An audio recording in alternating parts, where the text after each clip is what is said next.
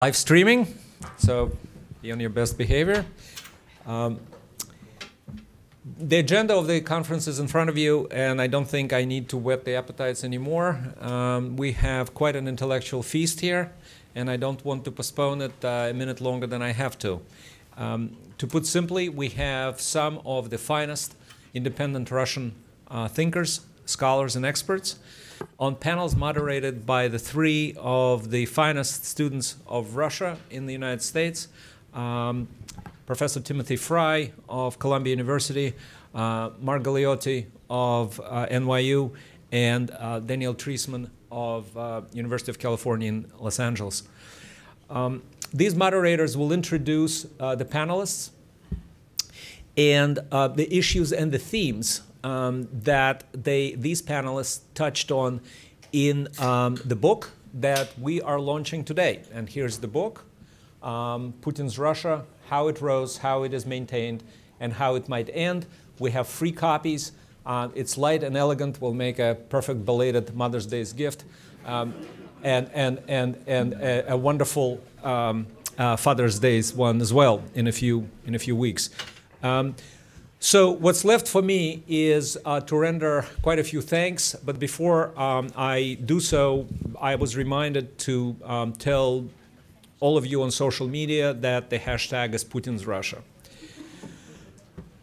So first and foremost, my thanks are to Smith Richardson Foundation uh, and Dr. Nadia Schadlow for uh, the grant that made this event and this book possible, uh, including bringing um, nine um, uh, uh, I should say eight people from Moscow and one from Paris. Um, my thanks uh, to Danielle Pletka, who is the Vice President, Senior Vice President and Director of Foreign Policy and Defense Studies, for mentioning, I think almost two years ago, casually, that it would be interesting to bring um, students of different aspects um, of um, Putin's Russia together and see what might happen. Uh, I'm grateful to Katie Earl, Lauren Kimade, and uh, Laura Krafser for parlaying ideas and plans, um, uh, pretty vague, into a beautifully executed grant proposal, and to Jessica Brownings and her perfectionist uh, staff of uh, conferences and seminars, whose work uh, you see all around you, but, but we'll have a chance to admire uh, throughout the day as well. Now, in terms of now that as far as the book is concerned, again, I have to thank Katie Earl, who read uh, the first drafts of all the English translations of uh, this book, almost 50,000 words, uh, to Christy Sadler and uh, Hilary Waterman, who copy edited one after another several more drafts of these chapters until they, um, they're in the shape that you'll find them in here. Uh, to Joe Gates, uh, Dan Fry, and Lisa McBrearty, who double checked all the numbers, uh, helped construct footnotes and translate charts and graphs. Claude Aubert and, um, uh, and uh, Olivier Balou uh, produced this beautiful book out of words and charts on the screen, um, illustrated it, and um, designed it. Most of all, I am grateful to the uh, authors of this book and to our today's panelists uh, who worked on this book and on this event for almost a year and a half, um, and who have been invariably gracious under all manner of deadlines, queries, and strains involved in such long projects. Uh, and I'm also grateful to them because it is their presence and it's their words, spoken or written, uh, that lend this event and this book the meaning that I'm most proud of, which is the celebration of free Russian thought and free Russian thinkers. Thank you for coming, and it's to you, Dan. Thank you very much, Leon. Uh, and I want to thank AEI and, and Leon in particular for organizing this really tremendous uh, uh, session and, and uh, conference, uh, bringing just an outstanding set of uh, analysts from Russia to be here today. It's my pleasure to introduce the three on the panel to begin with, first of all, we have uh, Mikhail Dmitriev. Uh, Mikhail is one of the most professional and I would say courageous analysts of Russia's political economy. He heads a think tank called New Economic Growth. before that, he served as a deputy minister in the government uh, in several capacities, in several positions, and then as, as the director of the, the president of the Center for Strategic Research. In Moscow, uh, Mikhail has uh, a bit of a reputation as a soothsayer. Uh, in early 2011, uh, Mikhail uh, noticed some strikingly new language appearing in focus groups that he was conducting. Uh, and he predicted at that point that uh, Russia was going to see some major anti government protests. Most people at the time were a little bit skeptical. I was, I was also skeptical. Uh, but uh, we all know what happened in December 2011. A, a, little less well known, I think, is, is that uh, Mikhail did this again. Uh, in the summer of 2013, I had lunch with him, and I remember him talking about the latest results from focus groups. Uh, and the main thing that these groups had exposed was that the single area in which Putin uh, still remained uh, popular, uh, respected, uh, still seemed sympathetic to the Russian public, was in his defense of Russian interests against the West and as a military leader. This seemed a little bit uh, uh, hard to fit into to, to, reality at that moment, but now it's a lot easier to make sense of. I don't know if they read that in the Kremlin, but uh, we see from events in Ukraine that uh, this uh, was right on target. Mikhail will speak first, and then, then we'll hear from Lev Gudkov. Lev is director of the Levada Center, now, there are a number of active polling organizations in Russia, uh, but when it comes to credibility and reputation for independence, none compares to the Levada Center. Since the late 1980s, uh, originally under a different name, the center's been conducting polls on all aspects of Russian social and political life. It's thanks to the Levada Center that we know a great deal about how public opinion has changed over, over those years. And the archive of these polls is, is an amazing resource that I think has not yet been fully tapped. I, I myself use the data, and, uh, uh, and we are extremely lucky uh, to, to have all that information, all that data available. Since 2006, Lev has been the director and the foremost interpreter of what these polls mean. He's written more than 70 books and articles on the problems of post communist society, transition, culture, and literature. And then we'll hear from Kirill uh, Rogov. Uh, Kirill is a senior research fellow at the Gaidar Institute for Economic Policy and the Academy for National Economy and Public Policy. He's a member of the Council on Foreign and Defense Policy and of the supervisory board of the Liberal Mission Foundation in Moscow, but what he's best known for these days is for being, uh, I would say, the most respected liberal commentator in the Russian press, uh, in publications such as Vedomosti, Novaya Gazeta, and uh, many others. He's also a major source for the Western press. Uh, I always can find out what Kirill is thinking in a given week by reading The Economist or the Financial Times. Uh, originally, Kirill was a specialist in Russian intellectual and cultural history, in particular of the 18th and 19th centuries. Uh, he then went on to co found the news and opinion uh, website uh, Polit.ru in the 1990s. He was uh, somewhat involved in the organization of the uh, demonstrations, the anti government demonstrations in 2011 to 2012. And more recently, he was personally responsible for introducing the concept of the middle income trap into Russian political discourse.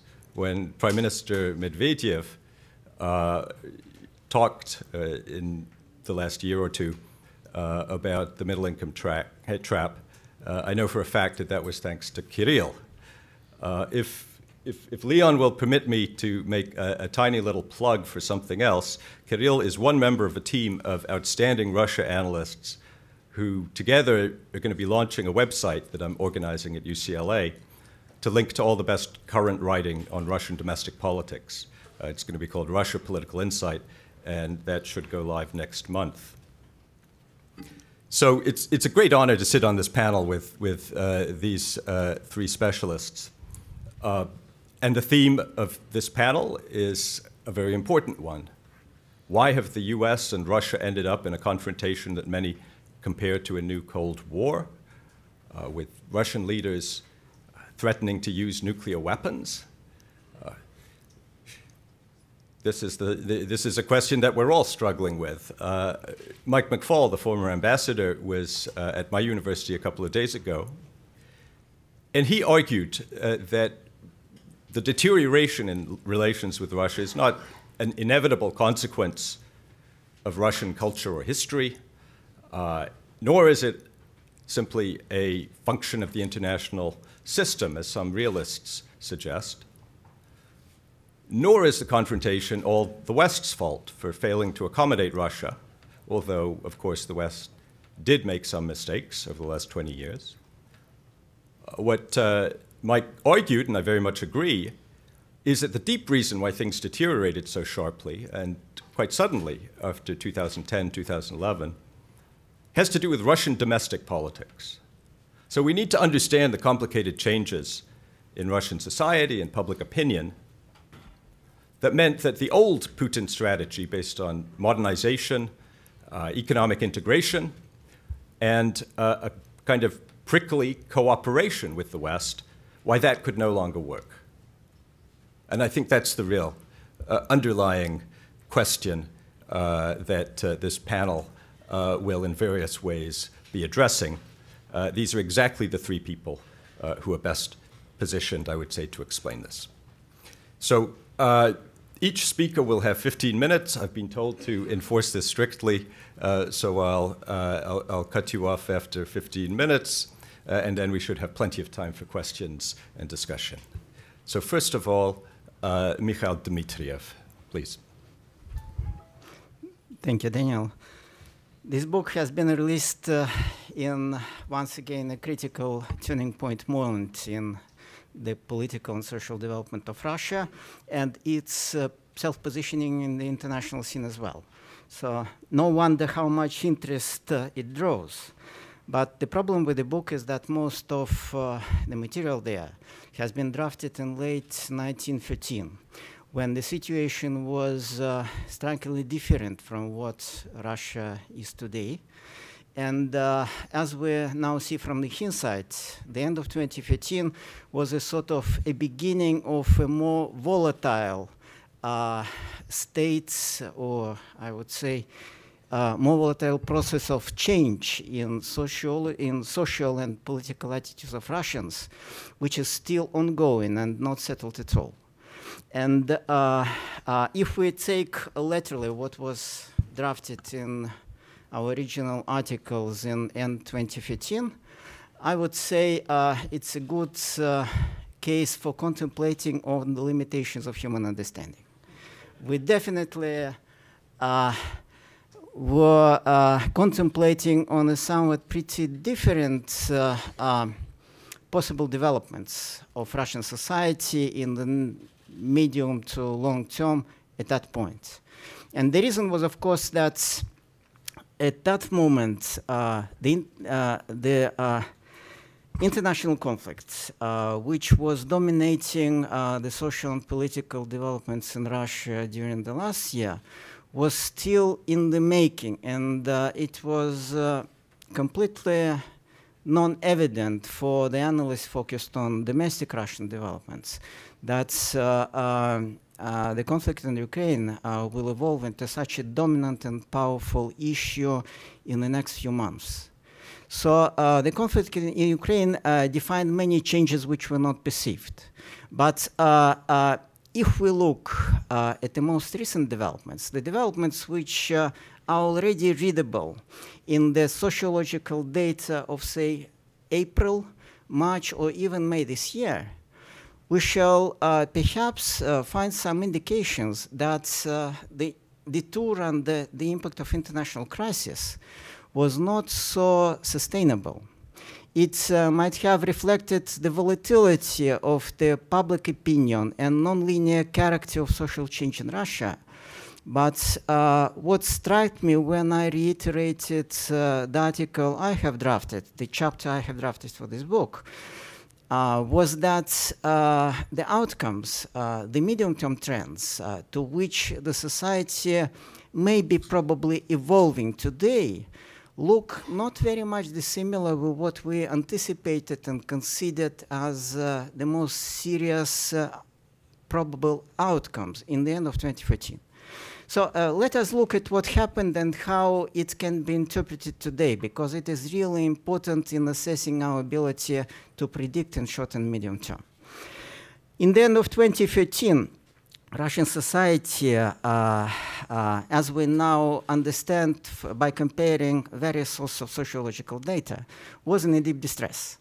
And this distress was not just the outcome of political events uh, uh, which have been broadly discussed and uh, studied, analyzed uh, the political events of 2011-2012, when there were lots of political protests, uh, contentious politics on the streets, but uh, the later developments. Basically, by the end of 2015, open political confrontation in the streets has more or less uh, been already come down. But below the surface, uh, what we discovered uh, from our latest surveys, uh, which were carried out in December 2015, and from the data of Levada Center of that time, uh, what we see, uh, there was a new mounting wave of tensions.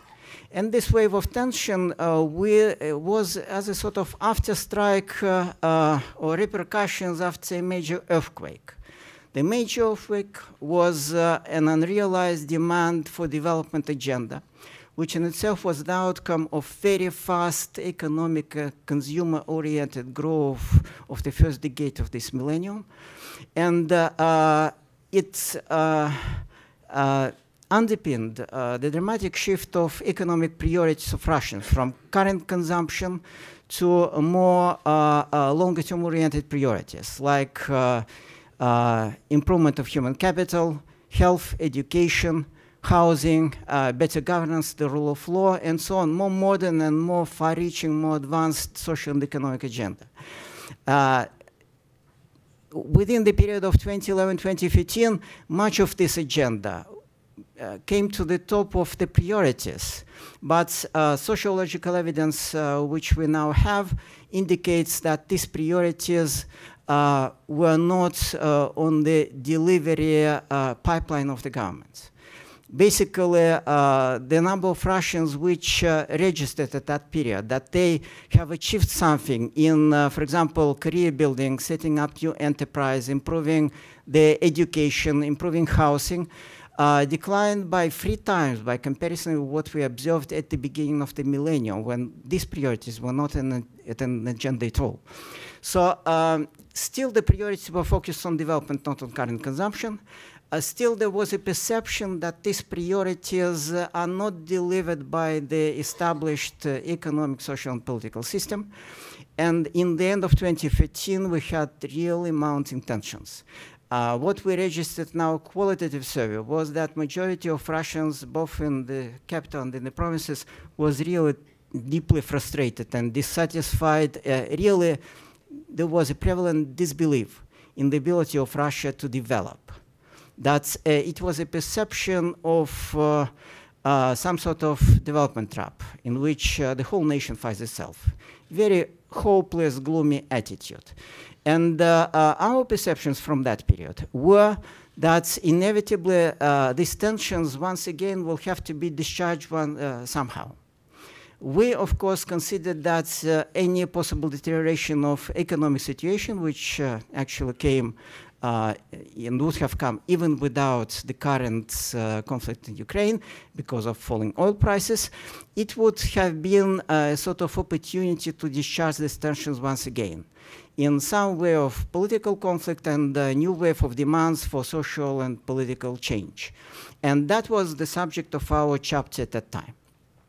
But uh, what we didn't expect it was that uh, the very strong, powerful uh, motivator, the defensive patriotism, which we discovered in our service, as Daniel has mentioned, in the middle of 2013, will allow a different direction of this tension discharge in 2014.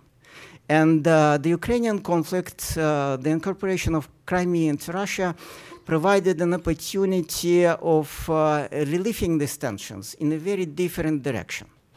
And 2014 was, in a way, a sort of uh, social lightning rod through which uh, uh, the Russian political system managed to retain political control, to increase approval of the Russian citizens, to get them more engaged, and to increase considerably the influence of the official media through refocusing of public attention into international arena.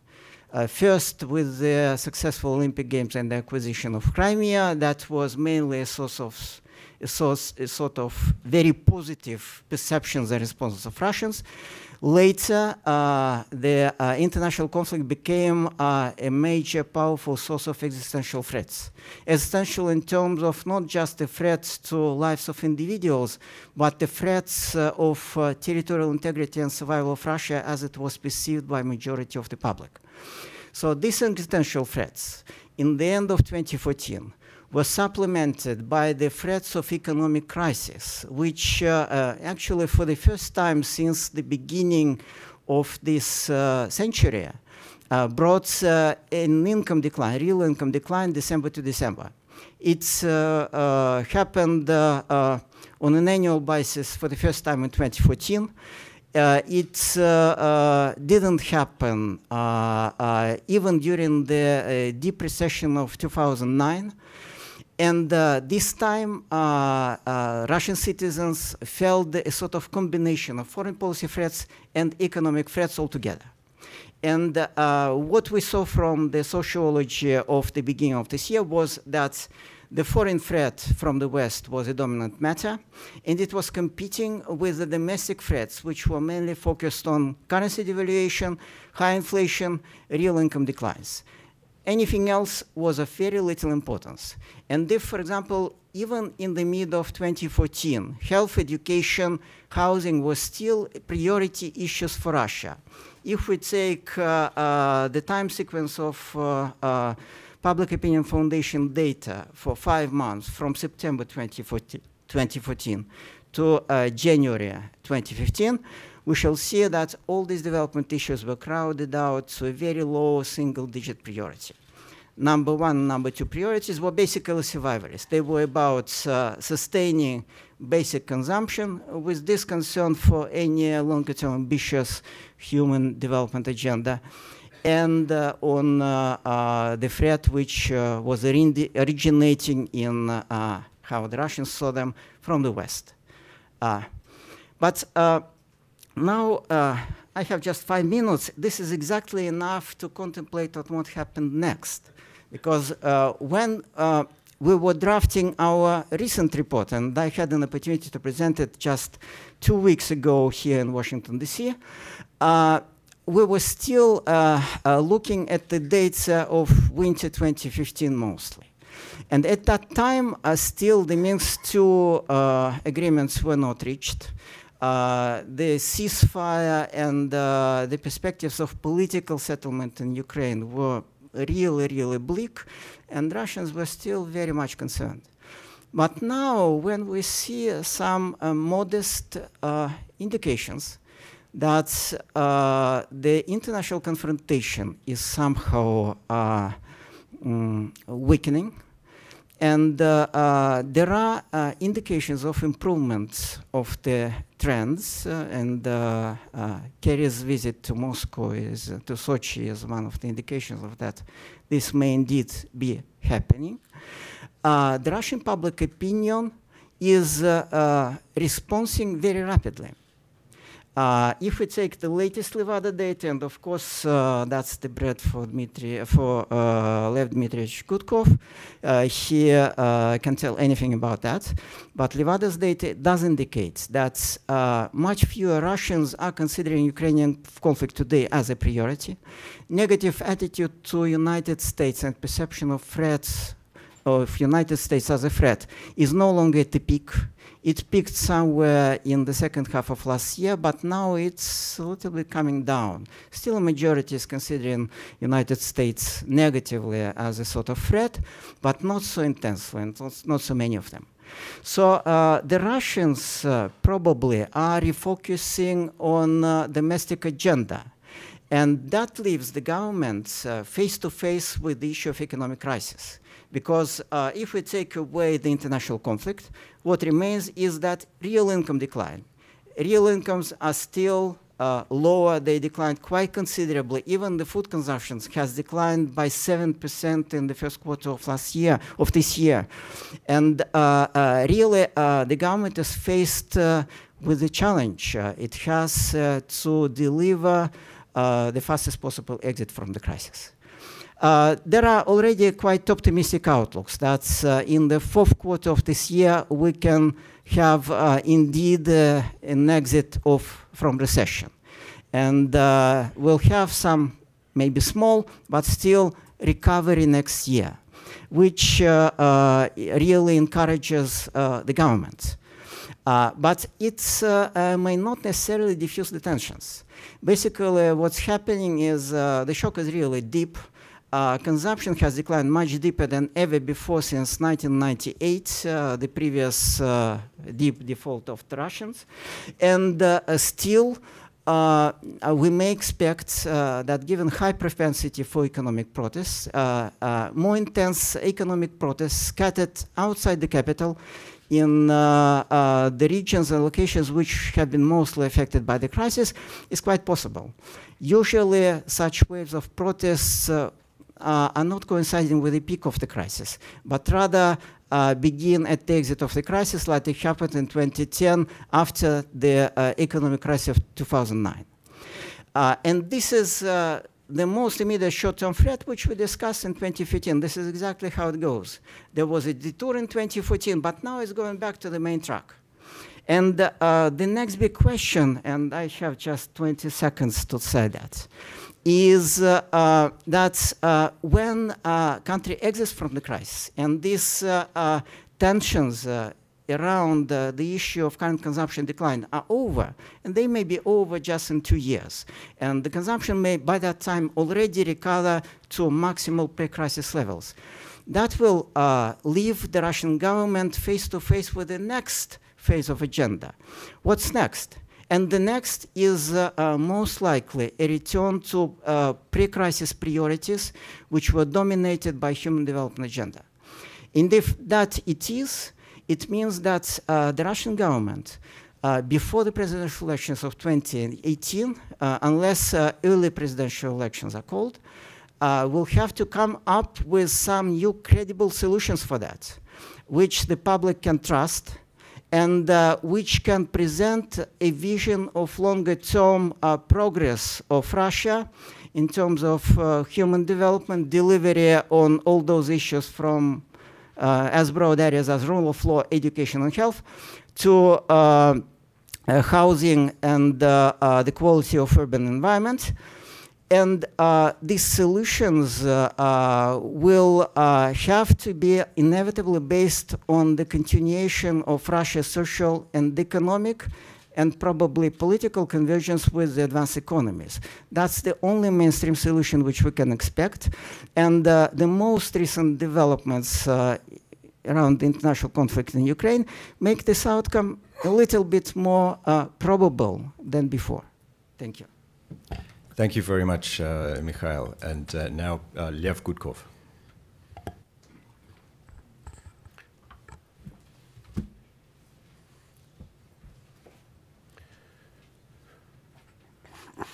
Я прошу прощения, извинить за мой плохой английский, я вынужден говорить по, по-русски. Please excuse me for my English. Unfortunately, I have to speak through an interpreter in Russian. События на Майдане э, резко изменили всю атмосферу в России и ход политического развития в, этой стране. The Maidan events have drastically changed the whole political course of Russia and it really changed the situation in the country. длительный период падения популярности Путина, роста недоверия, социального напряжения, который шел примерно с э, конца лета 2008 года по январь 2014 года, закончился крайне агрессивной кампанией, антиукраинской кампанией. Mm-hmm the long term decline in Putin's popularity and the rise of the social mistrust towards him that began at the end of the summer of 2008 and continued all the way through January of 2014 has um, led to a rather aggressive anti Ukrainian campaign on the part of the government. Цель этой кампании была э, не столько дискредитировать, собственно, украинское движение в сторону демократии, интеграции с Евросоюзом, сколько обратным светом дискредитировать э, и очернить российскую оппозицию, ценности либер, э, либерализма, демократии, прав человека. Mm-hmm. And um, the goal of this uh, campaign was not so much to discredit um, Ukraine's uh, desire to join the European Union or to democratize itself, but rather to discredit the Russian opposition, the um, liberal and democratic and the human rights movements that were going on there. Пропаганда подавала э, события на Украине как э, одно из э, звен, звеньев, э, идущих по всему миру цветных революций, инспирированных э, Соединенными Штатами и другими странами Запада. Mm-hmm. And uh, the propaganda of the Ukrainian events was just one uh, of the links in an entire chain uh, of the so called uh, color revolutions that the Russian government uh, was perceiving all over the world and um, was perceived as something that was instigated by the United States together with the West. 83% россиян были согласны с утверждением, что Майдан спровоцирован и проплачен Соединенными Штатами, что на Украине пришли к власти фашисты, нацисты, и э, это создает угрозу э, геноцида для русских на востоке и юге Украины. Mm-hmm.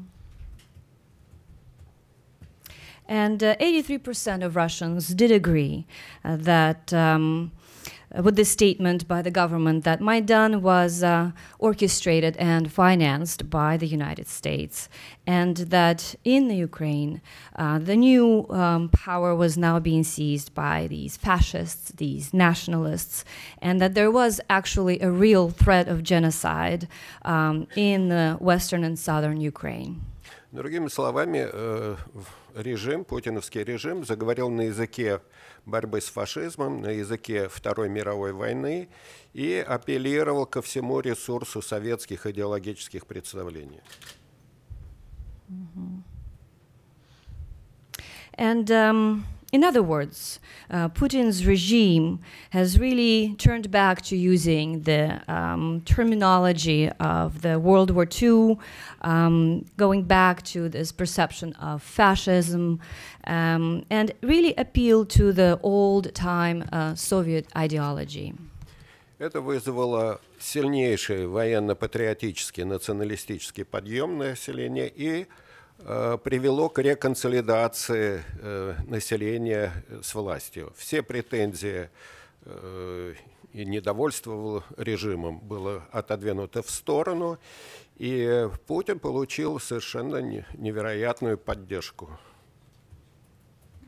And uh, this has caused a really unprecedented uh, military and patriotic uh, reconciliation of the population around the government.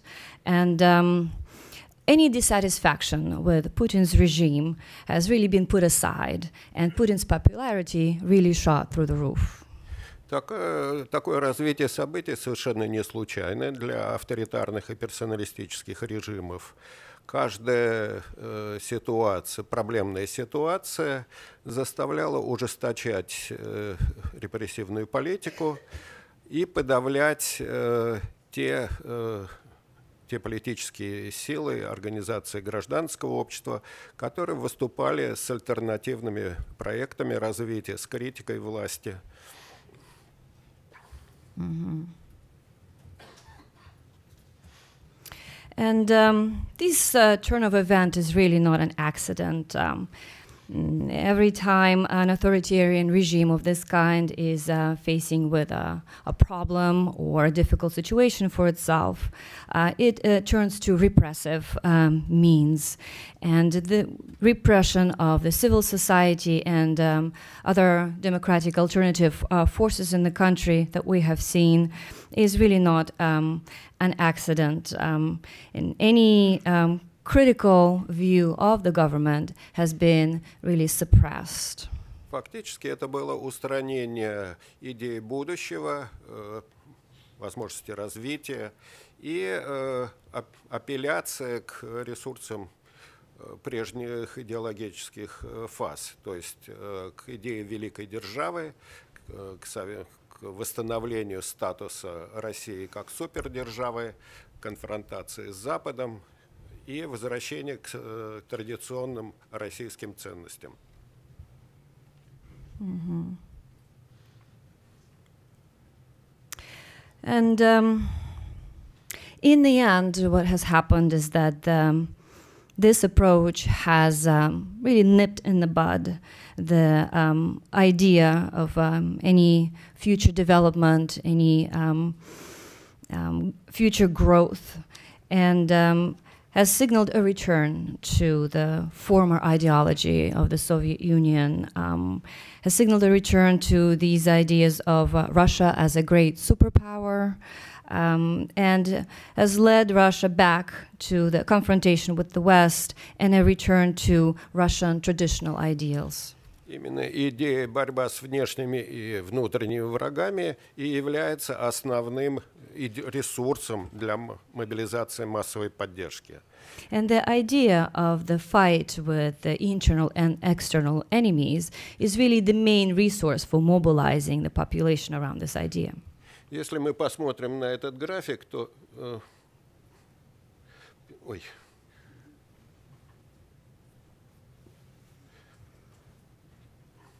первая фаза приход Путина сопровождался началом Второй, мир, э, Второй Чеченской войны. Второй пик популярности – это война с Грузией, э, лето 2008 года. И третья война, э, третья – это именно война с необъявленная странная война с Украиной, аннексия Крыма. Mm-hmm. And if we look at um, this chart over here, we can see the correlation really with the, uh, Putin's popularity with the events. Uh, the event of the Second Chechen War. Uh, the second event was the war with Georgia in the summer of 2008. And then the third, the uh, really amorphous, undeclared war with Ukraine, sparked by the annexation uh, of Crimea. Наступление экономического кризиса во второй половине э, прошлого года, падение рубля, э, фактически резко ухудшило массовые ожидания экономической ситуации, но не привело к снижению символической поддержки власти. Um, mm-hmm.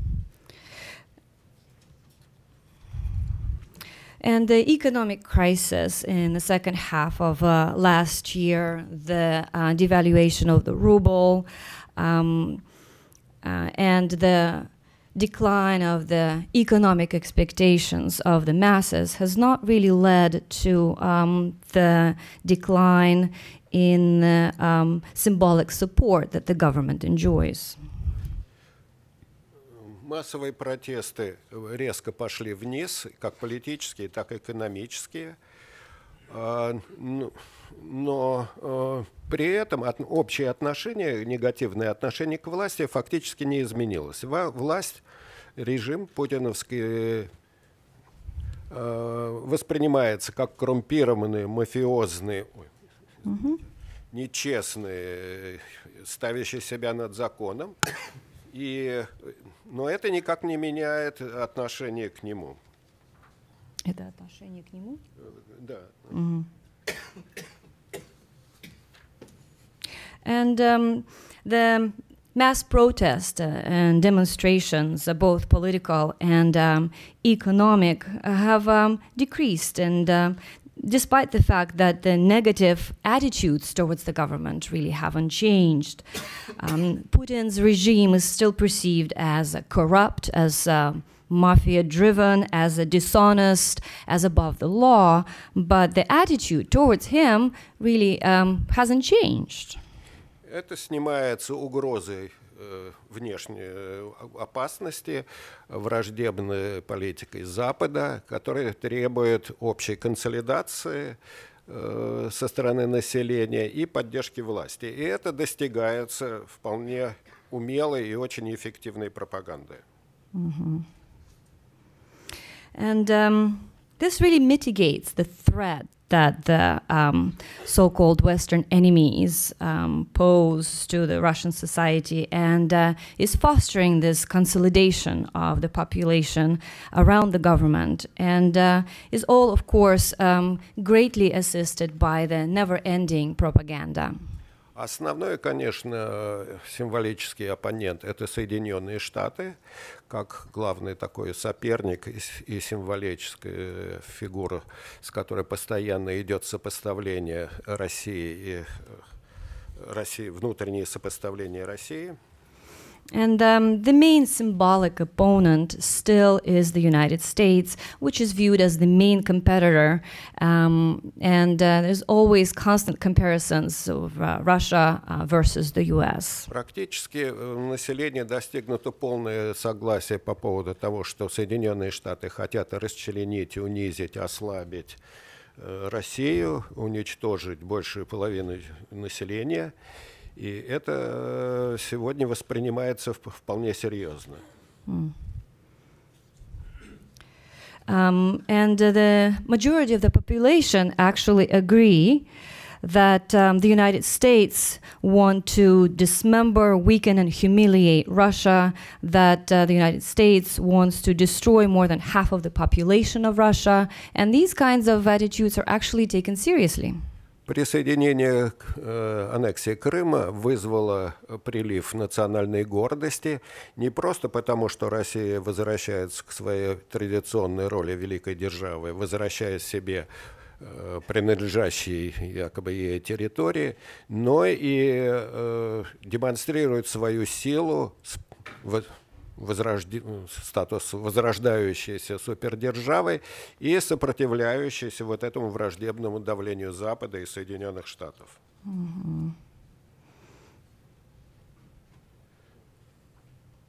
And the annexation of the Crimea not only has uh, fostered the sense of national pride um, and um, has uh, really allowed the Russians to view themselves again as, um, you know, part of this great superpower that Russia is going back to its uh, role of um, superpower. And by taking back the territory that has always been rightfully uh, Russian, um, this is also viewed as a way to demonstrate this new status and uh, to resist any kind of US uh, influence. Э, именно э, этого, кстати говоря, и ждали от прихода э, авторитарного лидера в момент, собственно,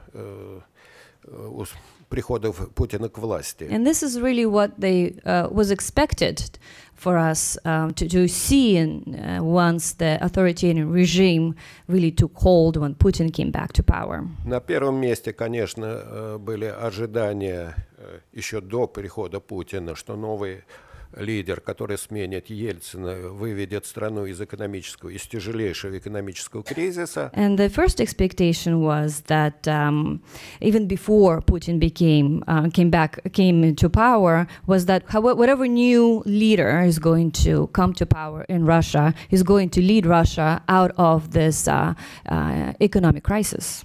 А на втором месте это возвращение статуса великой державы. And the, on the second sort of second um, was the return of Russia to the status of uh, superpower. В этом смысле э, политики, ан, аналитики, социологи недооценили той травмы, которая вызвана, была связана с э, крахом советской системы. And in this um, regard, the politicians, the socio, uh, sociologists really did did not did underestimated to a great deal the power that the trauma of the collapse of the Soviet Union has inflicted on the national psyche. Чувство принадлежности к великой державе, к, к тому состоянию, когда нас все уважали в мире, потому что боялись, компенсировало хроническое чувство униженности, зависимости от произвола власти.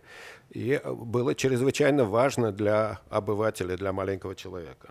And this um, feeling of belonging to a great power uh, that everybody in the world now respects us uh, is com compensating this uh, sense of humiliation, the sense of independence of the government that is constantly abusing its power. Именно поэтому э, аннексия Крыма и вызвала такую э, волну действительно очень серьезной и, на мой взгляд, продолжительной консолидации. And that's why the annexation of the Crimea has led to such um, a wave of uh, serious and uh, lengthy, I believe, consolidation of power. Которая в значительной степени вернула э, важнейшие элементы советской идентичности. which have um, really brought back some of the most essential elements of Soviet identity. Существование в закрытом э, изоляционистском обществе, противостоящее агрессивной политике извне. Uh, the um, existence of this closed and isolated uh, society that is trying to resist this aggressive influence from the outside. Это, с одной стороны, и позволило сильнейшим образом дискредитировать политическую оппозицию, представив ее как национал-предателя, как внутреннего врага, как иностранного агента. Mm-hmm.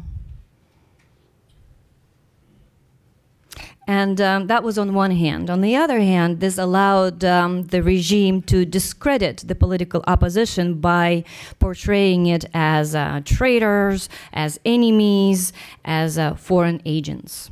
В этом смысле продолжение экономического кризиса, который будет явно, по мнению э, населения, тяжелым и длительным, э, не ведет непосредственно к э, ослаблению поддержки путиновского режима. And so the economic crisis, which the majority of the population perceive as uh, going to be a, a lengthy and a difficult one, does not necessarily lead to loss of support among population for Putin. Как показывают наши прежние исследования, на первой фазе экономического кризиса все претензии к власти резко снижаются и начинают э, действительно расти только когда экономический кризис э, подходит к концу. And uh, as our former research has indicated, in the first phase of economic crisis, any kind of uh, complaints or dissatisfaction with the um, regime is actually going down and only goes back up at the very last phases of economic crisis. В этом смысле накопленного ресурса поддержки Путину хватит до следующих выборов, и он их, скорее всего, выиграет со скандалами, фальсификациями, но тем не менее этого ресурса будет достаточно. And so um, Putin's regime um, currently does have enough resources to last until the next elections, and uh, he will win the elections with all the scandals and the falsifications uh, pertaining to it, but nonetheless, he will have enough resources to do so. Проблемой будет, на мой взгляд, то, что у оппозиции не будет к этому времени достаточно убедительной и серьезной программы альтернативной, которая могла бы быть признана и убедительной для общества. Mm-hmm. Спасибо. And uh, my problem, uh, I, I believe, is that by that time the opposition will not have um, convincing alternative program that will be able to really make an impact on the population and um, convince them otherwise. Thank you. Thank you very much, Lev. And now uh, Kirill Rogov.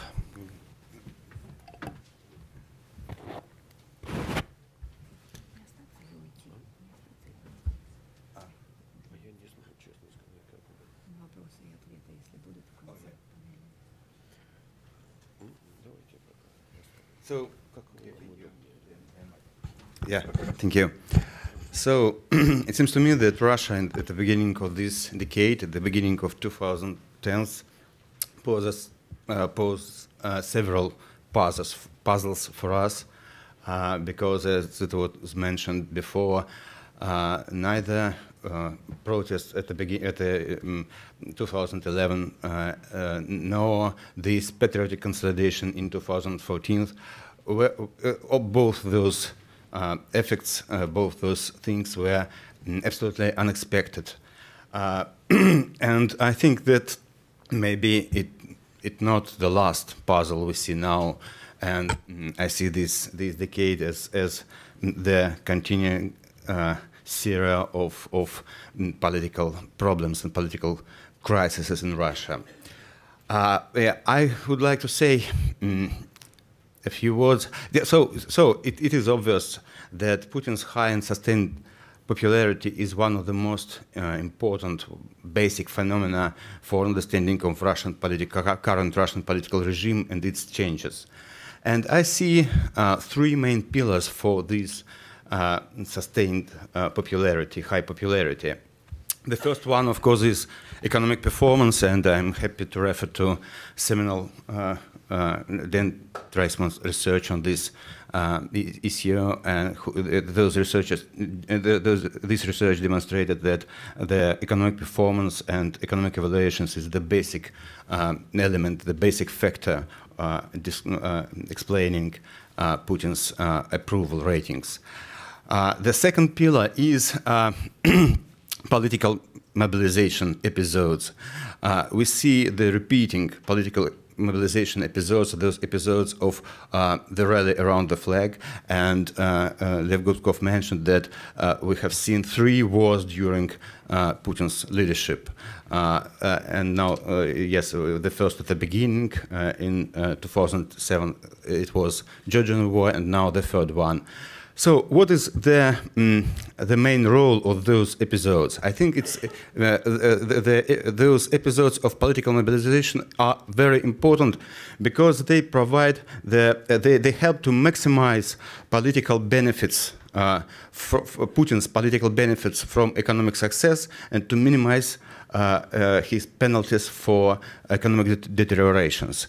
So those episodes demonstrate to people, demonstrate to voters that it is Putin who provide the stability, which is the uh, basic condition for economic um, economic prosperity.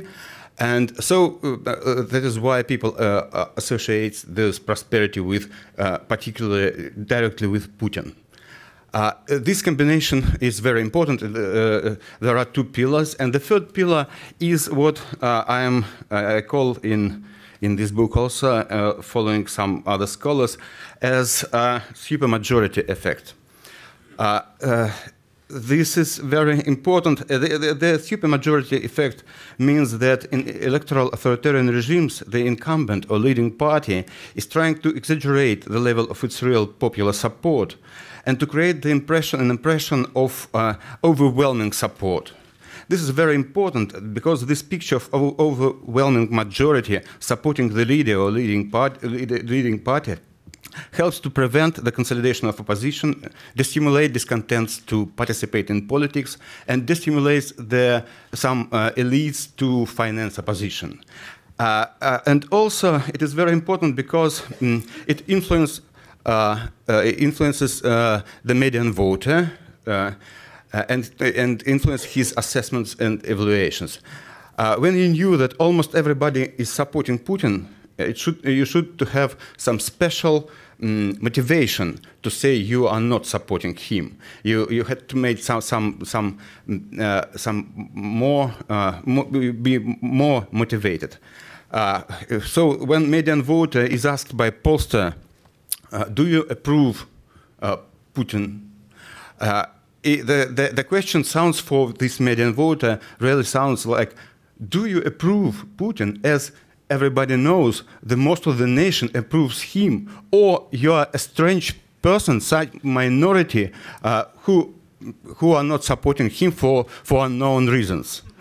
You, you should answer this question. Uh, and this is much more difficult than to say, I'm not supporting Putin.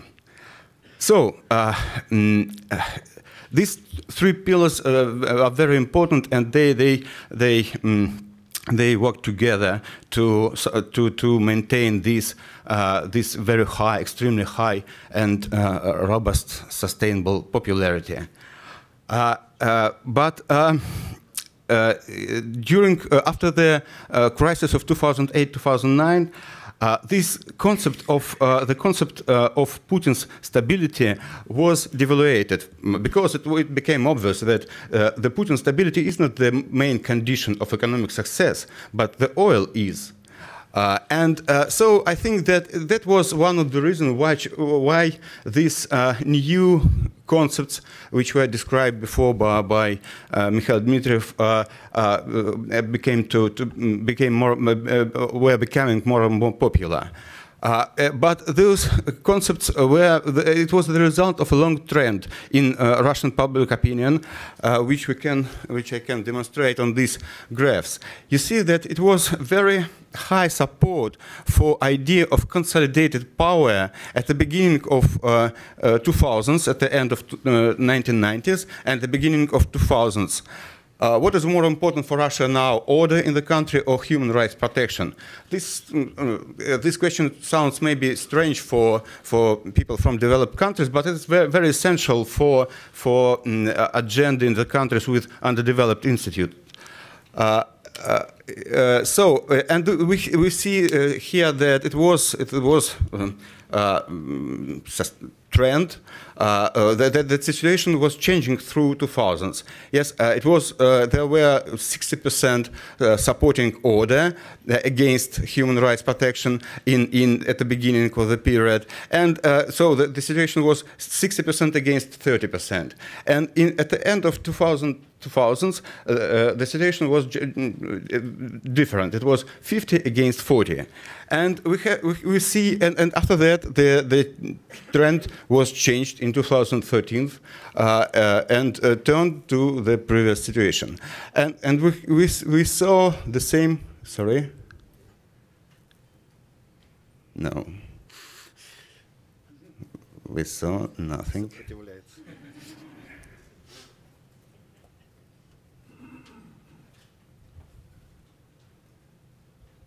Oh, yes. No. Yeah. The same, uh, this is another question uh, that demonstrates the same trends. Uh, what would be the best if all state powers were concentrated in the hands of one person or distributed among different regulatory bodies controlling each other? So we have mm, a strong support for consolidation of power, of uh, um, state power in one hands at the beginning of 2000s, and the opposite trend uh, which led to the um, situation at the end of uh, 2000s, uh, at the beginning 2010s. And also, uh, the, the, this trend was interrupted, was turned mm, uh, in 2013, mm, radically turned uh, and the situation uh, uh, returned to the previous mm, one. So um, this demonstrates that it was um, really uh, the, the, the, the, real political demand for new, some new social and some uh, social and political modernization, for, for some new model. Uh, it was not the majority, and we see in this and this, in this and other. Um, uh, Uh, uh, answers for these, those and, and other questions that uh, the, this uh, this uh, coalition for for social and political modernization was about 30 and on some issues about 40 percent. It was not a majority, but it was an important coalition which was not minority anymore. Uh, the same we see uh, uh, in the attitudes to mm, uh, uh, some political, uh, the, the, the, changing attitudes to some political concepts and preferences um, associated with with Western political modern model. So here we see that that um, the, the concept of democracy was was understood in Russia as something um, very special, as as some some national model of democracy at the beginning of the 2000s, and uh, it became more um, the, the, the support for Western dem democracy model uh, uh, rised during those years. Uh, the same uh, we see here that you see the competition of three models uh, some current system soviet system and western system. Uh, uh at the end of 90s uh, the soviet system was mm, uh, was the, the, has the biggest support while the current system was um, was evaluated very low.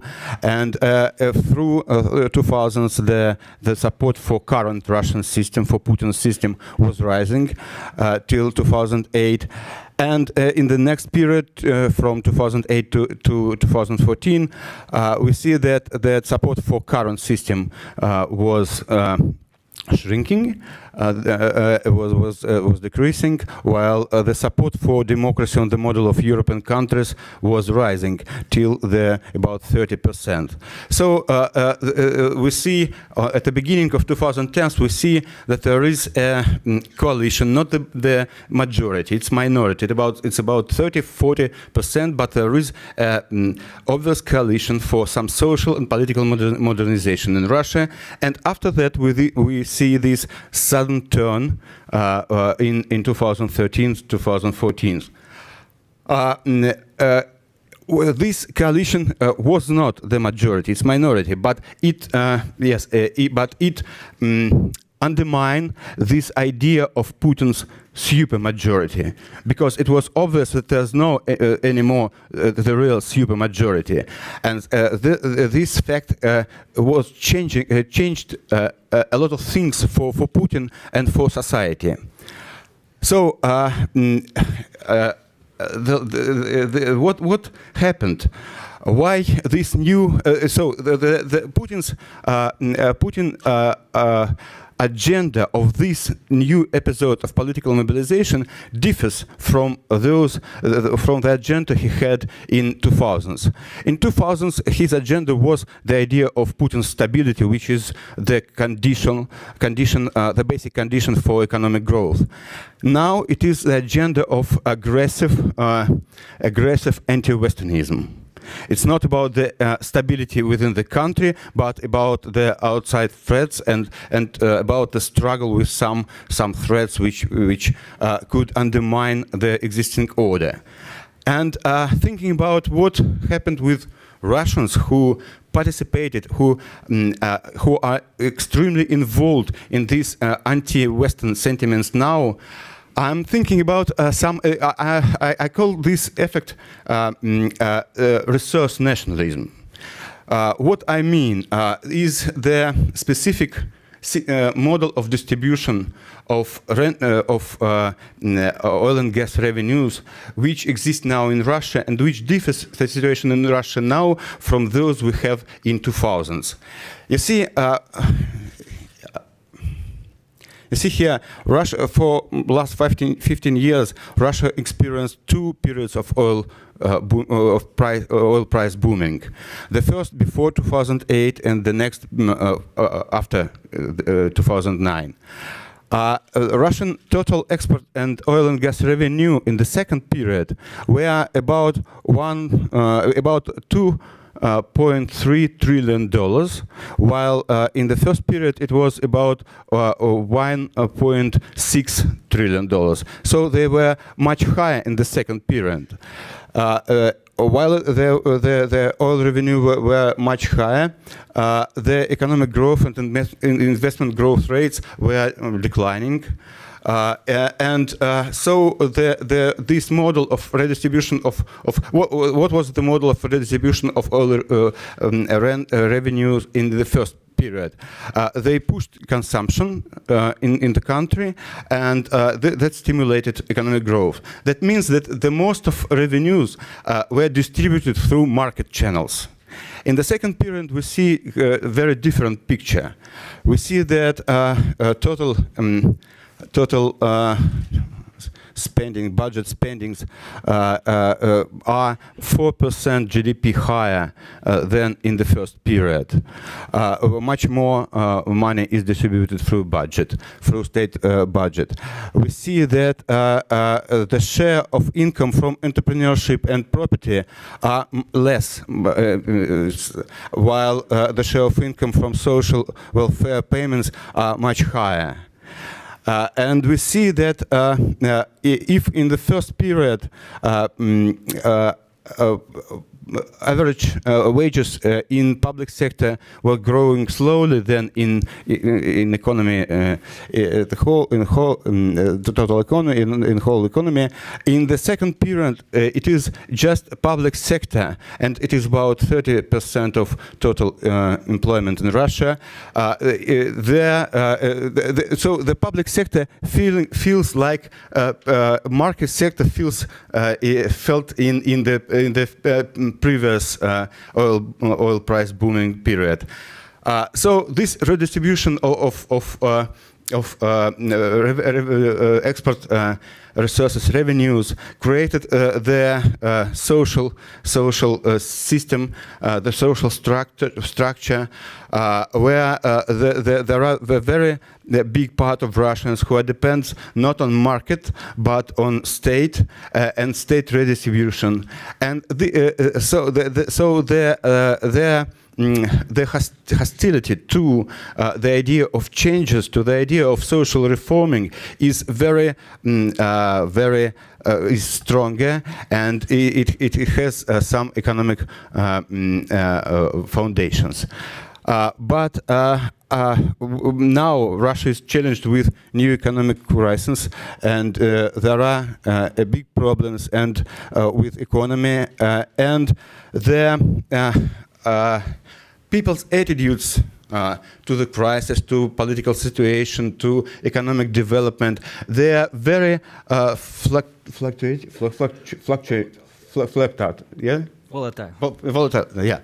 Uh, um, volatile. Uh, and uh, I think that we will see new puzzles uh, uh, in the next in next years. Thank you very much, Kirill. Uh, so now we have time for, for questions. Uh, I just ask you to keep the questions short and to identify yourselves. Uh, Harley?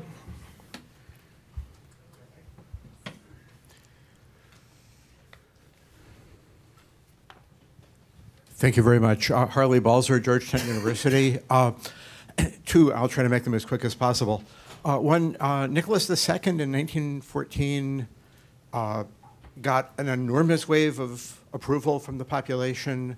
Uh, you know, in January, the anniversary of Bloody Sunday produced about 150,000 people to commemorate the uprising. In August, he got more than a quarter million singing God Save the Tsar, expressing patriotism. About 18 months later, things look very different. Why would we expect Putin to be exempt from that same kind of change? And for Mikhail, uh, you know, given the poor performance in things like education and science that we've seen, especially during the crisis, uh, why would we expect the human development agenda, which they've never been very good at, to be more attractive to the leadership than the thing that has worked, which is uh, invasion and nationalism? Uh, who was the first question addressed to? The whole panel? Or? Okay.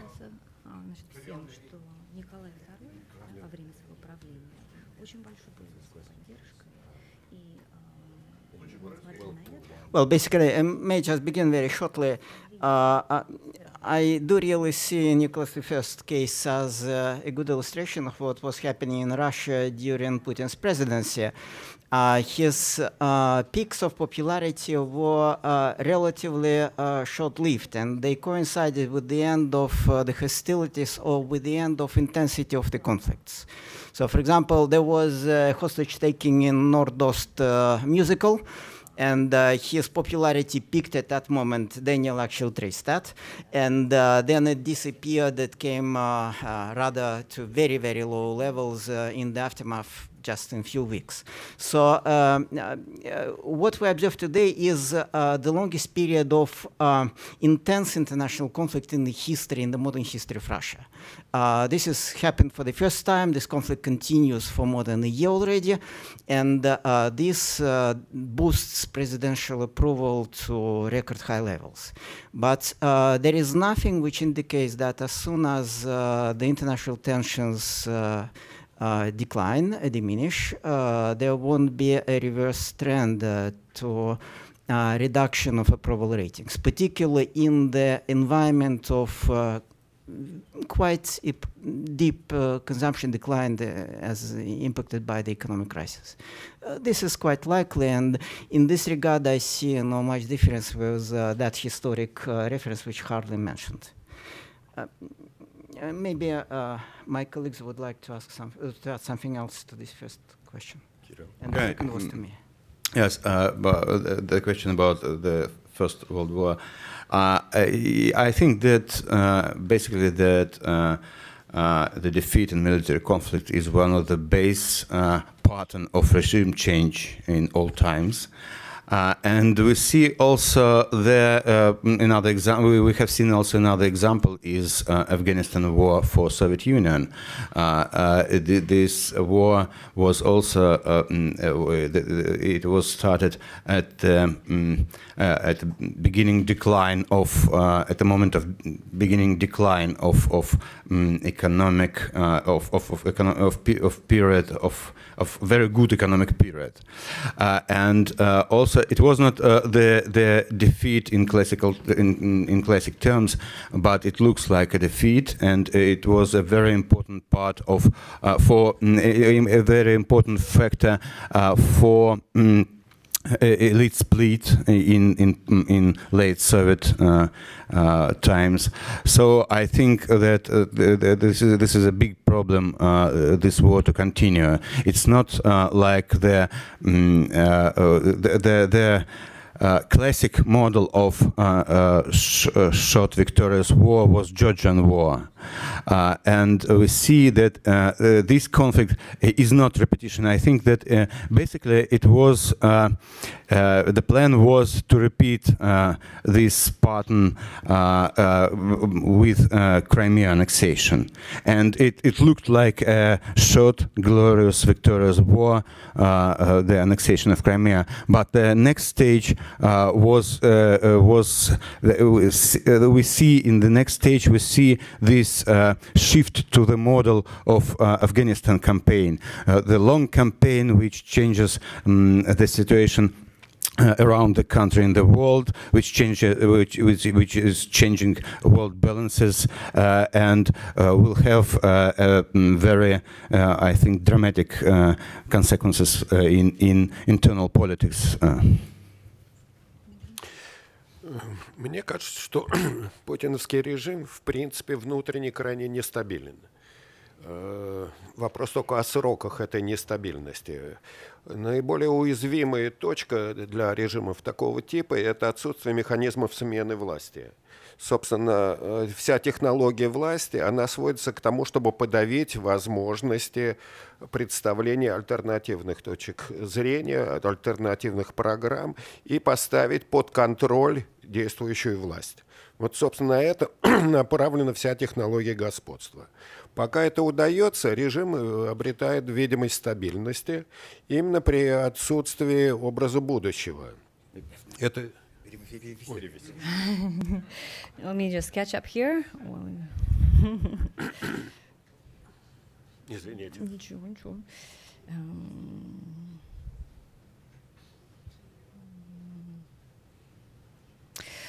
so, in my opinion, um, Putin's regime, deep down inside, really is rather unstable.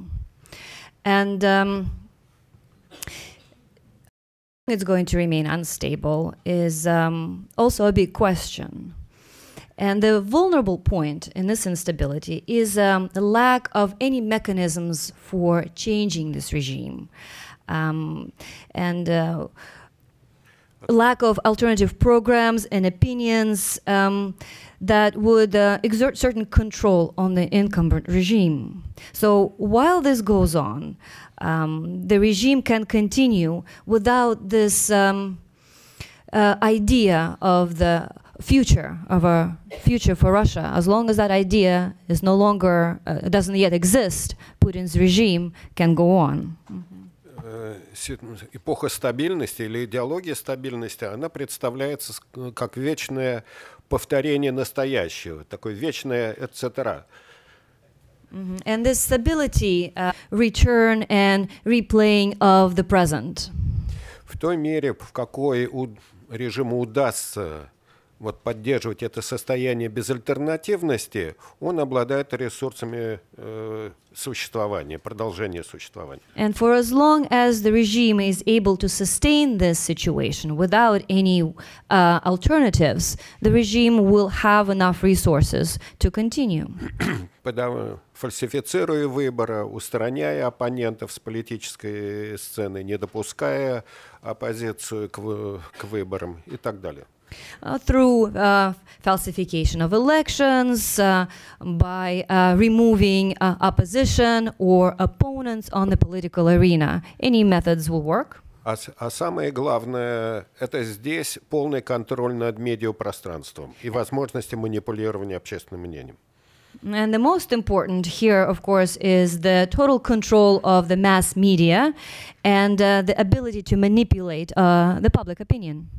Другое дело, что для того, чтобы поддерживать, э, обеспечивать массовую поддержку, режиму приходится, особенно в ситуации кризиса, э, использовать все более радикальные, экстремальные средства. And in order to maintain this kind of uh, mass support, a regime, especially in the conditions of a, a crisis like we are seeing, is going to have to use more drastic, more aggressive means of exerting that kind of control.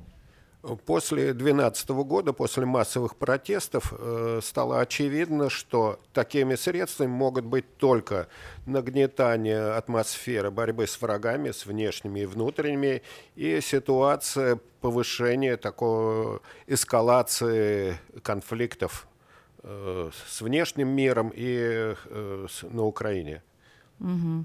And after the mass protests of 2012, these means have really identified themselves. It is this um, escalation of uh, conflict with the West, with the outside world, this um, representations of, of enemies, uh, of really mm, instilling fear in the population, and then of course the um, the whole development uh, with Ukraine has been very conducive to that.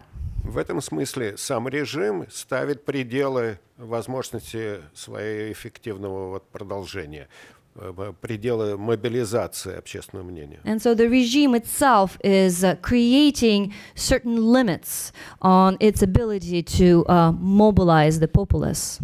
Но в той мере, когда будет достигнут э, вот, критический порог, а я не думаю, что это будет в ближайшие 2-3 года, это скорее э, по, по- по моим таким оценкам и расчетам, это будет где-то в районе после пяти лет, э, то э, наступит очень резкое падение поддержки, и, собственно, ре- режим, э, видимо, рухнет. And um, when this um, threshold will be reached, um, and I don't think that the, this will happen within the next two or three years. I believe that more likely we will have to wait about five years for that kind of a threshold to be reached. But at that time, the support will experience sudden drop. Uh, the regime will experience sudden drop in support and will essentially collapse. Это произойдет не в результате массовых волнений, подъема, а в результате конфликта в высшем руководстве, прежде всего, и борьбы за власть на, на высшем и среднем уровне.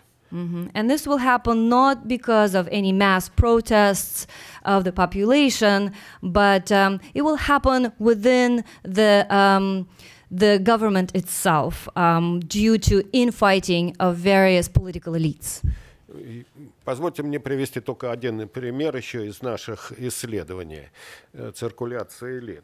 э, когда мы анализировали био- би- биографии сталинской номенклатуры, то там было э, установлен такой факт, что в условиях массового террора средний срок для занятия первой номенклатурной должности э, кандидату в номенклатуру составлял три года в- конце там 50 э, в начале 50-х годов. Let me give you one example from our research that we conducted on the um, government elites when we were um, putting together um, so uh, a kind of biography of Stalin's nomenclature. Um, we have uh, discovered that within this condition of uh, mass terror, the average um, term of um, an official in uh, holding his position in the nomenclature was about three years. So we're talking about 1950s now.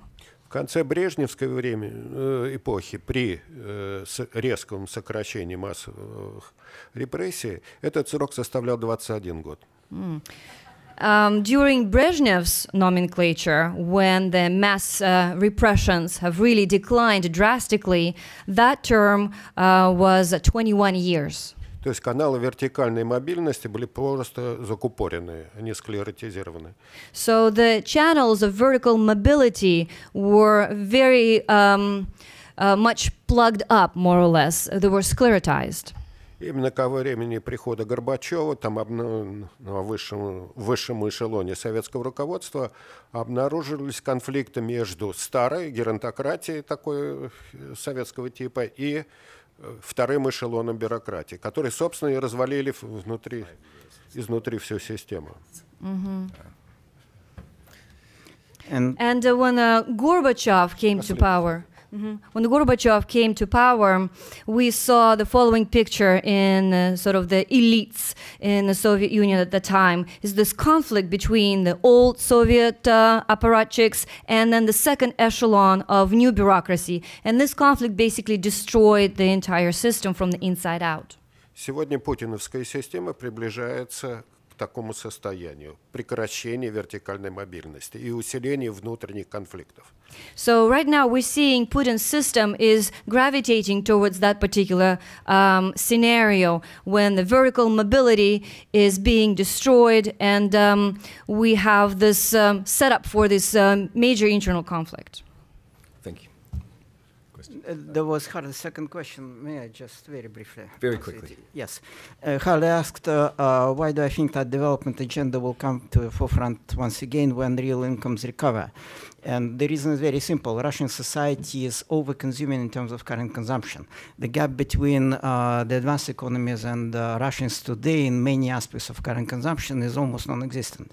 But in terms of health outcomes, uh, housing, the access to rule of law, and uh, uh, less in terms of education, the gap is much larger.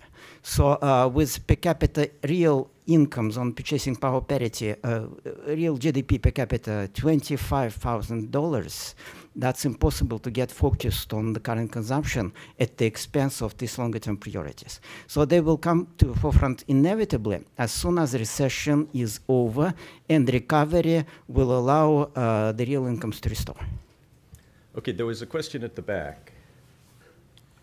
Yes. And let's keep the answers short so we can have a lot of questions. Ellis Biberai, Voice of America. This is a question for Dr. Gudkov. Uh, you, uh, you said that you think that Putin will most likely win the next elections. And the problem, the way you see it, is that the opposition will not be able to come up with an alternate platform.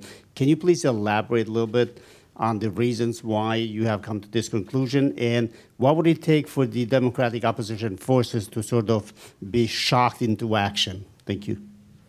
Перевести, да? Вот вы говорили, что Путин выиграет следующие выборы, и что у оппозиции нет достойной платформы. Почему не могли бы вы подробнее говорить о причинах этого? И что, собственно говоря, потребуется для того, чтобы мобилизировать оппозицию, чтобы вот этот сценарий по-другому сыграть? Это довольно трудный вопрос, э, на него очень долго надо отвечать. It's a rather difficult question. It would take a long time for me to answer it. Оппо- оппозиция деморализована и отрезана от средств массовой информации. The opposition is very much demoralized and is cut off from mass media channels. э, ее не допускают до выборов. Соответственно, те программы, которые предлагают различные оппозиционные партии, они просто неизвестны населению. So the opposition really has um, uh, no access to the elections. So whatever programs, whatever alternative programs the opposition can come up with, it has no way of really relaying that program to the population. Кроме того, против нее работает очень мощный пропагандистский аппарат. Uh, besides, uh, a very powerful propaganda machine is working against it. Э, Что там еще? Причина. Что потребуется для того, чтобы они мобилизировались? Ну, из того, что сказано, следует практически невозможность для нее добиться выхода э, Э, к средству массовой информации, просто представлять точку зрения. Сегодня полные монополии, информационные монополии на средства э, над средствами э, массовой информации. So this means that currently the opposition um, finds it absolutely impossible to have access to mass media and uh, no way of relating its point of view because the current regime has absolute monopoly on mass media. Это первая причина. Вторая, что большая часть населения сохраняет государственно-патерналистские или, проще сказать, советские социалистические установки. Mhm. And that was the first reason. The second reason is that the population still retains the old Soviet paternalistic um, ideals. Э, Это распределительная экономика, это контроль над ценами, это бесплатная медицина, бесплатное образование, инвестиции и поддержка социально неимущих, э, поддержка социальной инфраструктуры и прочее. So we're talking here about the um, the um, the planned economy from the top down, the free medical education, um, and the um, social support systems that are still in place, left from the Soviet times. Именно с этими ожиданиями и с или этими представлениями и работает э, кремлевский режим. And so the uh, Kremlin and its regime are still using these expectations in order to um, foster its own survival. Консервативная, бедная, депрессивная оппозиция является сегодня опорой э, действующей системы. Ой, э, э, провинция. So conservative, poor, and um, economically depressed uh, provinces are the only um, means of uh, support for the current regime. До последнего времени, э, собственно, формирующийся, условно говоря, средний класс представлял другую программу, но никак не принимал во внимание участие интереса именно этой большей части населения, примерно 60-65% населения. And so, um, in the later years, this forming middle class with its alternative programs nonetheless did not take into account all of these interests of this a majority, really, of the Russian population. About 60 65% people live in the provinces. В той мере, в какой наши демократы, наша оппозиция сумеют увидеть э, и понять интересы вот этой значительной части сегодня консервативно настроенного населения, для, в той мере для нее откроются возможности получения политической поддержки.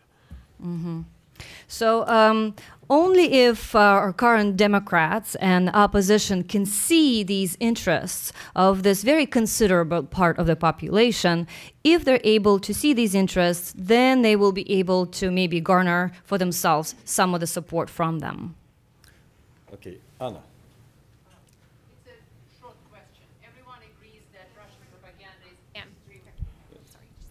I can yell, it's okay. Everyone agrees that Russian propaganda is extremely, exceptionally, almost unprecedentedly, except for maybe um, Nazi Germany, is effective. I actually heard, and I think very good uh, definition by An- Andrei Illarionov. He says it's no longer journalism; it's information troops. Uh, but I still um, wonder what um, answer would you give to the question why is it so? Why propaganda is suddenly so efficient, more efficient by far than the Soviet one? То есть вопрос, почему пропаганда сейчас настолько эффективна? Да? Uh, May I give a very short answer? Uh, I have already presented my outlook uh, when presenting the report in April. And uh, uh what we did, we traced uh, the periods, uh, traced back the periods of the high propaganda influence and success in terms of changing social attitudes for the last 15 years. And what we discovered that indeed there were a few such periods. They were always coinciding with the same direction of the fundamental factors of attitude change. So when the expectations of the public naturally or fundamentally coincided with the direction of the propaganda, it worked miracles. Like it happened with shifting of priorities to development agenda. That was uh, the so-called the priority national projects of Dmitry Medvedev, and they worked miracles. Basically, in 2012, majority of Russians thought health education uh, and the, the rule of law were very important issues. But uh, the same happened with Ukraine, uh, as we see from 2013 survey, which uh, Daniel mentioned. Defensive patriotism was already high on the agenda of Russians before the Ukrainian conflict. So, when it was triggered by the intensity of the conflict, official propaganda had really little to do. It was very well organized, very effective, but it resonated deeply in the natural fundamental expectations of Russians. Now, when the crisis may be diffused, uh, when uh, uh, the propaganda has to, to deal with the consequences of the economic crisis, it was never successful in that. And uh, most likely we can expect the decline of the influence of official media if the Ukrainian crisis is successfully diffused uh, during the forthcoming months. Just like it happened in the end of 2015, when the influence of official channels, according to opinion polls, official TV, central TV channels, dropped to a record low level, and uh, uh, it was uh, considerably overcome by internet sites, printed media, and FM radio stations. This question also, um, to say a few words of also, this is an extremely interesting uh, question, and I think it needs uh, more conferences, researchers, and books, uh, especially this question about uh, efficiency of new propaganda. But basically, I think that the uh, puzzle is uh, somewhere in this um, sphere. You, you, see, in in in Russian um, in Russia, it was it early, before it looks like there was Soviet propaganda, which is the sphere of ideology, and it is uh, something all ancient and and uh, mm, and, Uh, mm, not efficient, and it is about ideology. Uh, and in the new Russia, which was opposed to Soviet Russia in, in uh, late 90s, is the Russia of consumption not about ideology, about consumption uh, uh, and these new values of consumption. And now we see the propaganda which is combined with the values of consumption. And this is a very efficient way and very efficient model.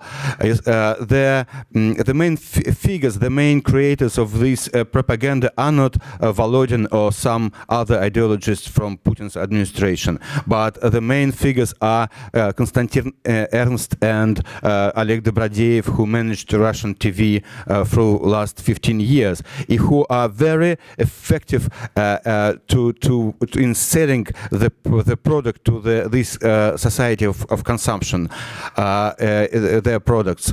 and they use those new models of consumption society and how to, to sell products to, to consumption society and they use for in ideological purpose. And this is a very new situation for Russian society uh, very, very differs with the previous ones, either Soviet and post-Soviet.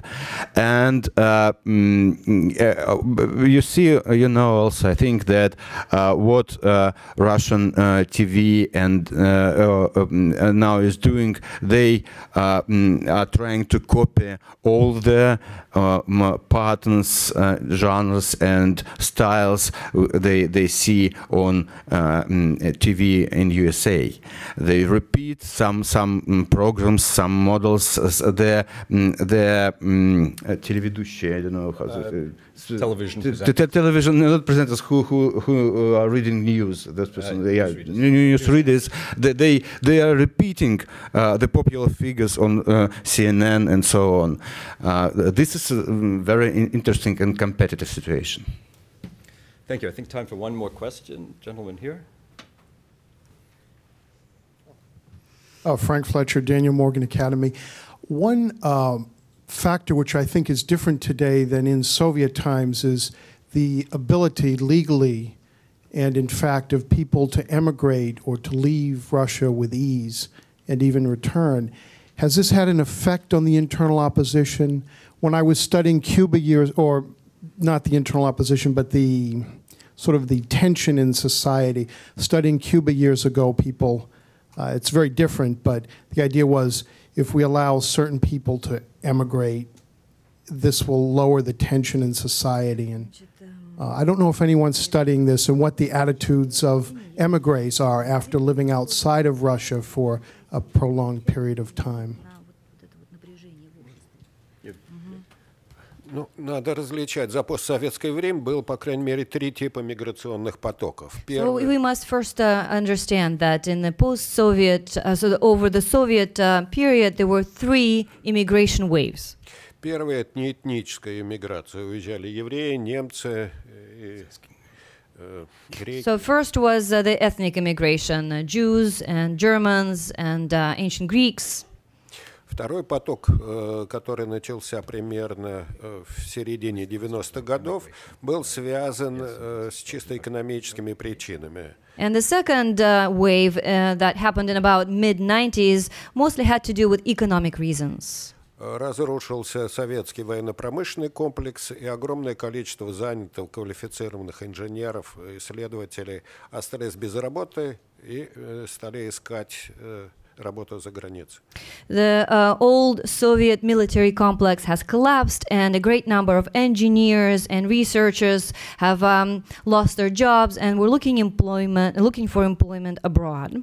Э, В, в среднем э, миграционные настроения, они характерны примерно для 9-11% населения. So, uh, for the major- for only about nine to eleven percent of the population have these kind of immigration um, desires. Or Весной 2011 года, когда стала перспектива возвращения Путина в президентское кресло, эти настроения по- подскочили до 22-23%.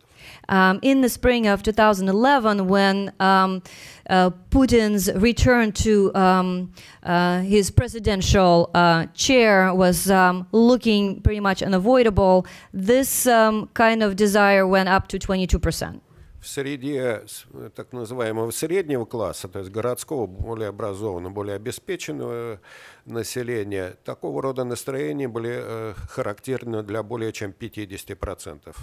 For the middle class, uh, the city dwellers who are well educated and uh, with enough financial resources, this desire was uh, somewhere around 50%.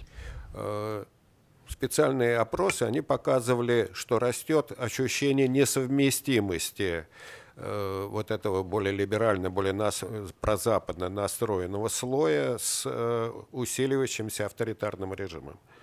And uh, the polls of the time show this uh, incompatibility of the so called uh, pro Western strata of society with the uh, tightening uh, of the regime. В последний год после аннексии Крыма и развязывания вот такой вот агрессивной антизападной пропаганды все миграционные настроения резко снизились.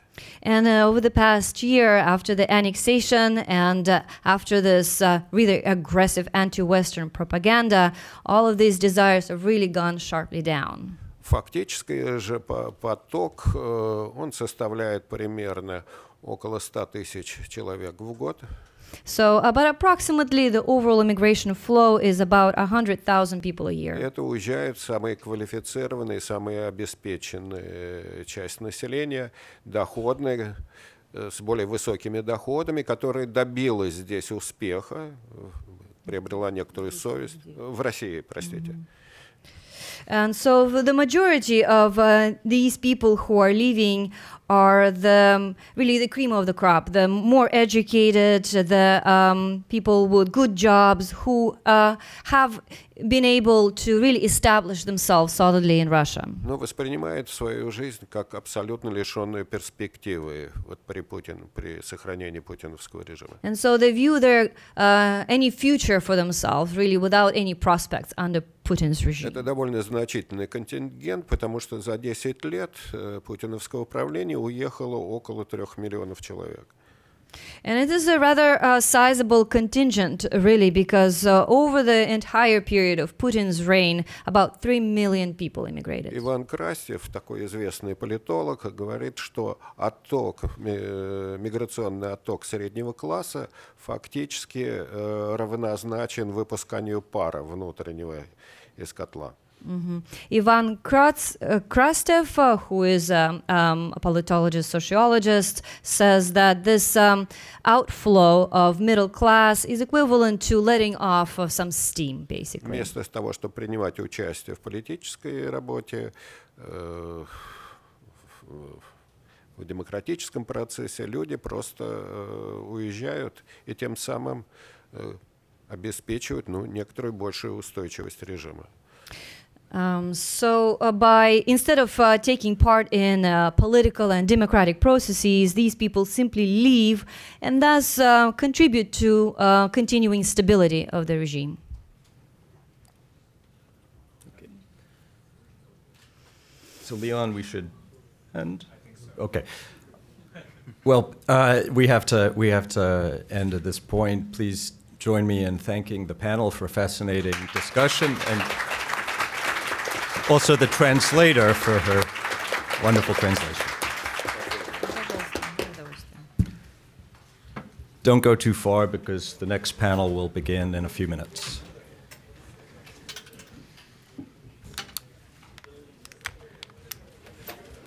Good job. That was, was very interesting. Спасибо большое, Михаил. Great job. Uh, excellent. Good. It was a good panel. Oh, I thought there's a lot of new, new stuff. It was.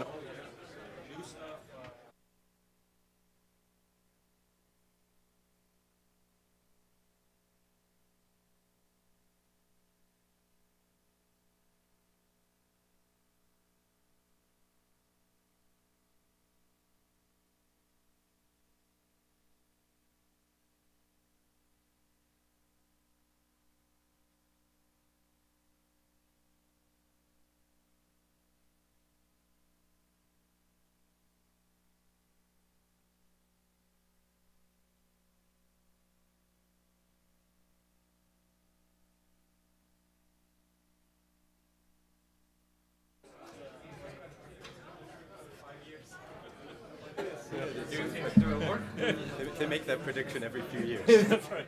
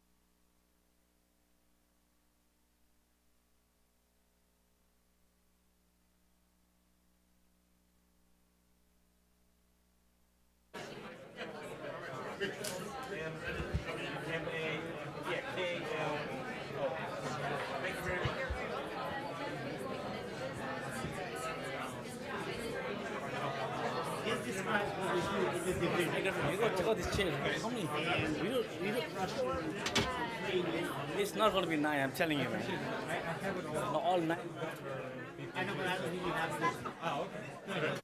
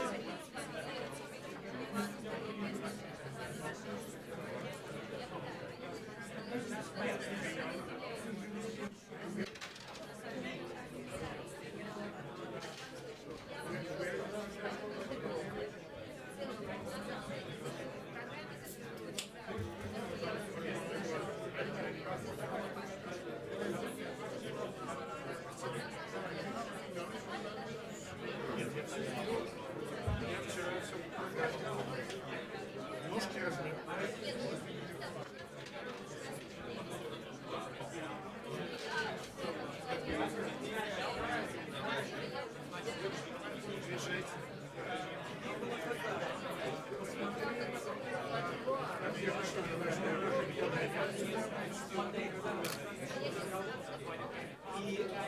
так красиво сделаем,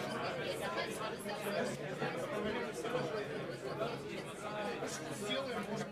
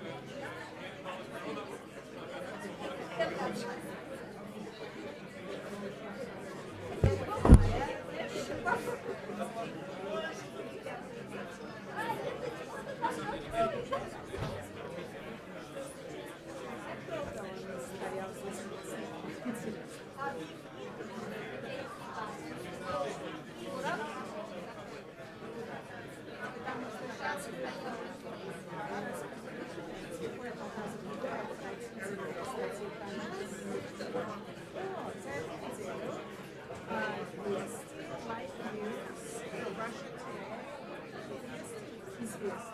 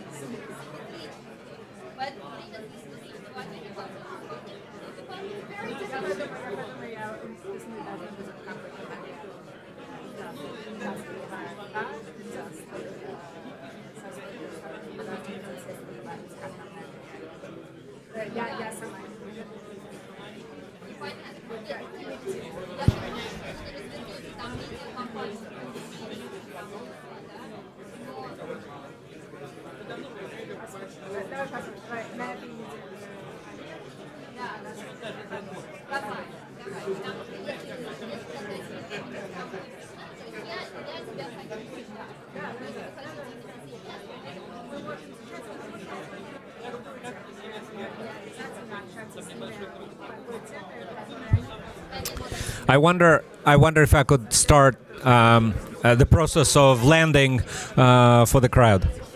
Thank you very much. We are very good at staying on time, so let's try to continue.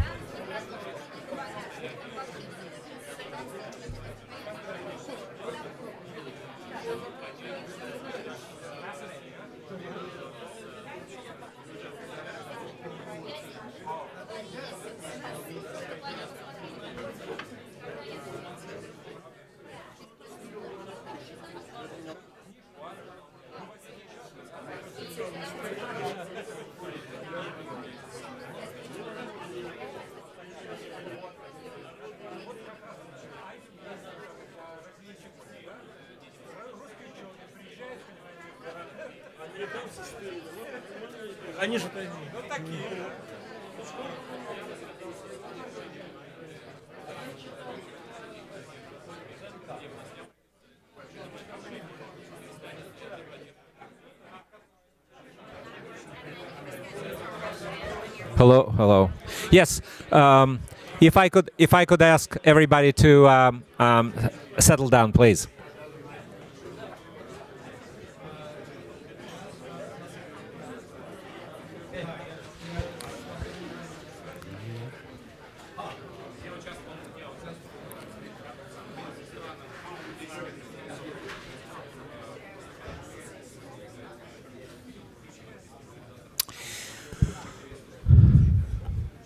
Well, welcome to the uh, second session. Uh, for those of you who uh, expected to see uh, Mark Galeotti uh, chairing this panel and are disappointed because I'm doing it, uh, believe me, I'm disappointed as well. There's until 6 a.m. this morning, there was still hope that that he could get through the um, accident area around Philadelphia and on the train, and he couldn't. So he sends his regards and apologies. I'm very sorry he's not here.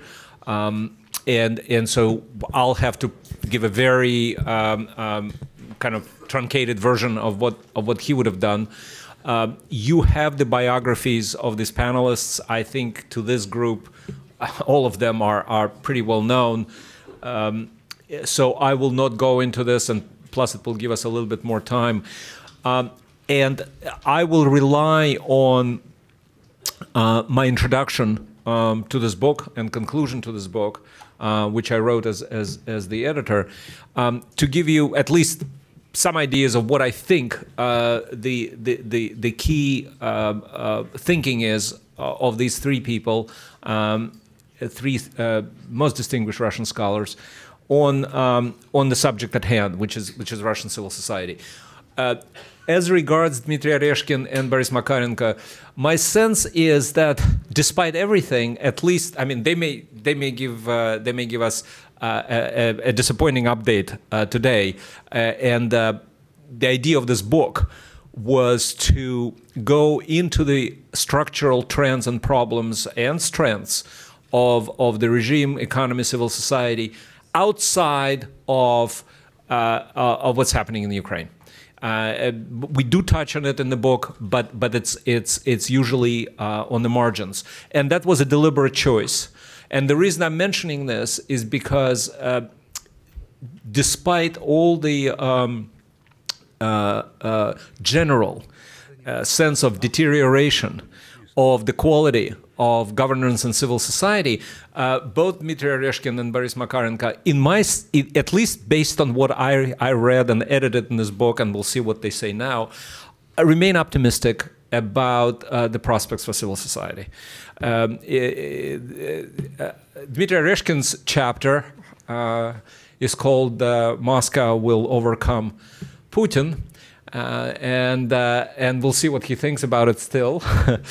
um, and uh, but and and Boris Makarenko in his chapter starts with uh, the obvious uh, problems uh, in the relationship between the regime and civil society in, in, Russia today, but then goes into some interesting historical parallels. Uh, you know, 1905, 1917, 1991, which shows that at certain critical moments uh, in in its history, um, the Russians rose up to to extremely important, uh, fateful challenges, and and managed to turn the society uh, at, at, what, at least at that time, seemed like like the right direction.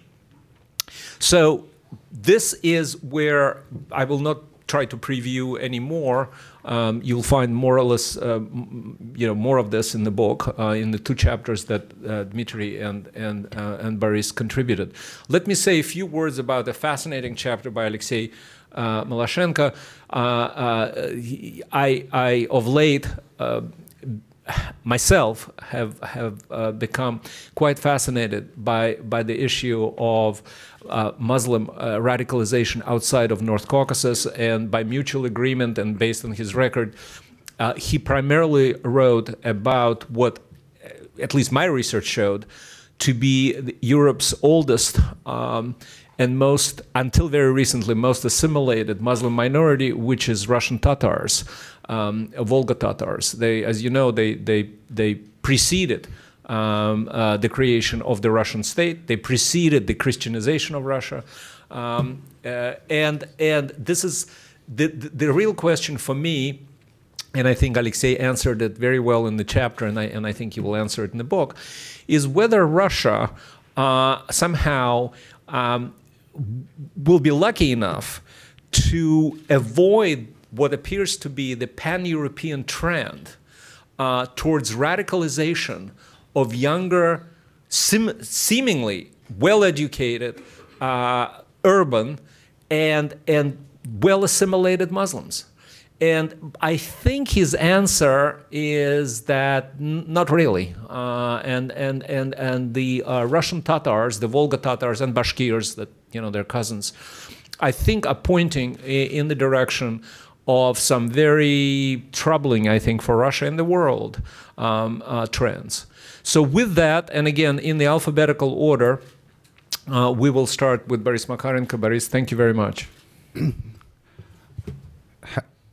Thank you, Leon. Does it work? Uh, two introductory remarks. Uh, first, Leon, thank you for the initiative. Thank you for bringing it to this point.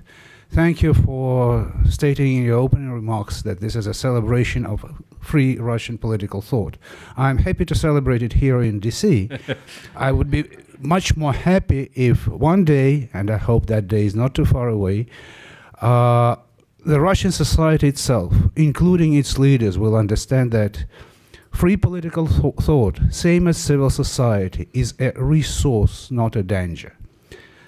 Uh, second introductory remark uh, my presentation here today does not repeat my piece in the book. it was written about more than a year ago. Uh, things have changed. So uh, at the last moment. What's this with with these my, my authors? I mean, who, who who will? I mean, it's good that we're not charging them. People would ask for their money back. uh, I mean, could could we like tone down the? Uh, uh, I did it. I saved it by adding a last moment addition, okay. but uh, my today's presentation is sort of an update. Uh, pessimistic, but with a with a hope, and that hope will emerge on the first slide as I start the presentation. Uh, in the state of Indiana, in this country, 164 years ago, poet Sarah Bolton wrote her famous verse, which, to my mind, best, best explains what civil society is about. It paddles its own canoe. It is not pro government or anti government. It is autonomous. It cares, takes care of its own interests. It collaborates with the government if possible. It opposes the government if necessary. But at every moment, the main uh, raison d'etre of civil society is to leave a shining track upon the darkest wave, as the poem goes. And every good deed noble done will repay the cost. That's an optimistic preface to my explanation of civil society. It's wrong to uh, equate civil society with political opposition. It has many faces. Where are they? Mm. No. Oh, the faces are hidden. So I'll explain the chart. Uh, three basic groups. One, the most numerous, is non political. Civil society is not for politics or about politics. It's about collective action of people in their own interest. Leisure, uh, community affairs, religious affairs, charity, whatever. Uh, it's also about the third sector. Here in the West, third sector and civil society are almost synonymous. In Russia, the third sector, or what you know as non-profits, is very small. I'll talk about it later, but it's also not political. They care about people who are in need, who need help. They don't care wh what happens to the government unless the government forces them to think about it and become an opposition. Uh, the other uh, regiment of civil society are Gongos and passive loyalists. Gongo stands for government organized NGOs. The Russian regime wants a civil society, except it wants it loyal and obedient and serving its own purposes. Uh, Finally, there is a politicized sector of civil society, and it also has two subdivisions. Each of the, the, divisions will appear on the next slides. Uh, one is really opposition, what we call angry citizens, those who organized and participated in protest rallies in 2011 2012. But there is an equally politicized, more aggressive, uh, pro-government uh, segment of civil society, which defends the government agenda and think the government doesn't go far enough. Uh, in this country, several decades ago, there was a debate: Is Ku Klux Klan civil society? And the answer is, unless they don't do violence, unless they don't burn crosses uh, in the backyards of African Americans, yes, it is. Uh, same in Russia. Why is civil society perceived by the Russian government as a danger? First of all, it's independent and autonomous. It does not take orders. It decides what to do and not to do. Secondly, it's not a hierarchy. With an opposition party, you control Mr. Zyuganov of the communists, you pretty much control the whole of the party. You control the CEO or proprietor of a huge corporation, you control the whole of it. Civil society is a network.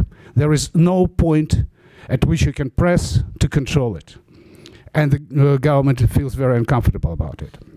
Third, it's participatory and proactive. Two years ago, me and my colleagues did a huge uh, survey of the Russian civil society, and we found that its activists can hold any political positions, left or right, conservative or liberal.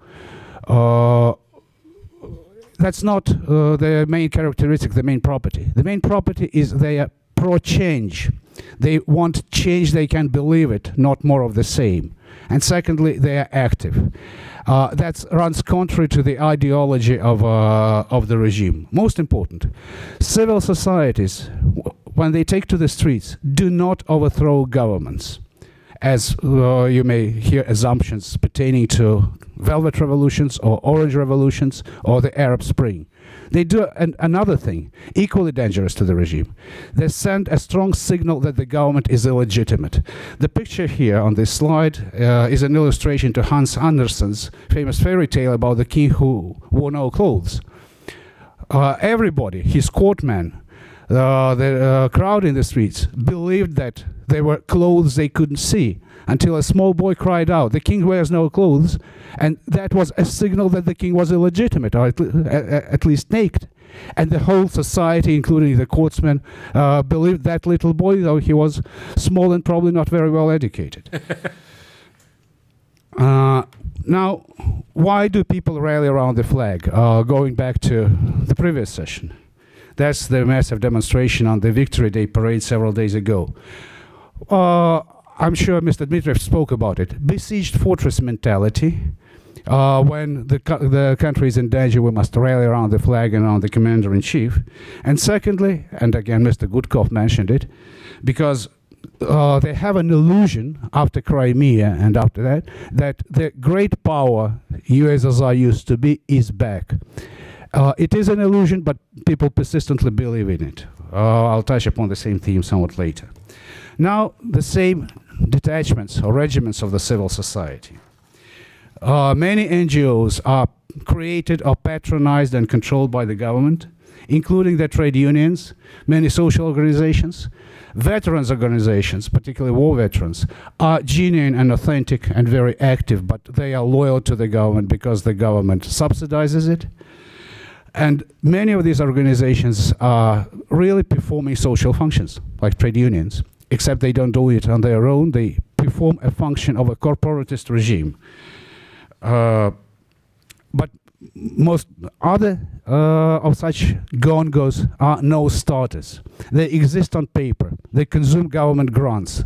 They do little or do nothing. So if the government believes by it can create civil society which is workable, uh, that's very much of an overstatement. The second detachment the struggling third sector. Uh, in the United States, and Europe is catching up, uh, third sector accounts for several up to 7 percentage points of GDP and employs several percentage points of workforce. If you add volunteer labor, it will be even more. In Russia, the uh, input of the third sector into the GDP is less than 1 percentage point and 0.7 percentage point in, uh, uh, in the workforce. It performs very important functions. It started hospices for mortally ill people. It started palliative medicine. It reaches out to uh, people in need the government welfare system cannot reach. Uh, a very positive development in the Russian civil society, but a small one. Uh, the government preaches every year support to uh, the third sector, or what they call socially oriented NGOs, but does very little to support it. Finally, many brands of leisure activities, volunteer organizations, why choral societies? Because uh, George Putnam of Harvard uh, used this allusion to describe that where in medieval Italy uh, choral societies were frequent, democracy and uh, local government work better today. That's his famous book, Making Democracy Work. Leisure activities are non-political, but they help people to build ties, to work to act collectively, in the final run to behave like citizens, not subjects. Unfortunately, this brand, uh, th this type of civil society activity is developing perhaps not as fast as we would want to. And this is the greatest hope I have in the civil society. I'll give you an example of how that works somewhat later. Politicized angry citizens. Uh, Barrington Moore said, no bourgeois, no democracy. Uh, in the decades of uh, post-communist development, Russia did create a market economy and did create the bourgeois. Now the bourgeois decides that it doesn't want only material benefits, it also wants democracy or at least participation in what the politicians decide about their lives. The strength of this uh, uh, part of civil society is they're concerned with their dignity, uh, they're active, and they want to participate. The weaknesses, they have no positive programs, no leaders, no political representation, and that explains their opportunism and the fact that the Bolotnaya angry citizen movement disappeared uh, almost without a trace. There was a question from that part of the audience in the first uh, uh, session uh, about the prospects of political opposition. Without uh, active citizens, liberal opposition cannot exist or cannot attain any success. If you look at, for example, Ukrainian Maidan uh, movement, both in, during the Orange Revolution of 2004 and of 2013, of course, Maidan leaders were different from political parties. Uh, they were arguing with them, but there was uh, certain rapprochement and certain correlations between what they do in politics and what they do in the streets. In Russia, you would not find a leader of any parliamentary party opposition as it may be, to appear and to uh, talk, to try to talk to these angry citizens.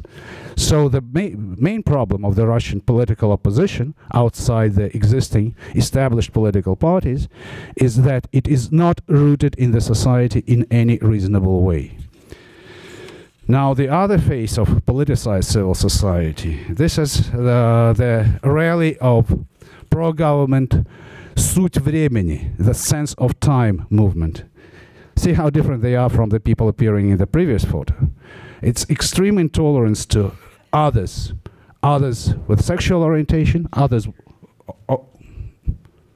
others with political orientation, uh, others with other cultural uh, or moral beliefs. Uh, this uh, detachment is not big, but it's very aggressive and very assertive, and de facto it keeps the government hostage to the current course. They will perceive any uh, political liberalization as a threat to the country and to themselves. Now I promised you a success story. Uh, the neighborhood I live in in Moscow uh, has the best uh, social network on internet. Now, for the record, it is the best organized uh, community civil society group and it's also the part of Moscow for that purpose, the part of Russia, where President Putin and his party got the national lowest result in the last elections. Some time ago, uh, a boy wrote an uh, ad which he posted on uh, his Facebook. You see, uh, the characters are not even. It has spelling mistakes. My parrot is gone. If you saw him, help me. It was a success story. Immediately, the whole neighborhood forgot about their everyday deeds and started looking for the parrot. The parrot was found, delivered for the, for the, to the boy safely. Last week, when this presentation was already delivered to these offices, uh, the same community did another thing they found a person who adopted a four-year Great Dane whose uh, master, a lonely old man, died. Not a big deal, but it shows how this collective action, how this activism helps people to organize and to do small deeds. The Russian literature knows the theory of small deeds. If you can't change the big thing, do something small but good at uh, at your own level and at your own neighborhood, and that significantly correlates with the last verses of uh, Sarah Bolton's Paddle Your Own Canoe. Now, very briefly, uh, Mr. Gudkov spoke about uh, the same problem. Why is the society what it is? Uh, these charts show the uh, economic optimism, political optimism, and the belief uh, uh, that things, the country is moving in the right direction closer to the right, you see all the curves going up sharply. That's the Crimean optimism. You see it going down equally sharply when the economic crisis broke out, but in different uh, trends. Bad economy, say the people. Politics is good. F- the future is shining. Uh, irrational, yes, no big deal. What the government wants to do with the civil society. An animal push me pull you from Hugh Lofting's uh, Dr. Dolittle. It pulls uh, loyal segments of the civil society into its orbit, hoping it will uh, turn into their tool or resource. And it pushes away all the actors of independent political action, implying foreign agents law, suppression of protest activists, and independent media. Uh, the uh, final one. The bluish figure on the picture is an evil witch, uh, very similar to Lady Liberty. That's a picture from a Christmas show organized with a federal grant by Bikers Night Wolves Club. Have you ever seen bikers loyal to the government? Have you ever seen bikers organizing a Christmas show? Have you ever seen Lady Liberty uh, in the evil, uh, in the image of an evil witch? That's the example of the how the aggressive civil society work. Uh, the reasons why they hate the West and hate modernity are aggressively defensive, as I call it. It's a fruit of the confrontation with the West over Ukraine, and importantly, it implies they are aggressive because they don't see any future. They don't see the prospect for the development. The uh, very end of it, the civil society is alive. Uh, the segments of citizens not subject is, is alive and growing, and it is based on a very sound base. Cons, the co- uh, consolidation around rally- rallying around the flag remains very strong, and the regime continues to treat the civil society not as a, as a resource but as a danger. Thank you for your attention. Thank you very much. Alexei? Thank you so much, Mr. Chairman. Our panel deals with the problem of civil society. Then it is written here some defeat and rad- radicalization. I will not talk about civil society, I prefer to talk about Muslim society. And if you ask me about the correlation between Muslim society and radicalization and defeat, uh, radicalization will not will not defeat it of Muslim society. I mean, it's practically forever. And uh, to my mind, uh, this is a this is a final a, conclusion of my presentation, and I can leave. but anyway, I think that uh, such such idea needs short commentaries. What I mean about Muslim, the Muslim society or Muslim Commonwealth in Russian Federation. First of all, it's necessary to know how many Muslims we have. I don't want to tell that it's a top secret, but anyway, if you ask me how many Muslims indeed we have eh, some in Russia, I don't know. As to Russian Muslim citizens, it's something about 16 million. Don't insist, but anyway, it's my opinion. A plus plus migration. As to migration, how comes Muslim migration, how comes from Central Asia and from Azerbaijan, it's about 5 millions. But also, we don't know because we have a legal migration and illegal migration. Why it's so important? Because before, well, five years ago, as example, we could talk about Uzbeks, Tajiks, Azeris, and so on. At the moment, we have to recognize that we finally received in Russia Muslim migration. It's very important, very important, very important. And those who continue to come from Central Asia, from Uzbekistan, Tajikistan, they, uh, they, they insist on their religious identity. It helps them to, to overcome an inferiority complex. And of course, it creates some problems for, for Russia. For Russia. I don't want to tell that, that it is a, a certain a threat. So it's a normal. But before, before Russian society, Russian establishment, they refuse to understand that there are Muslims who comes to Russia, and not only Tajiks, eh, some Uzbeks. So indeed, it's a mm, it's a challenge, I would say. Next problem, also connected with migration. Well, as usual, we discuss problem of Caucasus in Russia. Sometimes we discuss the problem of Tatarstan, Bashkortostan, Volga River regions, and so on. And it's normal because, as, as it was before, as it happened, these are Muslim lands, Russian Federation of Russia, of the Soviet Union. Well, at the moment, we have a problem of expansion of Islam. Just I don't, I didn't want to use the notion expansion.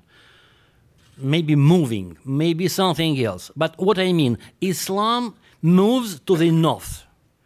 Muslims begins to come to Siberia. And for instance, in several some regions of Siberia, we have 10 or 15 percent of Muslim population. By the way, these are mm, these are some regions full of gas and oil. Khanty-Mansiyski rayon and Yamalo-Nenetsky rayon, or округа. While uh, it gives to Russian federal budget something about 33, 32 percent, and we see expansion of Islam in these territories. I don't know what we'll have in 10 years, but anyway, it's very interesting. Next, because, because we mentioned here the problem of radicalization.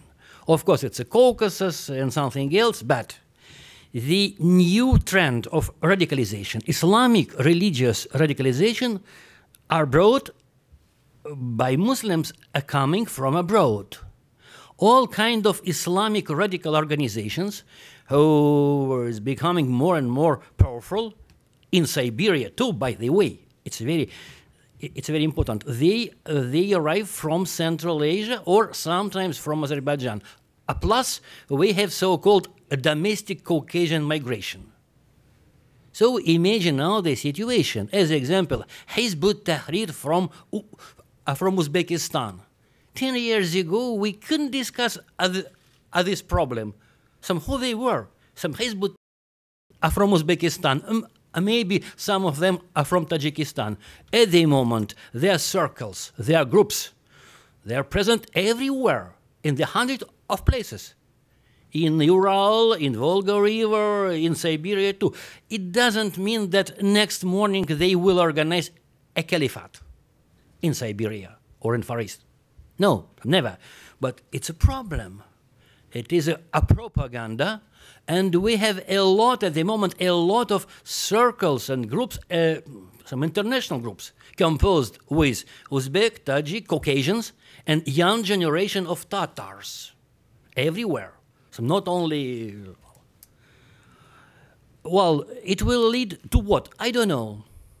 I don't know but uh, administration, security services, they attempt to do their best to destroy all these uh, mosques, uh, some of these, uh, some of these groups, circles. Sometimes they are successful, sometimes not. So uh, what I mean, the radical, radical, um, some motivations, some radical ideas indeed began a constant factor of the political and cultural and religious situation in Russia, not only in Caucasus. I emphasize it because it's very interesting. So we we begin to obtain in the frames of Russia Federation so-called Islamic some radical space. What they will do in five years, in ten years, we don't know. But anyway, if once again we attempt to compare the situation what we had in 90s, that time it was very understandable. Chechnya, Dagestan, Chechen wars, penetration from Saudi Arabia. At the moment, something changed. something changed. We deal with radical, uh, with radical Islam, which, uh, which emerged from, uh, from within. So about the future, I'm not sure. O- of course, I can talk a lot about threats and so on. Maybe yes, maybe no, because some radical Islam it's uh, something very uh, flexible. In uh, 2012, 13, it was a big deal. At the moment, it's more or less, but it is uh, some going down. But I don't know. I'm not responsible for what we have, for instance, uh, some next year or some next two some years. uh, well, next problem. Next problem is is links between what we have in the Middle East, Islamic State, Syria, and what we have in Russia. I mean, in Muslim Russia. Sometimes the, the ties between Islamic uh, State and uh, Russian Muslims are exaggerated. Sometimes we can read in Russian mass media or even some watch on TV, well, we'll get an explosion, Islamic explosion. Well, as on this year. But uh, by the way, nobody knows how many Russian Muslims visited Islamic a state. How many time, how much time uh, they spent in Syria, uh, some in Iraq. So it's unknown. And there are totally different figures. For instance, for instance, you may find 1,700 Russian Muslims who participated in the, in the war in Middle East. Sometimes you can find a 3,000. We don't know. But anyway, we know about the, uh, about the exchange. Some people from Chechnya, from Dagestan, and not only from Caucasus, but from Tatarstan, from Siberia, by the way. Uh, 10, uh, not 10, eight members of Salafi circle from Nizhnevartovsk, a city in the heart of Siberia.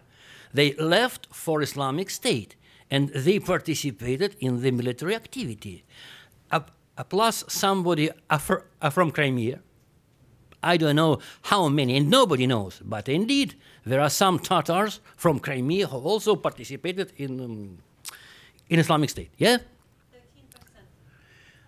13%. I'm sorry? 13%. Well, 13, 15, 20, we, we don't know. Indeed. I live in Moscow. I understand some nothing in Moscow.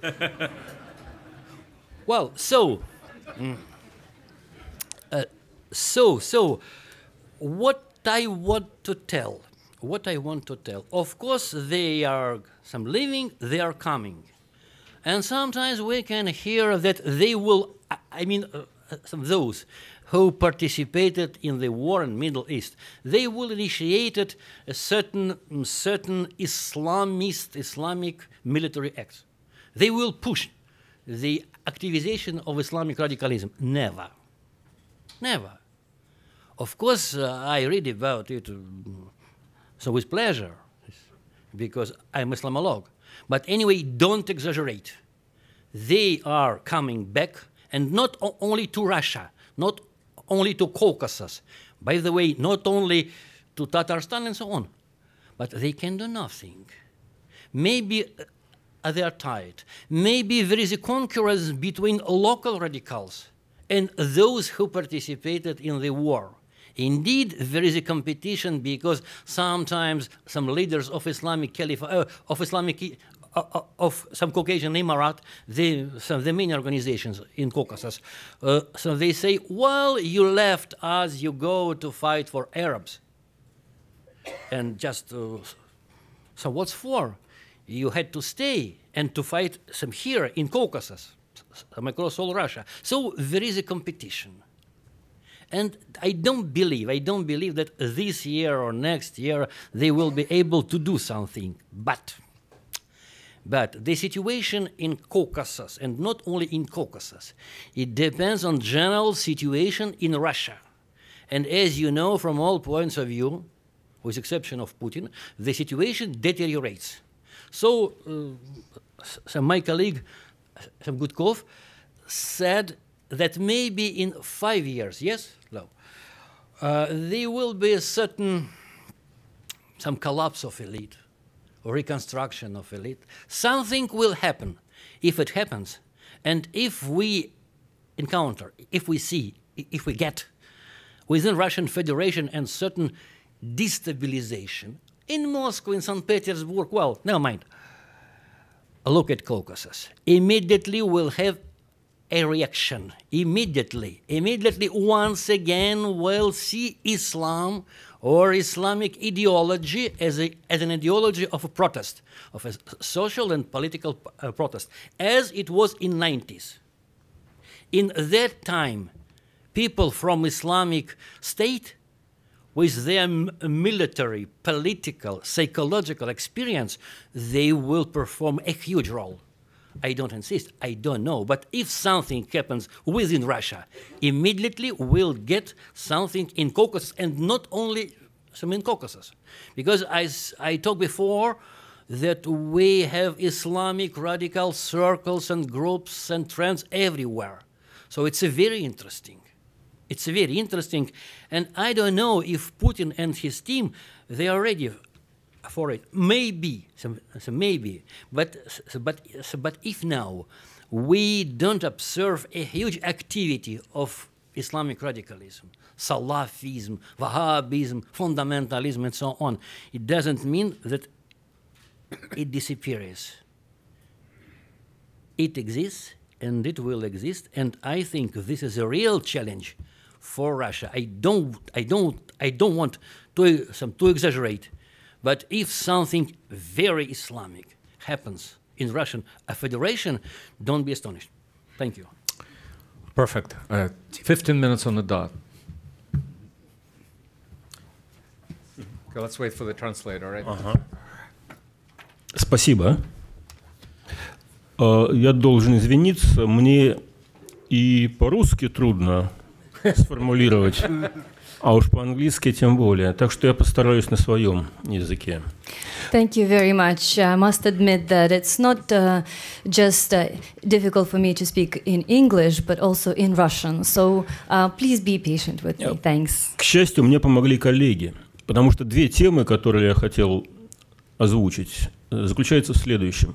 Россия глубоко неоднородна. Может быть, даже сильнее неоднородна, чем Соединенные Штаты. Uh, my colleagues actually helped me quite a lot in putting my thoughts together.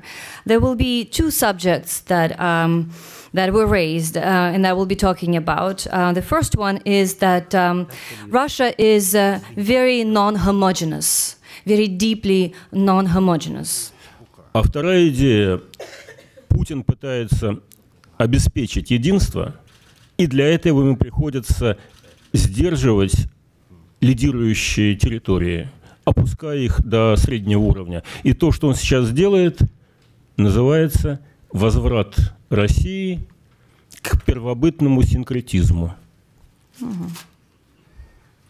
Первобытному чему? Primordial. Primordial. Primordial. Primordial синкретизм. Прехисторикс, синкретизм, ну это слово такое. А, Синкретизм – это представление о мире, где спутаны и упрощены понятия.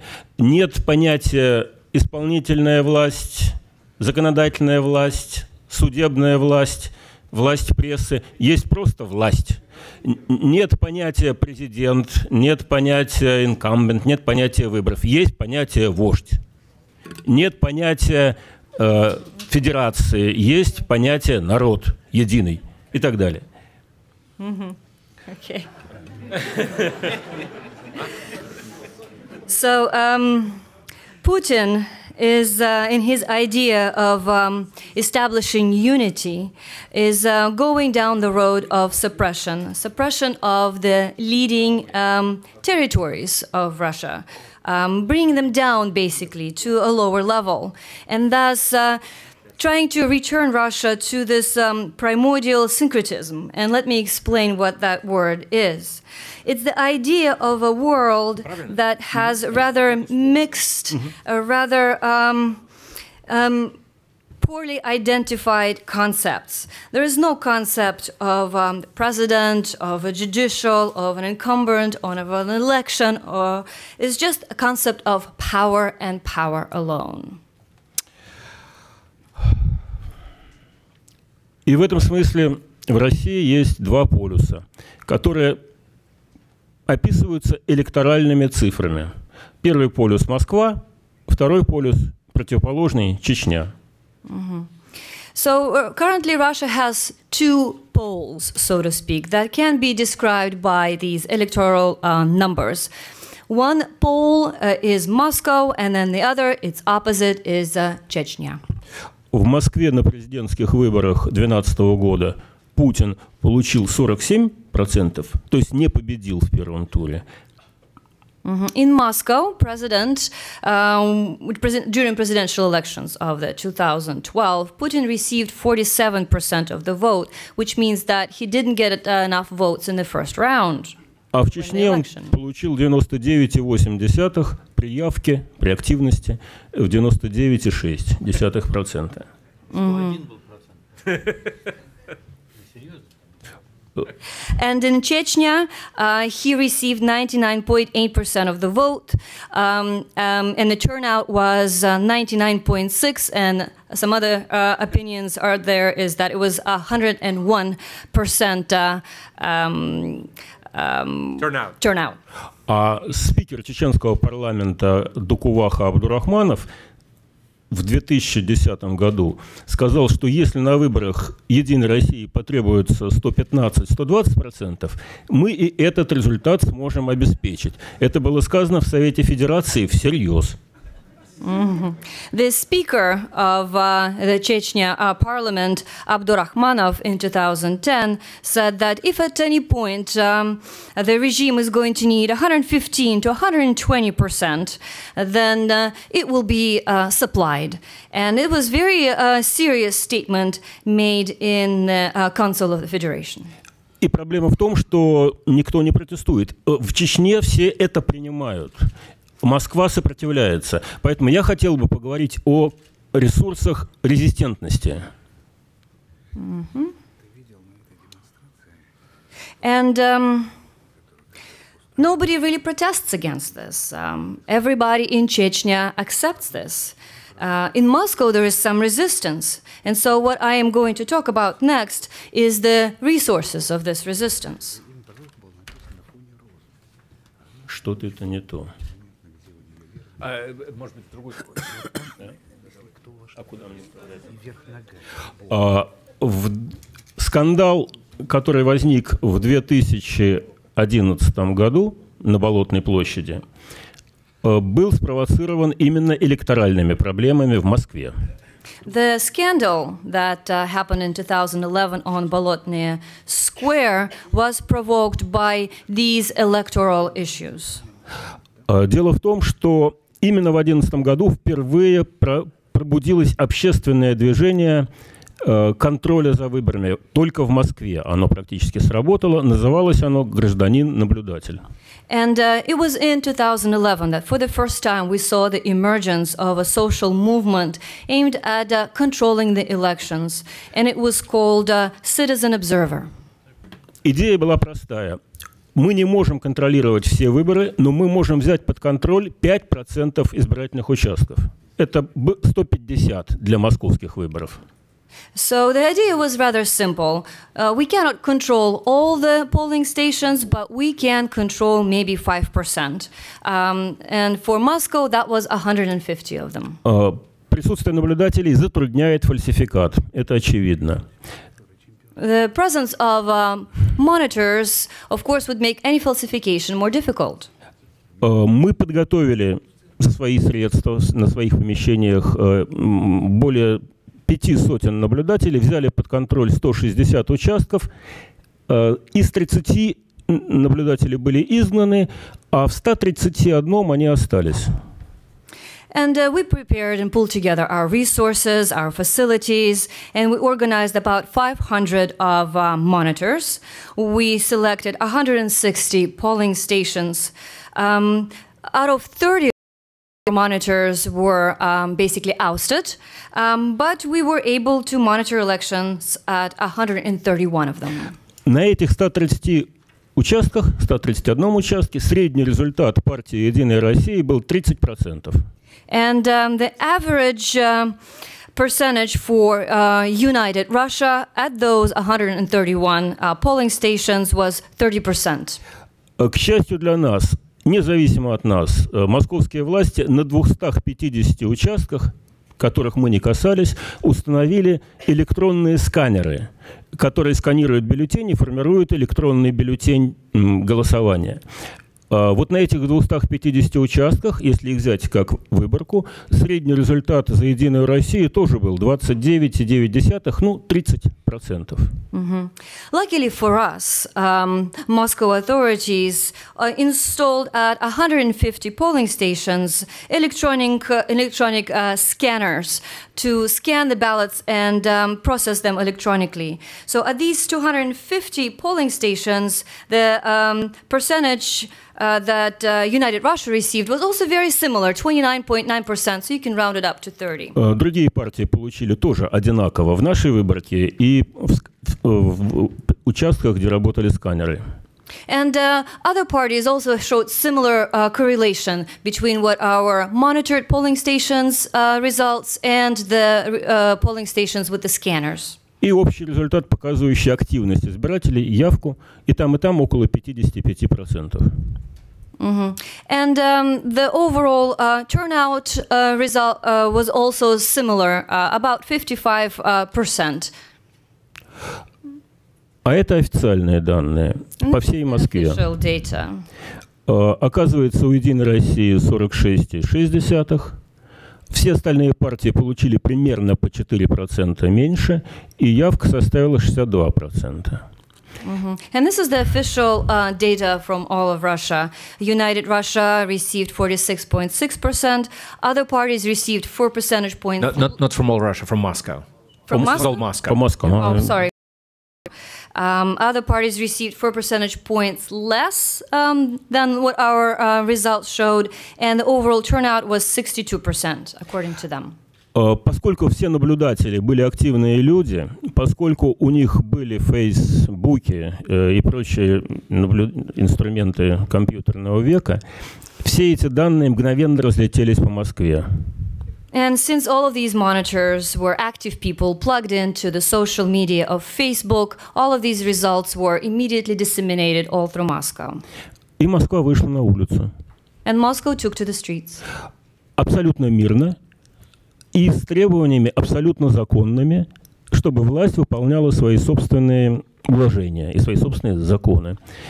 Э, Никаких нарушений общественного порядка, ни одного разбитого стекла. Э, Удивительная форма массового протеста.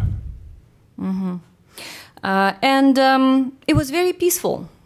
Uh, the only thing that these protesters wanted was uh, to hold the authorities accountable and um, insist that the authorities could uh, fulfill their obligations and um, the laws of the Russian Federation. Nothing unlawful really happened during these protests.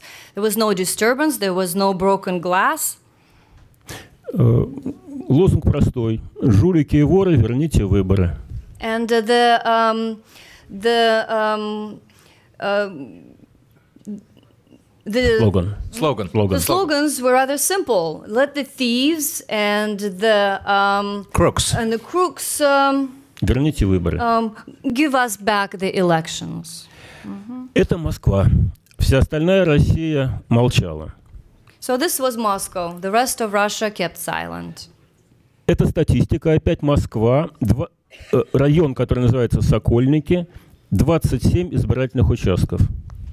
So this is some more statistics for you. This is Moscow, um, a district called Sokolniki, 27 polling stations. В левой части вы видите нормальные участки, где люди голосуют так, как они голосуют. Кто-то за яблоко, это зеленый цвет, кто-то за Россию, это синий цвет, кто-то за коммунистов, это красный цвет. Russia, 10% for the communists. Это Серго-Калинский район, Серго-Кала, э, район э, Узбекистана, Дагестана виноват. So this is um, the Dagestan uh, district, Sergo-Kala. И никто не протестует. And nobody protests.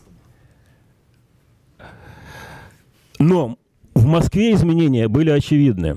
Э, После того, как люди вышли на улицу, самая грубая форма фальсификата была уничтожена. Это так называемый ночной фальсификат, когда просто переписывают протоколы. Uh, but in Moscow, the situation has changed and it became very obvious. People have taken to the streets, and the most effective form of uh, falsification, the so called night falsification, when at nighttime the results are falsified, uh, was really um, decreased a lot. Дневной остался. Так называемые вбросы, карусели и прочие специальные способы фальсификата остались, но они менее эффективны, чем когда ты просто берешь протокол и пишешь туда такие данные, которые тебе нужны. But the daytime falsifications remained. The so called ballot box stuffing, carousels, um, they are less effective um, than the method of nighttime falsification of the protocols, but nonetheless, they um, were a- able to maintain those activities. Без ночного фальсификата Путин через три месяца после декабря смог получить только 7%, 47%, правда, учитывая еще дневной фальсификат. Так что на самом деле меньше 47%, но официальная цифра 47%. So, um, without the night time falsifications, uh, Putin was able to get only 47%. And that's with the daytime falsifications. So, um, we can assume that in reality it was even less than that. Но дело не в этом, а дело в том, что мэр Москвы Собянин понял, что Москву ему не победить, и он решил проявить гибкость. И он ее проявил. And um, but the most interesting thing happened um, when the mayor uh, of Moscow, Sobyanin, uh, realized that um, he needs to really use some flexibility in order to win. И поэтому в 2013 году, когда были выборы мэра, они в Москве были почти идеальные, считали голоса почти абсолютно честно. And so in 2013, when there was a mayoral election in Moscow, it was almost perfect the way that they counted the votes. К тому времени московское общественное мнение сформулировало для себя понятие, даже проще скажем, к тому времени Москва генерировала несколько тысяч независимых наблюдателей, которые взяли под контроль 62% участков, уже не 5%, а 62% участков города. Mhm. So by that time, Moscow has generated thousands of these uh, monitors that. w- 63. So, thousands of these um, uh, uh, monitors that were able now to uh, monitor 63% of the polling stations as opposed to 5% previously. Естественно, посчитали отдельно голоса по тем участкам, где было наблюдение. Это так называемая белая зона. И там, где их ну, наблюдателей не было, эта зона называлась серая. Различия есть.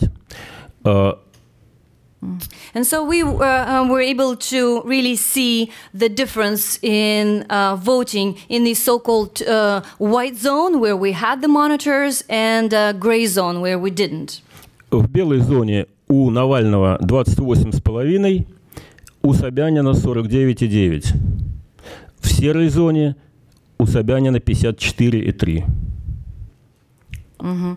And we can see that in the white zone, Navalny got uh, 28.5%, whereas Sobyanin received 49.9%. But in the gray zone, Sobyanin received 54.3%.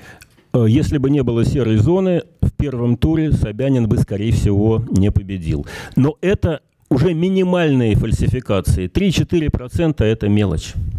So we can see that without the gray zone, Sobyanin probably would have analyzed the geographic specifics of the city and which areas support Navalny. Э, Центр и юго-запад – это такие продвинутые территории, примерно как в Нью-Йорке, от Статуи Свободы до 100 125-й улицы. So the center of Moscow is the more um, liberal part of town. The um, the um, south uh, western part is um, almost like in New York from the Statue of Liberty up to uh, 125th Street. А юго-восток это что-то вроде Бронкса. And the southeast is something like Bronx, you can say. Ну и вы легко можете понять, где пользовался поддержкой мэр, где пользовался поддержкой Навальный. So looking at this, you can see very easily where the uh, mayor had more support and where Navalny had more support. То есть общественное движение заставило власть считаться со своими интересами. So the populist movement really made people um, uh, take into account um, Sobyanin um, more like 60%, uh, whereas in reality it was more just slightly over 50%. That was because um, they were really counting on predicting the falsified results of the elections. This, and, um, um, you know, as opposed to the benchmark, um, да? Benchmark, benchmark официальные данные. um, mhm, sample. Когда э, фальсификат был уничтожен, оказалось, что результат существенно ниже.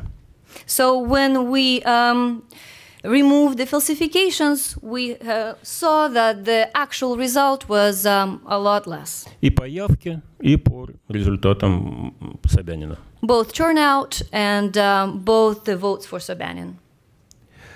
А, Теперь что дальше? А, Это картинки э, известного интернет-художника Васи Ложкина, который очень точно описывает ситуацию э, в политике России. Это образ э, э, Единой России, партии, которая сейчас ведет страну вперед. Mm-hmm. And so, what's next? These uh, pictures are um, by the Russian internet artist Vasya Lozhkin, who describes uh, politics in Russia. And this is his portrayal of the United Russia, the leading Russian party. Это другая партия, оппозиционная справедливая Россия. This is another party, uh, an opposition party, Fair Russia. Это либерально-демократическая партия. This is the Liberal Democratic Party. Это коммунисты. These are the communists. А это вот та публика, которую вы перед собой наблюдаете, это, так сказать, либеральная оппозиция, And- которую я, например, имею честь представлять перед вами. Mhm. And these are the people uh, that you actually have the opportunity to observe right now that I belong to, the liberal opposition. So- На самом деле вот это небольшое меньшинство, оно борется против вот этого доисторического синкретизма. Оно хочет объяснить, что жизнь сложнее, а ему противостоит большинство, которое хочет жить в простом мире, где есть понятный враг, где есть вождь и где надо сплотиться вокруг вождя. And um, we represent the minority uh, right now. Um, the so called um, prehistoric syncretism. And, um, you know, this is the um, juxtaposition of two different philosophies of life. One is very uh, simplistic, that um, life um, really boils down to a single enemy, a single leader that uh, everybody needs to uh, gather around, or that life is actually rather more complex. Э, Вот так Вася Ложкин видит э, м, путинскую стратегию современной России. Есть враг, его надо уничтожить. So this is how Vasily Loshkin sees Putin's uh, um, strategy for modern Russia. We have an enemy, and we must destroy. А вот это счастье, которое испытывает большинство русского населения, когда оно слышит такие разговоры. And this is the happiness that the majority of Russian population experiences when they hear such talk. А вот более реальная ситуация, в которой превращается Россия, если на ней не остается Москвы. Если что. Если не на ней, на карте России не остается Москвы. And so this is more of a realistic, actually, situation. What would happen in Russia if Moscow goes offline? То, что эти картинки появились, то, что они очень популярны в интернете, означает, что гражданское общество на самом деле понимает э, фальш нынешней путинской риторики. А, и то, что люди с удовольствием смотрят эти картинки и над ними смеются, это означает, что эти идеи никогда не будут реализованы на практике. Они есть чисто пропагандистская составляющая. And the fact that these um, pictures even uh, appeared uh, really demonstrate the fact that the um, civil society uh, really understands the whole falseness of um, Putin's rhetoric. And um, this is really nothing but ideas only. And they have, um, n- uh, these ideas really have no future in Russia. Э, Москва в конечном счете победит. Это несомненно. Просто по дороге в процессе борьбы с Путинстаном Россия может развалиться.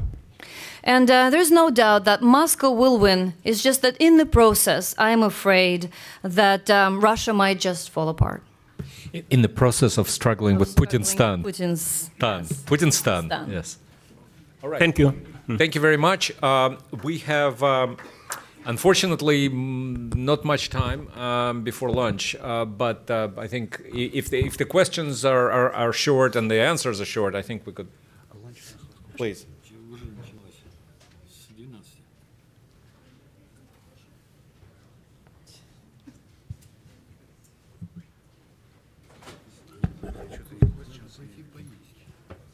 I guess this question is for anyone on the panel. Chechnya was mentioned. You introduce yourself first? Oh, I, uh, my name is Jeff Binder. I'm a semi-retired lawyer, happy American. Uh, Chechnya was mentioned. Could you comment on where the Chechnyan brothers who attacked the Boston Marathon several years ago fit into the context of your discussion here? What would, a- would an American think was or should think was in the heads of those two Chechnyan brothers that attacked the Boston Marathon? Thank you. Uh, Алексей. Я понимаю, да. Ну, Э, Я думаю, это вам. Да, вам, конечно. Хотя они уже не были чеченцами больше, да? Well, I think I think now the problem of Boston in Chechnya it, it isn't discussed. It isn't discussed, you see, and Ramzan Kadyrov he did his best to some to avoid it, because in general the idea of Ramzan Kadyrov, some concerning and terrorism and Islam and so on, is we Muslims, we Chechens, we are innocent. We were provoked by America, by Europe, and so on. And if you look at the slogans of manifestations in January in Grozny, it is uh, very well approved. You are who is to blame, and not me, and not um, and not Muslims. and by the way, it totally coincides with some Russian official propaganda. Thank you. Please.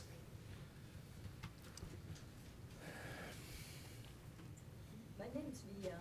I just wonder how do you interpret it, the way, the trend, the oil price go down, and uh, about um, Occupy Wall Street, financial crisis, how do they change the uh, public opinions and they say it's a philosophy? Uh, excuse me, public opinion where? In, in Russia? No. Something happened in America and the world, uh, the Arab Spring. How did that change Russians' uh, public opinions?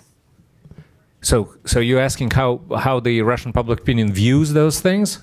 Right. Okay. How do they change their... Uh, it's, it's, a very, it's a very broad question, but maybe, you know... Uh, Boris, yeah. Uh, very short. Uh, 99.9% Russians never heard about Occupy Wall Street. Uh, as for the oil prices, uh, it's not the oil prices or economic crisis here that affects uh, the Russian public opinion, but uh, the impact of such changes on the Russian public. Uh, Mr. Rogov spoke about it. Uh, I had a slide. Russians very well feel and react to what is happening to their wallets and their incomes, but that is very poorly related to what they think about politics in Russia or in the world. Thank you very much.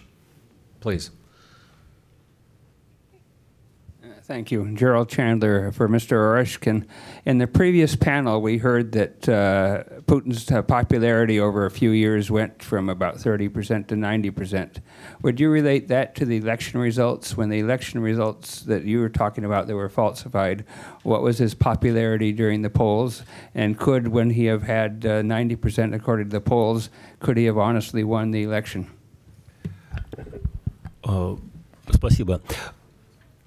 Да-да, конечно. Проблема, опять же, в первобытном синкретизме. Кр- The кр- про- problem lies in this uh, prehistoric syncretism again. Когда социологи спрашивают, поддерживаете ли вы Путина, When the social scientists are asking whether you support Putin or not, у человека в голове этот вопрос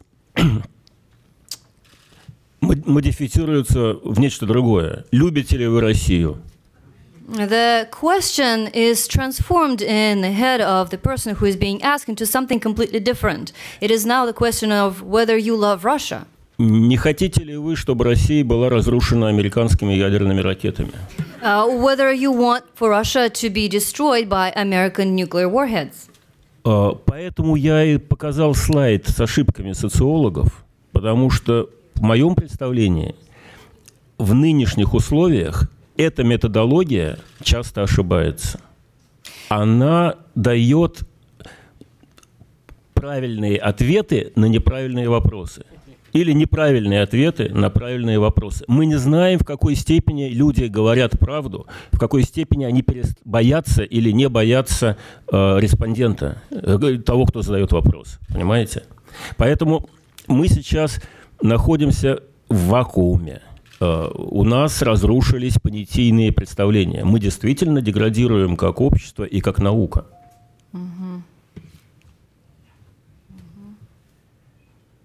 And um, therefore, I really did want to show that slide with um, errors that the social scientists uh, um, uh, do when they um, estimate and you know the uh, turnout and the voting results, because. Um, they sometimes what we see is the um, wrong questions but the right answers or the vice versa there would be um, uh, wrong answer but to the um, wrong right question um, so the, you have to really take into account um, the mental um, state of the person who is being polled whether they're afraid to give um, their true answer um, so we have now created this vacuum. Um, we see the complete degradation of society and sciences.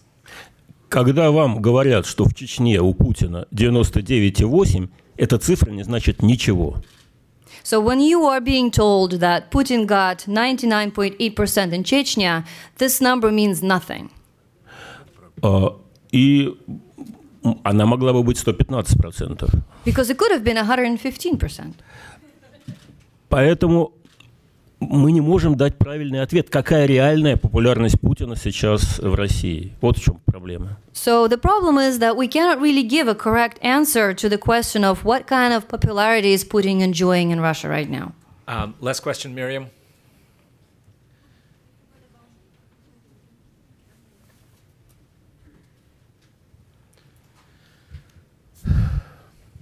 Thank you. Uh, Miriam Lanskoy, National Endowment for Democracy.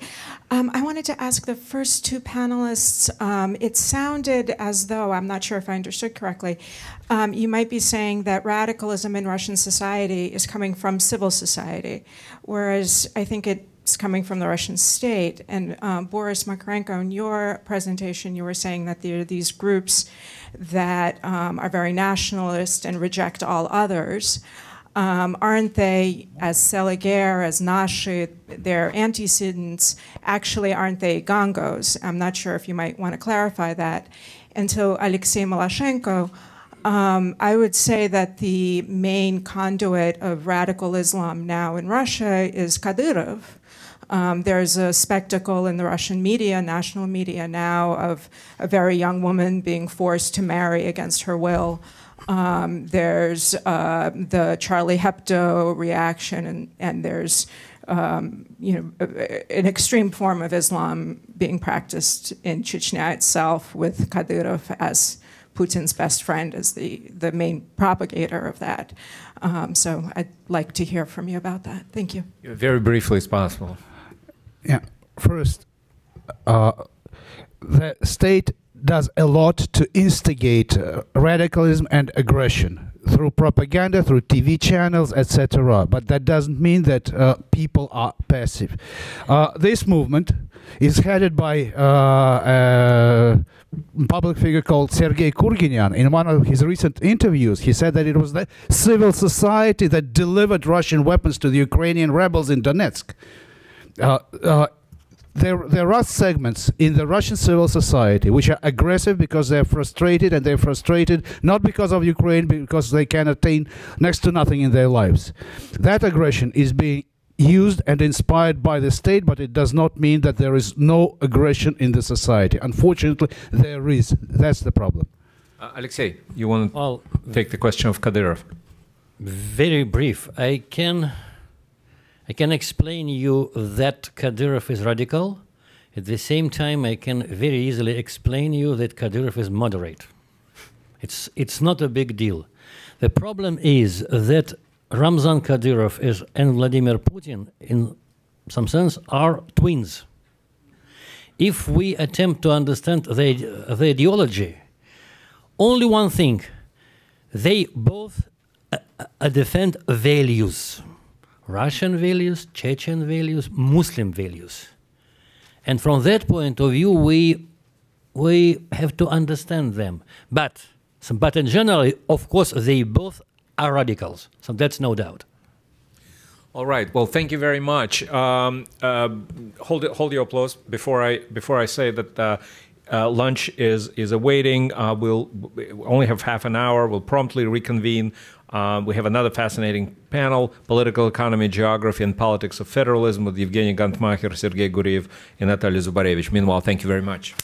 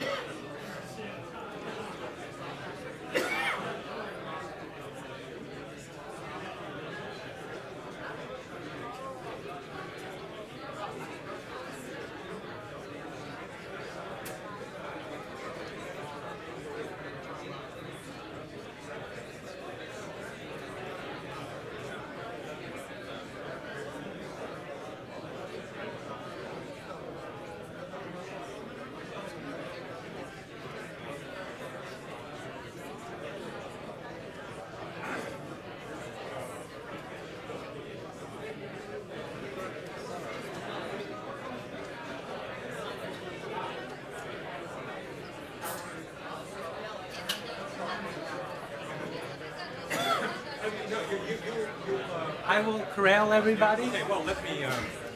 If I may, um, if I may call everybody to order, we would like to stay on uh, on track.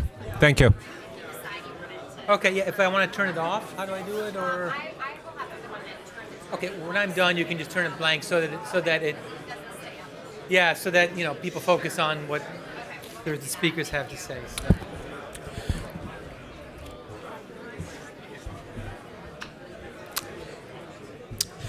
Ladies and gentlemen, please.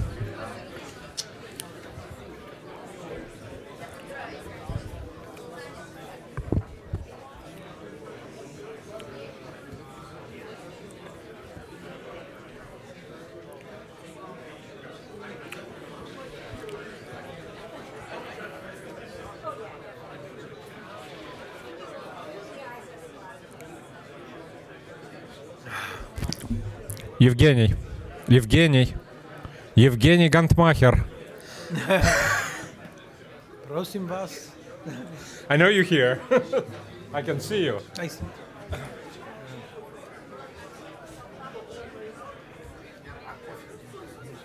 Другом месте дают. А как же? Я, я джетлэг.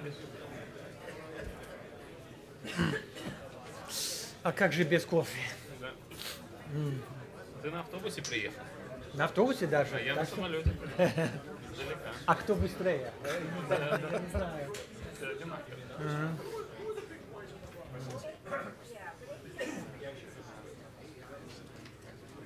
А, great.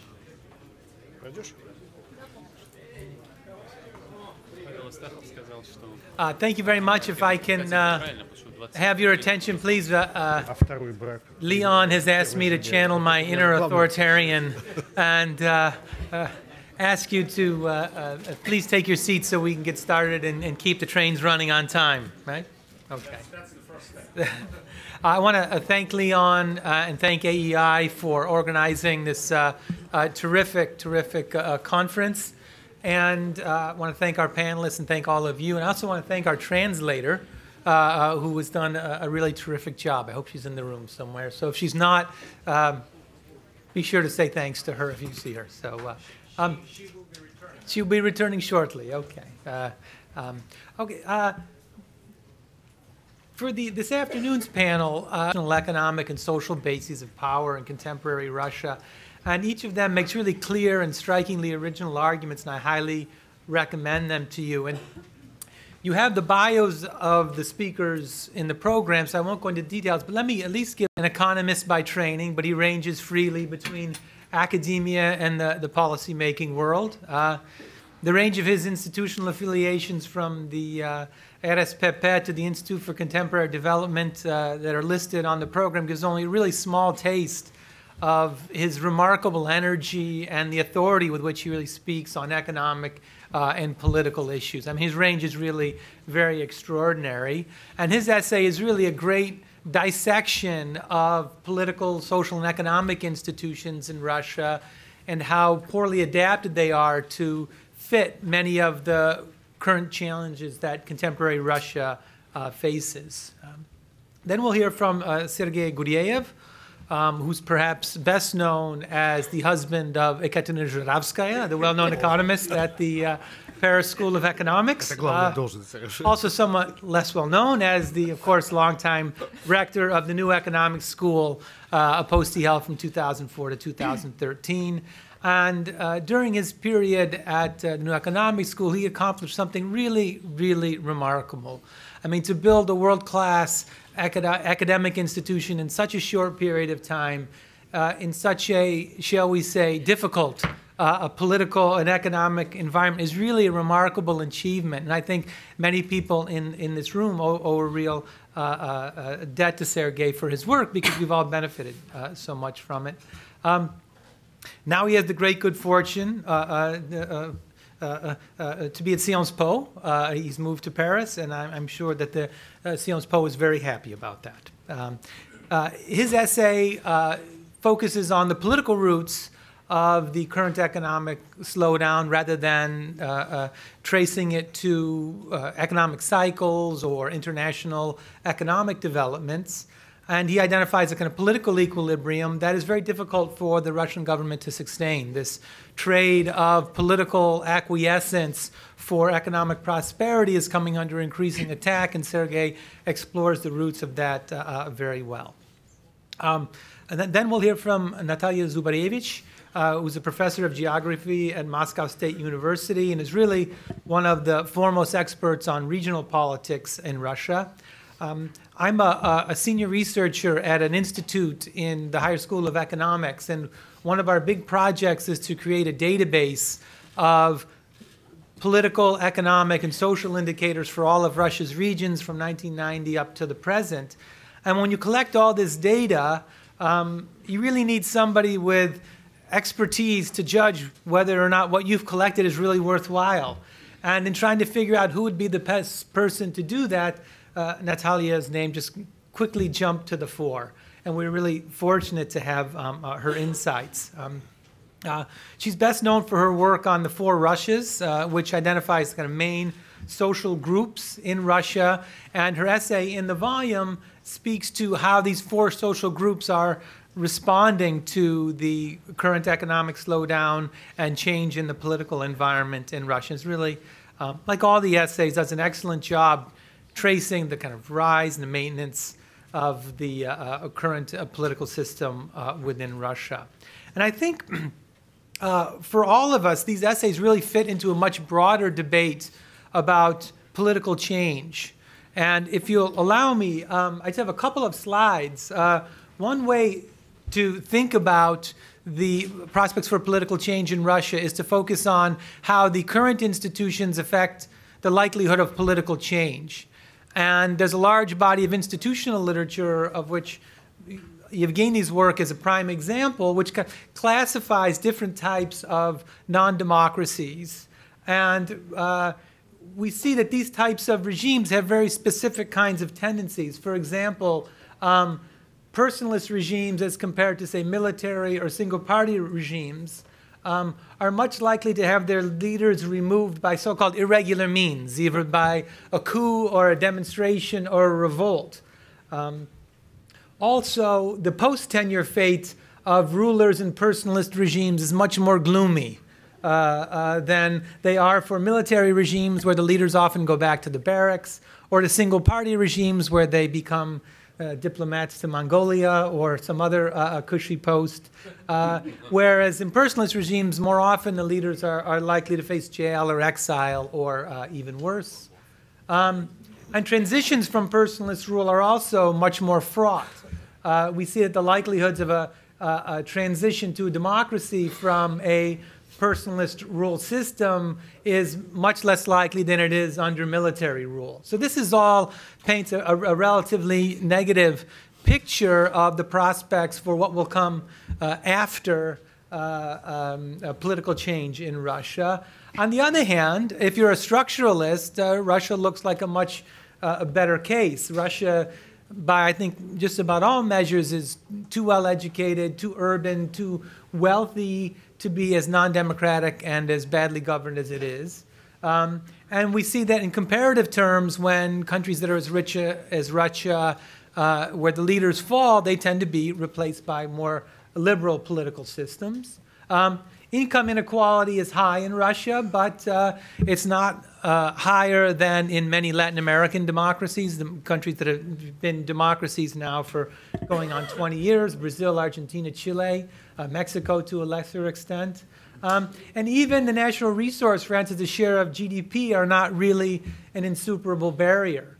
So I think um, in, in uh, thinking about uh, what comes next, uh, which was one of the tasks that Leon identified for our participants, it's really interesting to think about Russia not only as a substantively important case, but also as an ideal test case for two of our big bodies of theories about how political change happens. So I wanted to raise that um, uh, uh, for our panelists to chew on uh, a little bit. Um, we'll give each of the panelists 15 minutes, uh, and then we'll open up the floor for discussion. And I know it's after lunch, and the blood sugar goes up and attention goes down. So we'll try to, every once in a while, give you a little shock to, to make sure everyone's paying attention.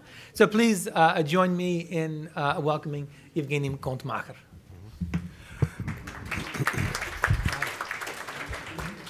Thank you. Uh, uh, no, first, uh, my maybe point that thank you for uh, American Enterprise Institute personally to Leon Aron because uh, it's very unusual uh, to to meet to keep this type of our Russian experts in one in one room.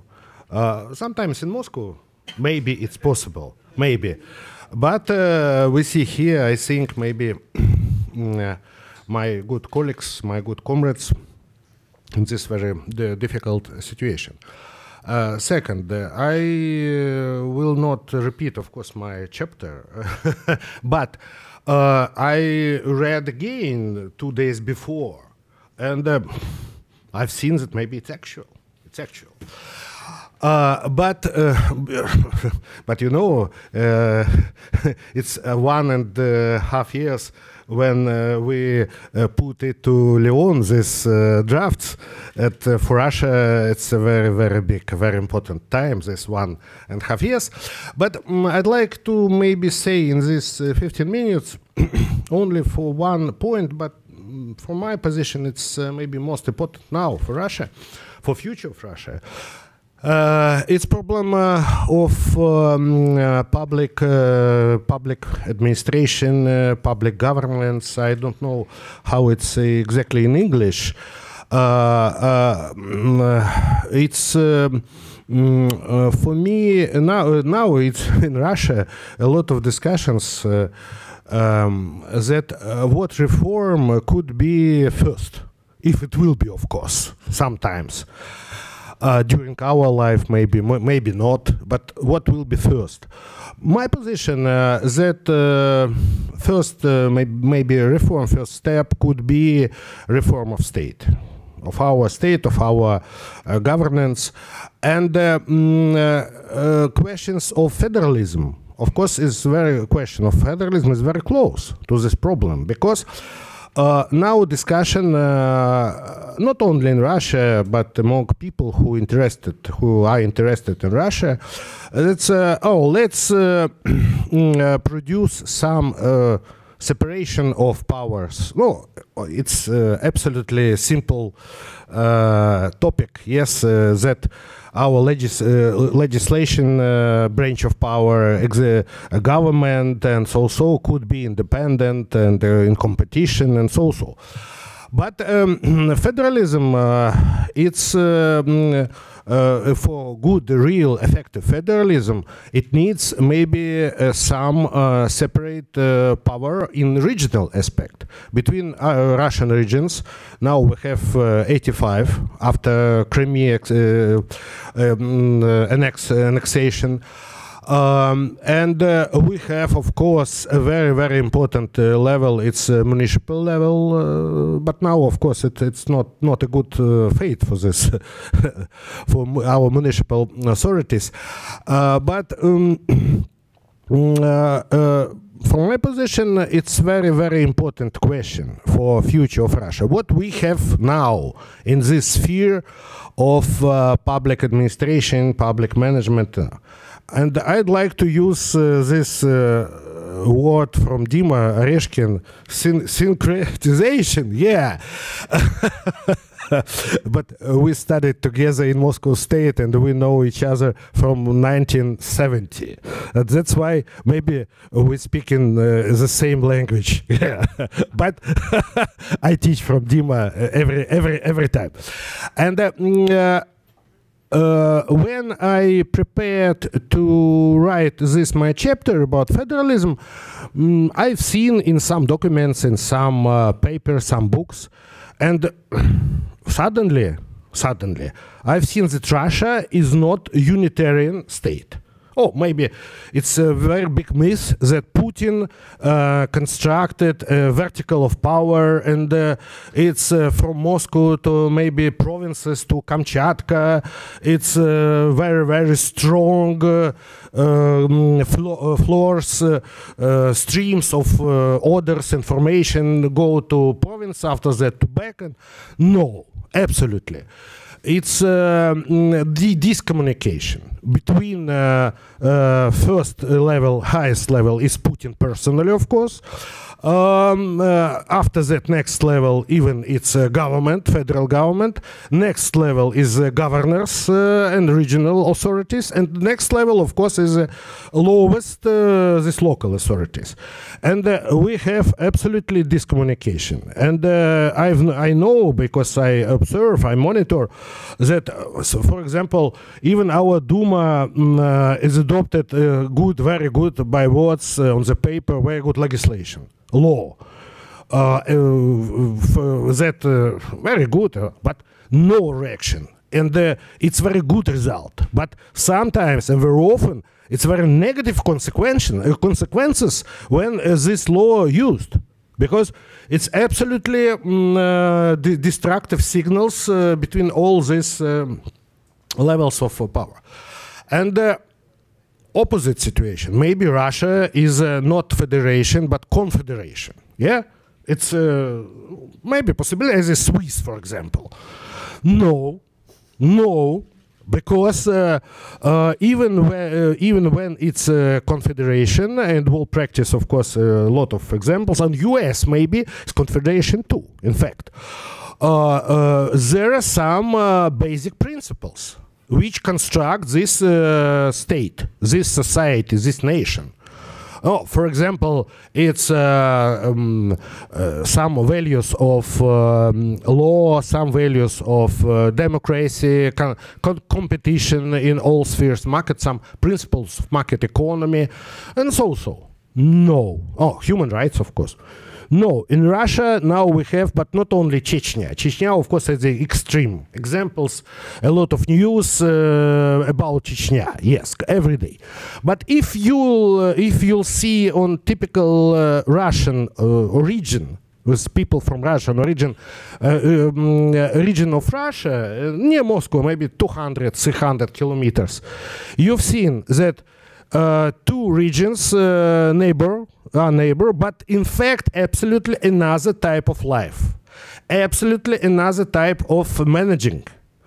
Uh, in each this region because each governor uh, from one hand of course is vassal uh, toward putin but in uh, another hand he is master toward uh, own population and the, it's not governor, but the same mayor of cities, the same of uh, uh, heads of uh, local authorities, and so so.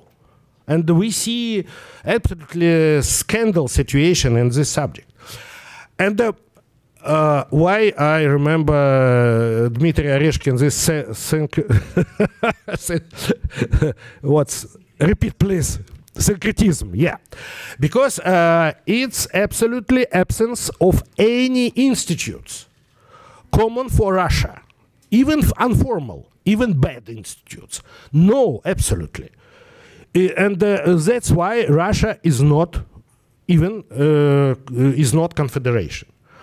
And uh, uh, a very very important result from this situation for future of russia uh, because now uh, we have only one decision maker in Russia. You know what? Uh, who is it?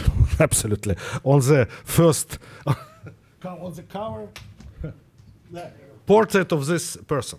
But uh, this person, of course, uh, could uh, mm, um, could have adequate adequate information about what in Russia, not only in Moscow, not only in Kremlin, but in some in Kamchatka, Altaisky region, uh, Chechnya, some another. What uh, what are do what doing?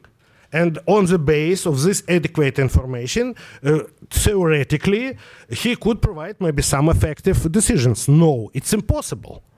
It's impossible because Russia, it's not Singapore. Now, uh, you maybe know in Russia, after death, uh, Lee Kuan Yew, big discussions. Oh, Lee Kuan Yew, very, it's a good example for Russia because he tried personally to manage uh, to the maybe some ordinary people and so so. No, but uh, today we will not discuss about Singapore. We, we discuss about Russia, but Russia so big, Russia so different and uh, my colleagues said about it.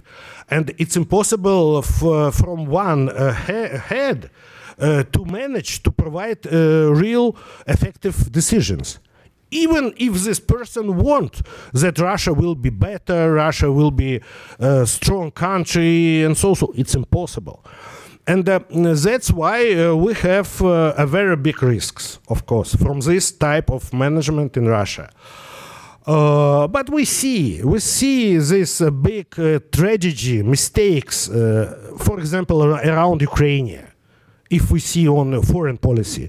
But a lot of these mistakes in domestic policy, in my um, most interesting for me, social policy, and in pension sphere, health care, education, and so, so, so.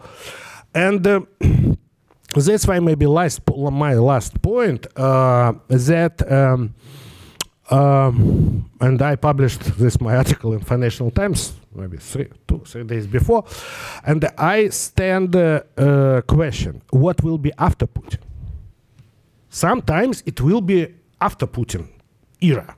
Sometimes, maybe for my grandkids, I don't know.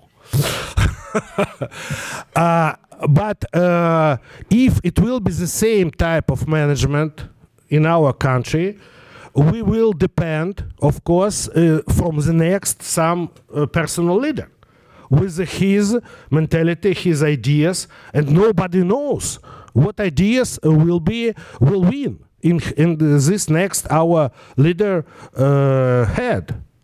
And that's why, of course, uh, this reform of uh, managing uh, of man- on, on public management, it's it's not a, a technological reform that, eh, please, maybe we need additional ministry or additional maybe some agency. No, it's a big reform. Uh, all branches of uh, our mm, uh, power and treaty system and uh, um, uh, our, of course, election reform, and Dima said about it a lot. And so, so, it's a big package. It's a big package of these reforms. Include it, it, there are all includes in this uh, term, uh, in this phenomena, uh, which I said to you. And uh, it's open question, of course. Could we in Russia to prepare to this situation? But from my position, it's last my sentence. Uh, our role as uh, people who are independent from this propaganda, uh, our role is to prepare, to prepare some uh, propositions, some reforms, some maybe documents uh, uh, that in that maybe I don't know, moment in 20 years and 30 years, uh, uh, our new elite will be ready to take power and uh, to save maybe Russia from uh, uh, European European future. Thank you.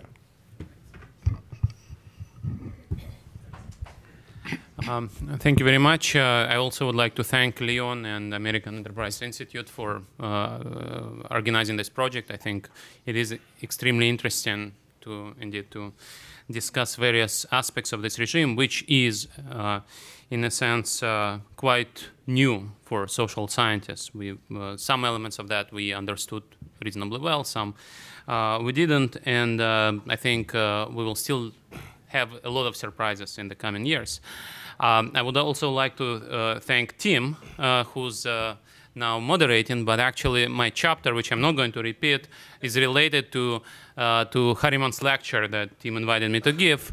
And uh, in a sense, uh, Tim was present enough to ask me about talking about these issues, which in a sense are very, very important today as well. Now, I should say that indeed, as Evgeny said, we wrote these chapters a long time ago. Uh, and um, many things have changed.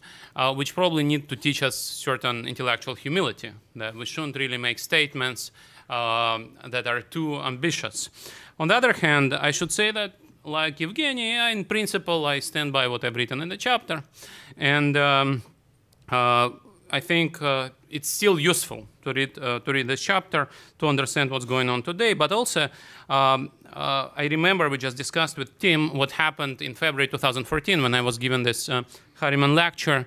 Um, uh, people were asking questions about Ukraine, and uh, I, n- by no way I could predict what would have happened, but I said you shouldn't underestimate the importance of Ukraine for Putin, and you may be surprised with what's uh, going on. And I was correct in the sense I was surprised at least, yeah. and. And uh, yet, looking at Angela Stent, I, I, would like to mention another thing which I refer to in this chapter, uh, which is, uh, Tim said, I'm the husband of Katya, and Angela is, is the wife of, of Dan. So Dan Yergin and Thane Gustafson, uh, 20 years ago, published a book about scenarios for Russia. And there they outlined three scenarios. One of them was uh, Chuda, economic miracle. Uh, well, it's actually liberal democratic miracle. Um, another scenario was rebellions in frontier regions and ultimate disintegration. And the third scenario foresaw a grim military dictatorship bent on territorial expansion. And in a sense, even though we talk to each other about intellectual humility, it's fascinating to what extent uh, that book, published 20 years ago, uh, predicted so much. Well, economic miracle did happen. Russians do live much better than 20 years ago. Uh, we do have frontier regions, which are not very safe and peaceful. We just discussed that. And we do have a dictatorship bent on territorial expansion. Uh, of course, they kind of outline the scenarios being separate and mutually exclusive, while we kind of see everything happening at the same time. And that's probably where we, we should learn about uh, uh humility. Uh, now, let me uh, talk briefly about, uh, about the economy. So, this chapter is about economic slowdown and how economic slowdown was very important for understanding why, uh, why um, uh, uh, what happened in 2014 actually happened. And uh, today in the morning, we already talked a lot about how Putin's approval ratings and electoral ratings were actually going down before Crimea. And Crimea really helped uh, the regime. And basically, the, one of the reasons, and again, uh, uh, people already have referred to Dan Treisman's work uh, correlating uh, political popularity with economic achievement in Russia. Um, one of the reasons why rankings were going, ratings were going down was indeed the slowdown, the stagnation, which started already in the second half of 2012 when Mr. Putin came back with the promises of reforming, uh, deregulating, privatizing, improving economic and political institutions. And uh, once investors started to see that it's not going to happen, even though Mr. Putin put these things on paper in his May decrees, especially in decree number 596, uh, which was the decree on long-term state economic development, where he actually put numerical quantitative indicators which were supposed to be uh, fulfilled. One of them, I, I would, uh, I would give you an example, was that by 2016 Russia will privatize everything but defense industry, natural uh, resource industry, and natural monopolies, which kind of includes all the state banks to be privatized before 2016. I think it's not going to happen. This is, I think, I have enough uh, enough confidence to uh, bet my money that this is not going to happen before 2016. And so once investors saw that uh, Mr. Putin is not going to stick to his electoral promises, capital flight re-intensified, investment started to stagnate, uh, while consumption was still fueled by expansion of retail credit, which was actually quite a revolution in 2012-13. Uh, credit was growing at something like 30% a year or 40% a year. Uh, but investment already stagnated and, and started to fall. And already in 2013, even government officials themselves started to talk about the risk of recession. And by the end of 2013, it was clear that Russia is not going to grow as Mr. Putin predicted it would in 2012 just again, if you go back to 2012 decrees, you can actually see that they are built on uh, a forecast of something like 5 or 6% per year economic growth. And um, uh, this is not going to happen again. I, I, can bet my money that within within the six years of this presidential term, Russian economy will not grow at five percent per year on average. Um, so, uh, so slowdown started. Initially, it was explained by different reasons. Uh, Tim mentioned that actually in my chapter, I go through different reasons and I, uh, explain why it wasn't driven by external factors, why it wasn't driven by cyclical factors, why it wasn't driven uh, by macro factors. It was driven by the uh, issue that Evgeny was talking about, that Russia is not governed well. Uh, the political elite is interested in something else, not in economic growth. And this is where the puzzle is. Why would this group of people uh, not like faster economic growth? In a sense, you would think, okay, whoever is in power, the bigger is the pie, the better is for everybody. Now, but then the question is to what extent we can make this ceteris paribus assumption? To what extent we can say, well, everything being equal, the bigger the pie, the better everybody, uh, better off everybody is. And the answer is no, we cannot make this assumption because if you need to grow the pie, you need to do things which reduce the probability of this particular regime to stay in power. And so these people would say we can compare reform, bigger pie, economic growth, uh, and uh, maybe some probability of staying power and benefit from growth. And we can compare no reform, stagnation, maybe even recession, but uh, high, high, probability to stay in power and get a big piece in a small pie. And this is the political equilibrium, uh, which is well understood by political economists, of course. It's, Russia is not unique. It's happened in many, many countries. And Tim was talking about certain characteristics of Russia, inequality, uh, natural resource endowment, natural resources are very important for this because it's easier to have your pie when it's resource rents. Um, and uh, your piece, sorry, in the pie, when these are resource rents.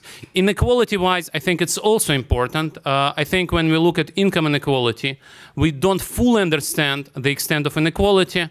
It's easier to measure income inequality, but Russia is uh, quite unique in having normal income inequality, but very high wealth inequality and inequality of opportunity, which results indeed in the ability to um, uh, have the support. We, we had that, that, discussion in the morning already. You have support from poorer parts of Russians who have nothing to lose, who, whose votes are reasonably cheap to buy, uh, and uh, they're easier to manipulate um, uh, and uh, get support from. Anyway, so uh, this is the political equilibrium Putin comes with in the end of 2013, beginning of 2014, and then Crimean opportunity pops up, and he uh, grabs it. Uh, some people would say that that was a strategic plan to prepare to look for opportunities like this. I think there are people in the government who always look for opportunities like this, who prepare military plans just in case you need this part of neighboring state, another part of another neighboring state. So military plans, of course, exist. But I, I think everything we know about the regime suggests that there was no long-term plan. But it was a convenient opportunity.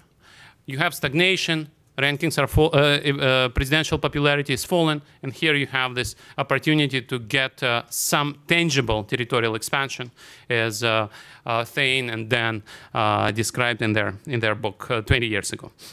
Now, and this is what happened. And so, where are we now? So we have the problem of lack of reform, expansion of the state, high corruption, poor investment climate, capital flight, and on top of that, we have uh, sanctions, and on top of that, we have lower oil price. And these things reinforce each other. Because if not for sanctions, uh, Russia would borrow and wait until oil price would come back. Now the markets are closed, you cannot borrow. And again, Russia doesn't have a sovereign debt. But um, somehow you need to finance even a small uh, budget deficit. Now, this budget deficit is no longer small. When you actually look at the oil price, when you actually look at the recession instead of growth, suddenly you end up with almost 4% of GDP uh, budget deficit uh, compared to less than 1% of GDP, which was projected for this year just a year ago. And uh, again, 4% of GDP is not a disaster. This country ran much bigger deficits just a few, year, a few years ago. Many European countries are doing that as we speak. But the difference, as I said, is you cannot borrow, you have to spend the reserve fund. And the reserve fund is depending on the day, uh, is something like 5 to 6% of GDP. So we are talking about uh, the end of this scenario coming near. This scenario allows the government to keep spending until uh, second half of 2016. And um, this is, this is, I think, uh, where the numbers are guiding us. The numbers are very clear that recession this year will continue. Government's, uh, government's for, official forecast is minus 3%. EBRD just published its own forecast as of today, which is minus 4.5 for 2015. EBRD, unlike other institutions, also quite clearly suggested recession in 2016 of something like minus 2%. Um, and uh, in that sense, I think uh, at some point in 2016, there will be time of reckoning. I would also mention another number, which uh, should worry everybody, uh, which is military expenditure in the beginning of 2015. I ran uh, a column on uh, Project Syndicate today, uh, looking at the numbers for the first quarter of 2015 the interesting story is after uh, Medvedev and, Put and Kudrin argued about the size of military program, uh, the plan was to expand military spending starting year 2012, but this expansion de facto didn't happen. If you actually look at the budgets, the budgets always said we need to spend 4% of GDP more on military. Uh, but in, in reality, Russia only spent 3% of GDP as before. Why? Because Russian industry, defense industry, could not provide the goodies that the budget, the, the, the Ministry of Defense wanted. And then that required firing certain ministers, defense industry officials, and so on and so forth. But even last year, Russia didn't spend 4% of GDP. This is different this year. If you look at the first quarter of 2015, Russia spent 9% of quarterly GDP in the first quarter. That means in the first quarter, Russia spent more than, uh, more than 50% of 2015 annual military budget.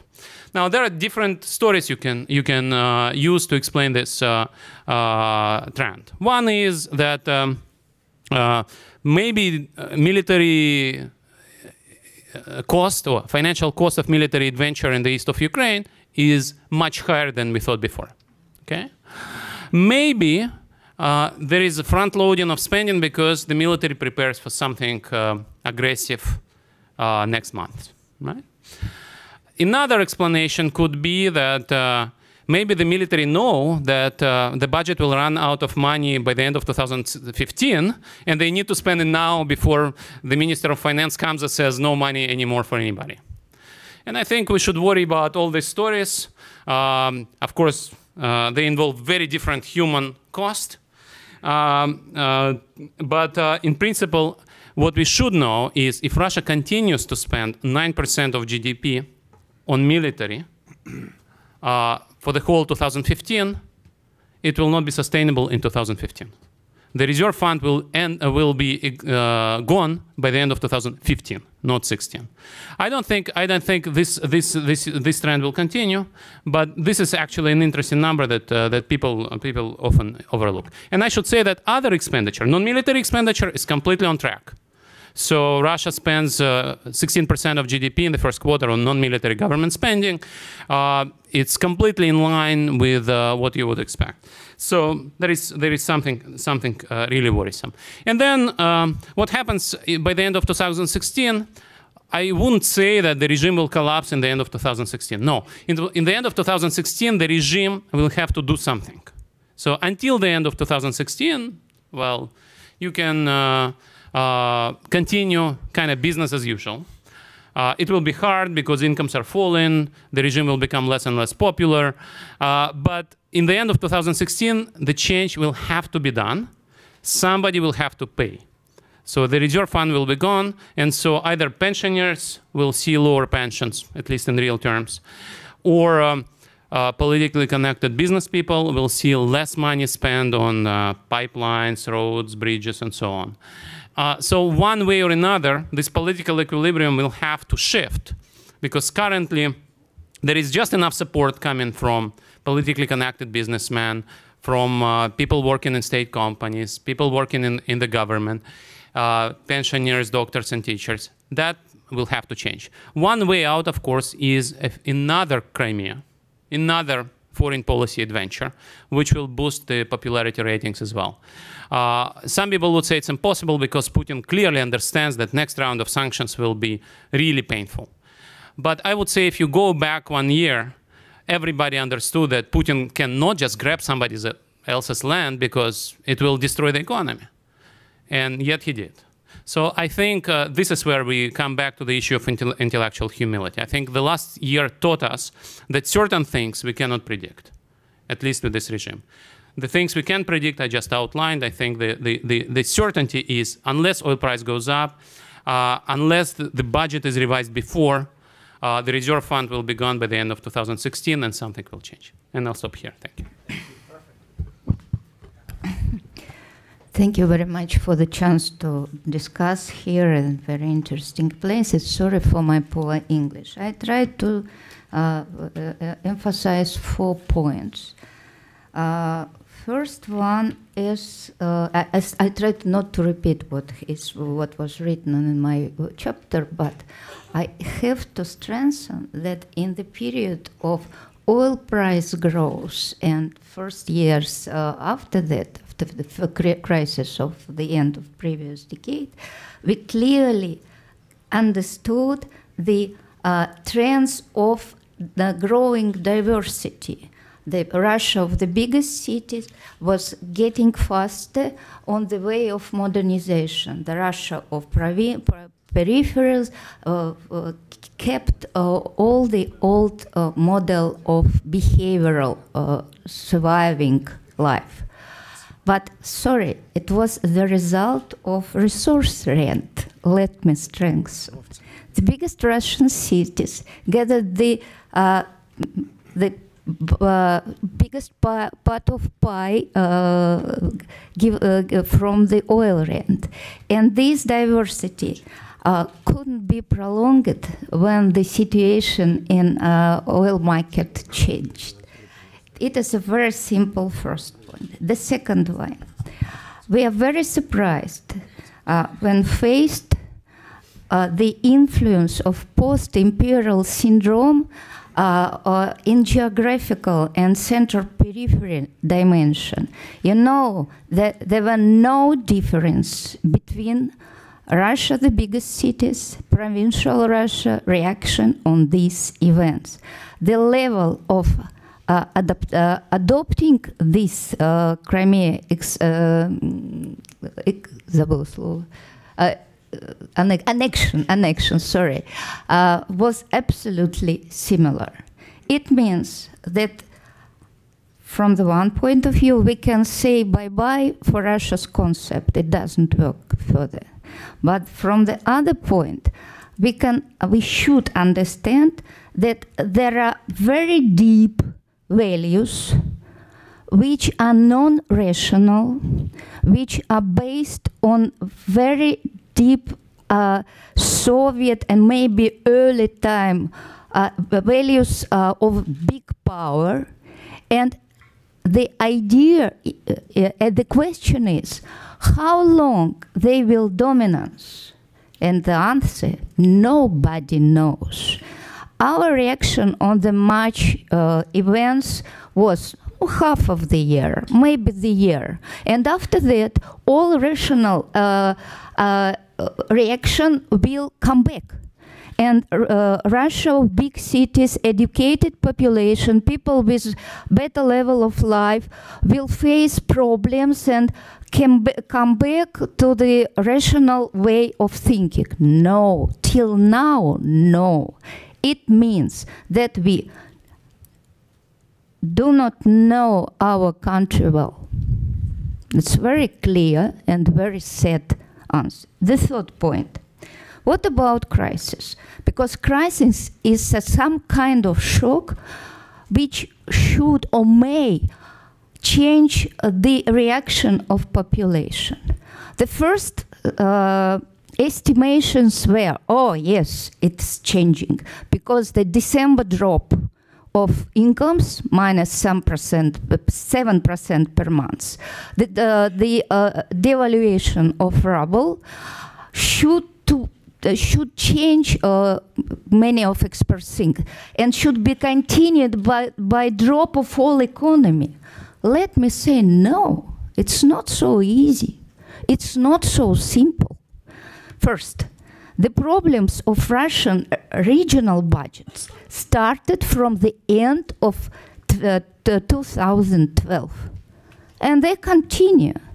The, uh, the level of uh, uh, the, the percentage of debts is now 33% of all uh, incomes of regional budgets. The number of regions with deficit is now 75 from uh, 83. Uh, the year before was 77 from years from 83. And what? Do you remember that all banks which gave uh, loans to regions are state ruled banks? So manual government governing continues to be in, in, in force. All problems are solving with in the individual manners and we thought it will be so difficult to uh, make solution for lots of problems for growing number of problems they are still in power, they still work. It's not so simple. The second problem of crisis, investment.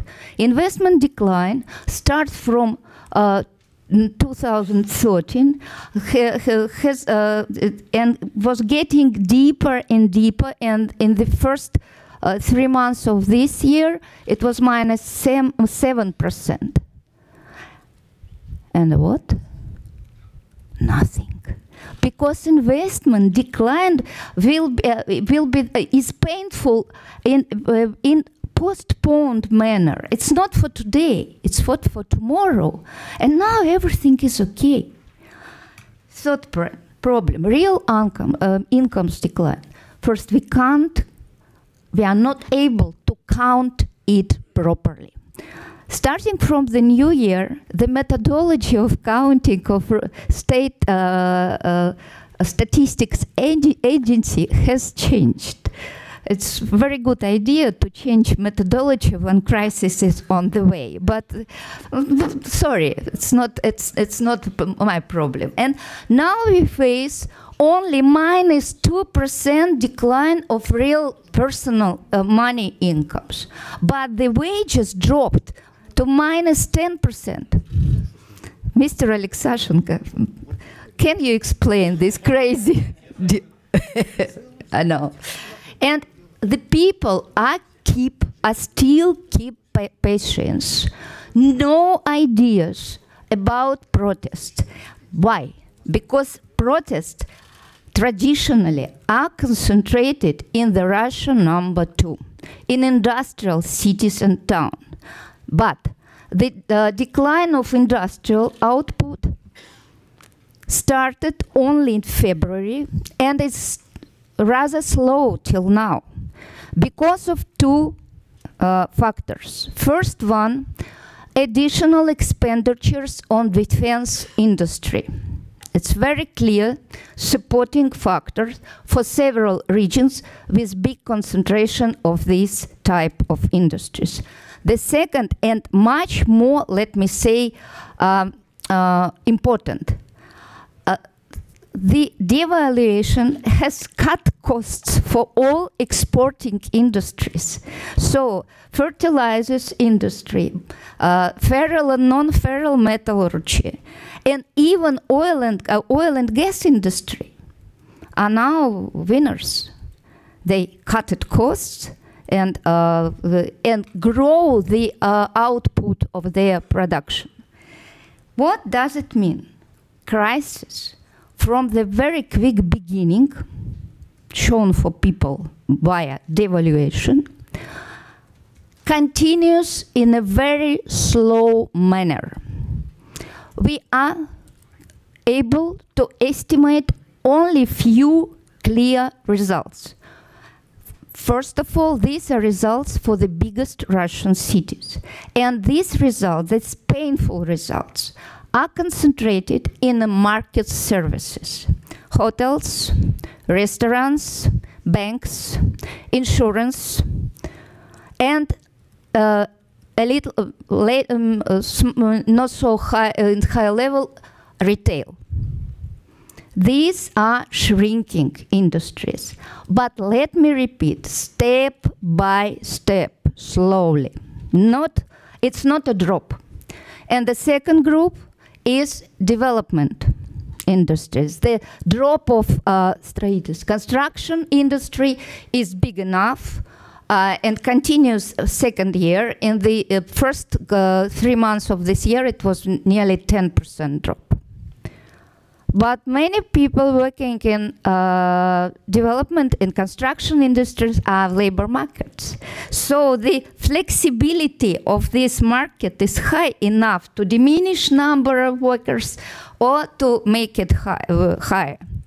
What about last question concerning uh, crisis? What about unemployment rate? It starts to grow, but very, very slowly. Now it, it's only 6%. For Western country, it's really nothing. The problems are localized in a few numbers of automotive construction uh, areas and cities and, and uh, non-competitive uh, machine building industry cities. There are no big amount of these local points.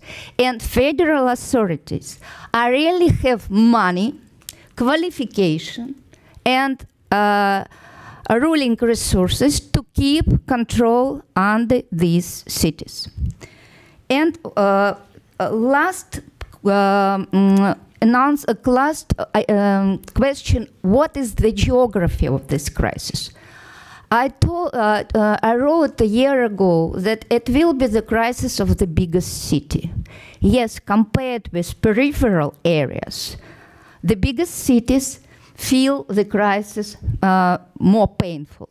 But it's not a drop, let me repeat. It's a step by step movement. In Russian character, for Russian character, it's very typical to adopt to slow uh, wor- worsening changes. It's not the stimuli for protest, it's a stimuli for surviving adaptation, first of all, personal and family adaptation, not collective one. Uh, what about the reaction of four Russians? First one, Russia, I tried to describe. The Russia of industrial towns and cities. Let me say, we have to wait. We have to wait. I think it's, it's a question of autumn, not early. It's autumn, maybe, maybe next, uh, next uh, winter. Peripheral Russia number three, nothing is changing. The life as usual, surviving life. And let me agree with Mr. Malashenko. The very big question is Russia for Russian of ethnic republics, first of all, Muslim, Muslim ones. The answer, very simple economic answer. Additional payment of transferred for Chechnya for this year is to 20 billion rubles. So the total share of money, transfer money, uh, given to uh, Northern Caucasus republics is about 10% of total transfers. Federal authority have money to add and to keep this number. For example, the total share of Crimea, not for the whole year, only for the nine months, was 7%. Uh, recounting in a whole year, it, it will be the same share, uh, the same percentage, 10% for 1.6 percent of population. And the biggest receiver of the transfer is Far East and the Republic of Sakha-Yakutia, 70 uh, billions rubles in the uh, previous year. So they have money to keep control under Northern Caucasus. But if and when, to, let me agree with Alexei, the federal authority start to uh, lose power, it will be the first place of very painful changes. And the last, my uh, uh, uh, point for, let me say, federal authority are absolutely sure that the most painful part of this crisis, crisis is behind. The situation is getting better. The price or oil and oil, oil price are higher than it was expected. It's a very quiet un- understanding of normality. Oh, the situation is under control. Concerning my profession, about regional elites, total loyalty, real feudalism in many cases, but absolute loyalty in a key, question uh, uh, in relations with federal authorities. In previous year, it, these were presidential decrees, first of all, of concerning salaries and wages uh, uh, mm, uh, uh, growth. Secondly, proper result of uh, elections. And thirdly, the absolutely quiet situation in your region. Now, to keep uh, quiet situation uh, is getting uh, more and more difficult. But there is no regions with a big growth of protest, with uh, losing uh, quiet, qui- quiet, how to, uh, and it means that, let me say, my colleague, we overestimate the number of money in funds. We eh, sometimes forget the very typical for Russian key factor inertia, huge inertia, including special one. Thank you very much.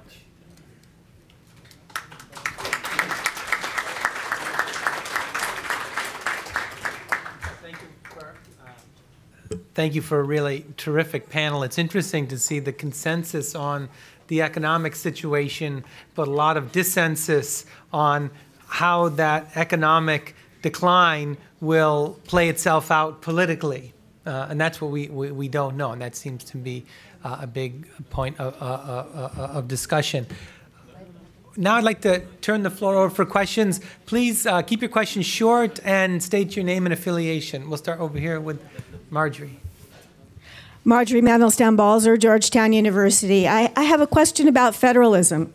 If uh, President Putin is asking for increased federalism in Ukraine, um, can he be giving it a little bit more in Russia? And how does that work in practice? In other words, the dynamics have been very zigzag in terms of centralization, re-centralization, and uh, some degrees of of uh, uh, differential sovereignties in different regions. So I'd, I'd like your comment on that. And a footnote about it also has to do with whether you predict any further amalgamations in the regions. Mhm. No. Uh-huh. Thank you for this question. Uh, mm, uh, no, about Ukraine, uh, uh, now uh, Putin uh, didn't say about federalization, and uh, he and his colleagues said about uh, special rights for Russian uh, origin people and so so. And uh, please uh, pay attention. But uh, it's, uh, I think, a political game in this big, big geopo- geopolitic uh, situation around, around Russia, Ukraine, Europe, US, and so so. But about Russia, about federalization. Um, it's uh, I said that uh, we lost uh, maybe uh, if we say about uh, federal center. Um, the federal center uh, lost control I from my position it's my opinion toward regions and local um, um, and, and local communities. But of course. Uh, Natalia uh, said about it about uh, that we have extra concentration of uh, taxes uh, on federal level. And uh, our minister of finance from moscow mm, distribute this money as a subsidies to most part of our regions. Yes but it's not a sign of vertical of power it's a very simple uh, for for for me and the same situation about loyalty of population. It's um, uh, we uh, today said that Dmitry said about some medieval ages, medieval times. The, yes, not not 19th century, but maybe uh, 500 or 600 years ago. But uh, if we see on that horizon. It's the same as a gold order was a gold order, and uh, there, there were a lot of Russian small, small these countries, and yes, uh, a king of this order put uh, some uh, the permission to to be uh, kings, uh, to be lords uh, for these small small Russian states, and take back a contribution taxes taxes from this, not more. But each this uh, lord, uh, Russian uh, little lord, could provide own policy, could fight each other, and so so. And uh, maybe it's uh, not so simple now, of course, of course. But in many many things, it's it's very it's very similar. It's very similar, and. Uh, uh, that's why I, I I'd like to repeat maybe that we have not any real uh, federal uh, institutes in Russia because uh, it needs absolute, uh, absolutely another institutes of power, institutes of economy, institutes of social life, civil society, and so so. Instead of it, we have some uh, ersatz. I don't know what it's. Uh, some imitation ersatz. Yeah, but it's yeah, some imitation Some imitation on the surface, of course. When Putin uh, visits uh, some region, all governors, uh, oh, oh, it's uh, big uh, and uh, um, uh, paying uh, even grass for green colors. That oh, uh, but of course, uh, you maybe know this Russian uh, term "Potemkinsky деревни." Maybe you know because exist? Yeah potemkinsky village potemkin's village. And uh, it's uh, it's not a sign potemkin's village of this federalism. It's sign of absolutely feudal uh, vassal uh, type of management. And uh, it's my maybe answer for your question. Thank you Can be very quick, Marjorie? I think the answer to your question is no. So you can uh, say Ukraine should be federal, but in Russia we'll do like uh, Evgeny described. But I would like to add another point. I think if you carefully listen to Natalia and to Evgeny, the analogy with the golden Horde, with the Tartar yoke, is actually very clear. The only difference is the, the Khan is uh, Kadyrov, and Putin is the vassal. If you, if you watch the numbers, if you look where numbers are going, as Natalia correctly said, it is uh, Putin who pays uh, money to Kadyrov and not vice versa. Uh, sorry, let me start from figures because I'm not so emotional like my colleagues. Uh, uh, the number of money redistributing to regions is uh, shrinking for the third year, started from the 2012. And it, this process will continue. So the shrinking pie stimulating the concourse uh, of regional elite for, for federal money. The rules of this game are absolutely informal. And we have losers and win- majority of losers and number of winners in, in this uh, uh, big football. football. And this process uh, uh, continues all the Putin epoch it, it started from the Yel- Yeltsin epoch, and it means that informal uh, attempt to get money from federal budget uh, are very typical, are very useful, and the result, uh, the the governors with the better results uh, are very uh, уважаемые, выскочила. respectable. They are real. They are real winners. They had a leader uh, of Tatarstan is a, is the uh, example of the burst, uh, brilliant governing. Let me say so. It, uh, what about federalism? We have federalism. We have. But it's something interesting and so informal. Inside regions, the rules are very different. It's true. The regimes are different. Not so much, but yes. And in finance uh, sphere, It, the, uh, this is, let me say it, it's some kind of uh, sportish federalism. Football or basketball, it's up to you to choose. Yeah, I think the, another country with a lot of diversity in its political institutions at the, at the regional level is the United States, where California legislatures make $100,000 a year in a full-time job, and in New Hampshire, it's a part-time job for, you know, a few hundred bucks a year. So anyway, okay, wait, no, no, no, no, no, here. Yeah, thank you. My name is Justin Varlick with the company Hackpack. And there's um, kind of two questions going on what you said, Natalia, about how it's a slow step by step drop. Uh, first question, kind of challenging it in the sense that I've seen many of people who I know have been going on kind of repeating the same practices from 2009, where you put people on half pay for a long period of time, trying to wait out the storm. And then there's going to become a time of reckoning. So my question, where basically you can't continue doing that, you'll have to actually lay off a large number of people.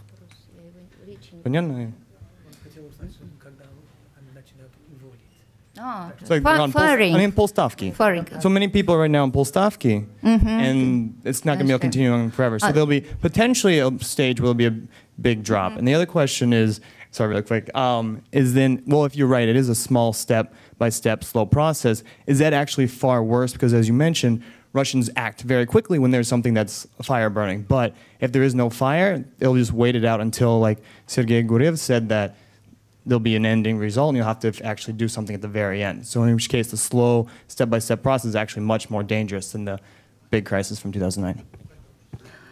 Uh, well, th- the answer on the first question there are two types of labor markets. First one is industrial market.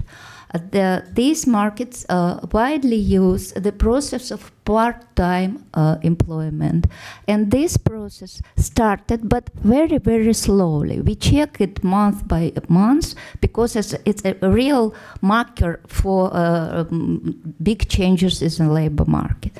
Uh, not now, we have to wait, but the process in industrial sphere will start uh, as usual from the uh, pa- pa- part, pa- part-time uh, employment and then further to firing. The service uh, sector market is absolutely different. Uh, immediate firing, no time for waiting. And now in this market, we can see the very interesting process of big competition for the better management. Uh, buying proper management uh, fr- from and um, changing a place of work for the best one. But the low competitive uh, people involved in this sector, the process of firing is uh, getting uh, some, uh, uh, wider and wider. But let me say, step by step, because there were many places, free places for job before. So now they cut dead places where nobody worked. It's some kind of optimization. Let's take a couple questions uh, here. We have one question here, and then here, and then in the back. So let's take three questions if we can. And really briefly, if you could state your affiliation and keep the question uh, a question. Sure. My name is Andrei Sitov. I'm a Russian reporter here in uh, Washington, D.C. I'm with TASS. Thanks for doing the panel. Uh, I'm, I'm always uh, amazed uh, by sociologists who start by describing their uh, the societies that they study as ill-informed, duped, brainwashed, whatever. I've, I keep hearing that about the American society who voted twice for George W. Bush and then for Barack Obama. Uh, uh, I think basically, I think the Russians voted their interest. Uh, but my question is not about this. I've been asked to write about the influence of the weaker ruble on the Russian economy. So uh, I was hoping that our economists will uh, comment for me on uh, how successful the monetary policies of the central bank have been and what the effects of the weaker rubles are. I think the lady panelist has already referred to some of them. Thank you. Question here, and then in the back, and then over there. Yeah, now here. Thank you so much. My name is Lilia Muslimova. I'm from Crimea, and uh, here I'm an international student and doing my uh, internship. Uh, let me kindly disagree, Mr. Sergei Guriev, with your sentence which you provide that uh, annexation of Crimea, it wasn't a long-term plan. It was a just a tangible uh, opportunity.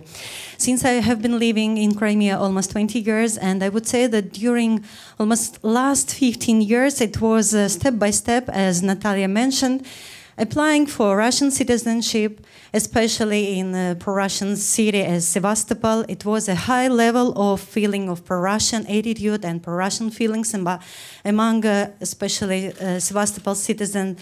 And uh, a huge number of different non-profit organizations who were established their activity in Crimea and they were spreading information about Russia. So it was predictable.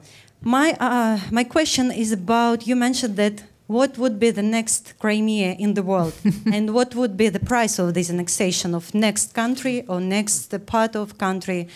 And one thing I would say that it's really just now in Crimea Peninsula, it's a high sense of apprehension among people. It doesn't matter what is a religion, Muslim, Crimean Tatars, or Ukrainian and Russian people. People just afraid to speak up against of Russia. Okay. But they don't do anything good for people. Okay. Thank, Thank you very much. Uh, question right there now. And then we'll allow the panelists to uh, respond. Uh, yeah, uh, Frank Fletcher, Daniel Morgan Academy.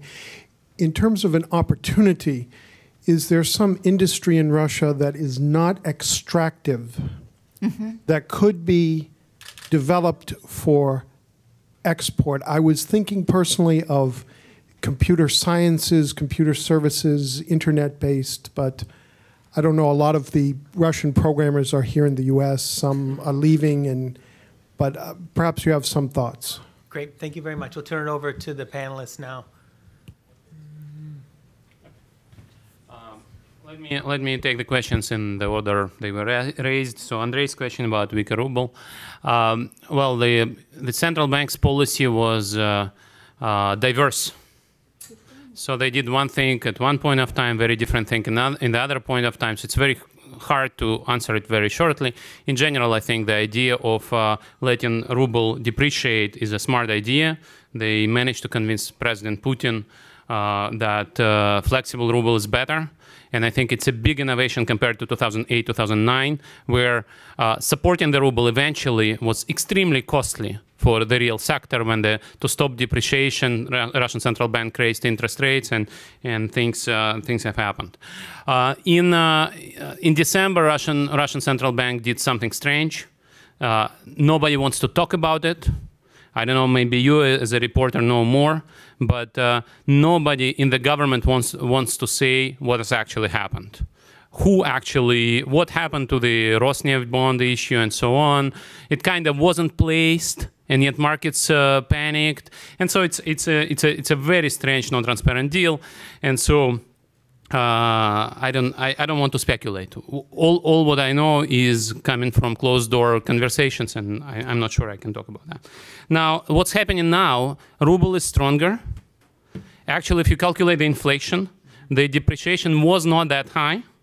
But then one should remember that ruble is stronger while central central bank is spending reserves. So now the smart uh, strategy is that central bank is not just buying dollars. The central bank lends to Russian banks in currency, in currency which Russian banks give to Russian corporates, and Russian corporates pay back to uh, their uh, foreign creditors. So I think it, it's the right strategy. It should have been introduced in the fall right away. It should have been announced.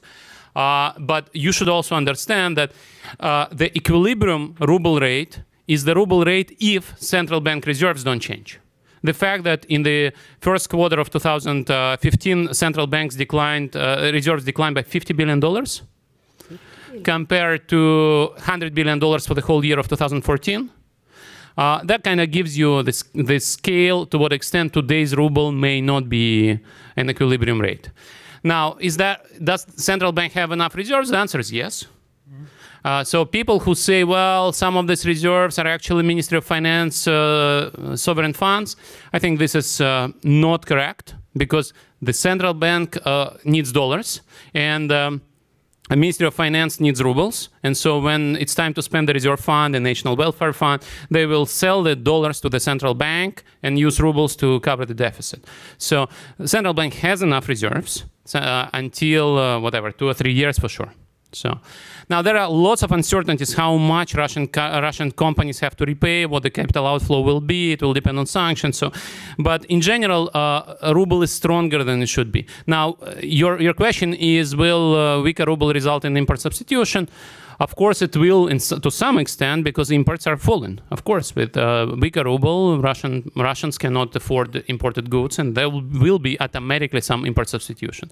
Will that result in growing sophistication of Russian economy, uh, uh, blossoming manufacturing, computer science uh, exports? I doubt that. And the reason is, cost of capital to Russian companies today is exorbitant. It's impossible to borrow at reasonable rates. And without access to capital, you have a lot of trouble. Maybe things will change, but currently we don't see uh, great great potential for investment in, in expanding in expanding high high uh, technology production. So, now the second question by Lilia, uh, I think my message was maybe there was some plan and I mentioned military plan. Military cannot function without plans, right? Uh, so there was a plan, but the decision to move in was ad hoc decision. Otherwise, you cannot really explain why you need to release Pussy Riot and Khodorkovsky just a couple of months before. Uh, why you need to invest so much in, into Olympics? It's uh, your the reputation of the regime in the West was first improved and then completely destroyed. And in that sense, I think the top person, uh, whoever that is, Evgeny mentioned there is some decision maker at the top. So this person made this decision in a very ad hoc manner. And uh, and the, again, I can talk a lot about who was around him when they made this, this decision. He also went on TV explaining that it was his decision, and he started to act a little bit before Yanukovych fled, and so on. But um, I think it was an ad hoc decision. Now, and finally, the question about non-extractive industry exports. Uh, I think Russia is a normal country; it can export different things. Russia did build, as you rightly mentioned, world-class companies in IT. You can you can see Kaspersky. You can see less known companies like Acronis or Parallels. Uh, you can see ABB YY, uh, which is also kind of less known but exports a lot. Uh, you see Yandex, which is pretty much the only search engine which competes with Google successfully in its home market. Well, unless you exclude China, but China there is a special case, of course, where Google is not allowed to compete. Uh, so, so in that sense, I think we see a lot of a lot of interesting stuff, and um, and uh, here and there you always see exporting companies, and there will be more if Russian uh, investment climate improves. Why? Because for resource companies, you don't need good property rights, developed and sophisticated financial system, good courts for uh, non-resource companies you do. And actually the political equilibrium which i described disproportionately benefits resource companies rather than non-resource companies because non-resource companies need good institutions. And without good institutions i think uh, we'll uh, be discussing can russia export just anything? I think russia when Russia becomes a better country, Russia will export many things that you would not uh, expect it to be able to export. Just to go back 15 years and think about uh, the statement that Russia has to feed its peasants, right? The agriculture was supposed to be the black hole. Russia always imported grain, and then now suddenly Russia is a great exporter of grain. To the extent that when Putin uh, banned exports of grain in 2010, that resulted in a growth of uh, grain prices globally, and especially in Egypt, and that's uh, where Arab Springs actually started in Egypt, right? Not Uh, so, and I'll stop here. Not totally. Let me add uh, two, uh, two, uh, at least two, three industries are feel uh, are feeling themselves well. First of all, titanium, non-metal, uh, non-ferrous, uh, working for you know for Boeing. They, they kept contracts. Second one, fertilizers production, and the only problem for them the risk of setting uh, exporting tariffs, uh, and every two months they have uh, contacts with federal authorities and try to explain please do not set uh, do, do not set these tariffs for, for, for our for our companies. The, the, uh, the decision was very clear and was very typical for Russia. The, for internal uh, uh, s- uh, s- uh, buy, seller, sellers, да, продавцы, покупатели, sellers, the price is one third uh, time uh, lower compared with uh, world market, and uh, the other production uh, is allowed to exporting. And the third uh, groups are is feral metallurgy. The situation in this uh, branch of uh, industry uh, is proper till now because this crisis is only Russian, so we didn't have the situation of 2008 when the demand dropped all, all, all around the world. And it means that some industries feel uh, themselves well enough to continue working and to keeping employment. I think that's, do you want to add anything? or- I know it's always a dangerous Two- question. two very to ask short- Someone, no, do you no. have anything to say? Two, two very short comments. First, about IT companies. Um, I know not a lot, but uh, some companies, especially small companies, of course, in this sphere, that emigrated uh, to the West with a team, with a staff, and so so in US, but not only in US. And uh, uh, I don't, I don't know. Is it critical for Russia branches, a branch of this IT or no? I don't know. But uh, we have the, we, we see this process. Um, it's a step by step, as Natalia said. Uh, but uh, what will be in the end? Uh, unfortunately, and, uh, I, I'm afraid that uh, unfortunately we could maybe to lost this uh, com- very competitive uh, uh, branch in Russia economy. Yes. Uh, and about Ukraine, maybe last. Uh, of course, this uh, Crimea case uh, uh, was, uh, I agree with Sergei, ad hoc. But Putin, from my opinion, had more scale plan about Ukraine to assimilate, to, to about affiliation whole country to Russia. Not not formally, of course, uh, that uh, Ukraine could be independent, no no problem, no some violation of borders. But in fact, if uh, you, I'm from Ukraine too. I was born in Lvov, and I know what what it's Ukraine. I know Ukrainian language and so so, but. Um, the plan, of course, several years uh, before when Yanukovych became president was very simple to, to buy Ukraine from Russia capitals, uh, from Russia enterprises with a gas pi- with gas pipeline. Of course, you know this. Uh, uh, second, uh, to mm, control directly army, SBU, and the other other these uh, agencies, special agencies. Uh, police and so so plus a political elite. To buy political elite to corrupt these people to help to corruption. To the elite and the, that's why in several years it was planned. Ukraine could be became some uh, part of uh, Russia space.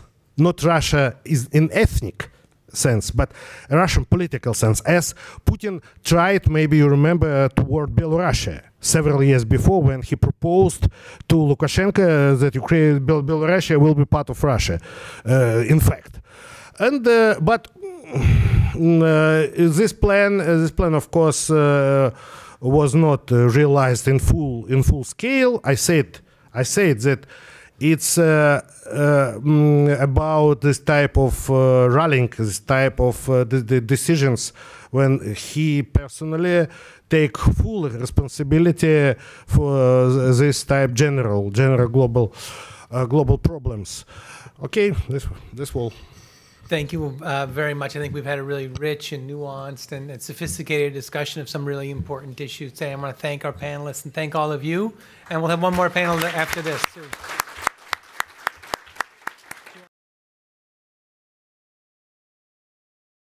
So let's reconvene in, in, in five to ten minutes. The next panel is a very interesting one. It was planned as sort of a free for all. Uh, all the questions that you, you haven't managed to ask, uh, please think of them, but make sure that they're, they're really sharp. We're, the last panel is to provoke our, or uh, as if they're not provoked enough, um, is to provoke our participants. Uh, so please uh, think of good questions. They're all going to be here on the stage, and I'll try to keep order. Thank you. Наталья Васильевна.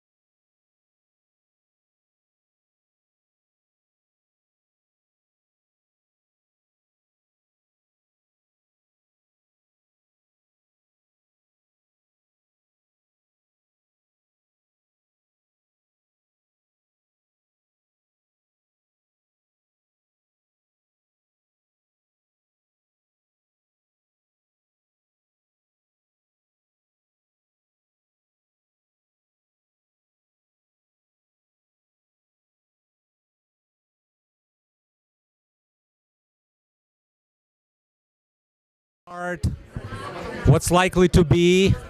Uh, well, I can't say the most interesting. Everything was very interesting. Господа, да, на арену. Обед, обед, конечно. Только для нас, да, для нас. Окей. Ну, вы сейчас садитесь. Ну, зависит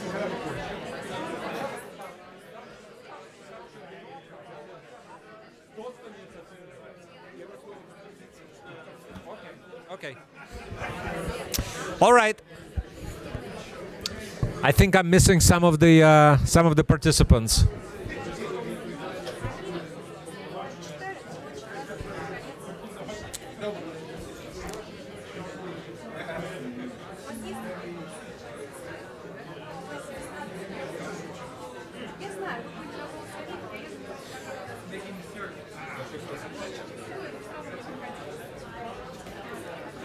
Okay.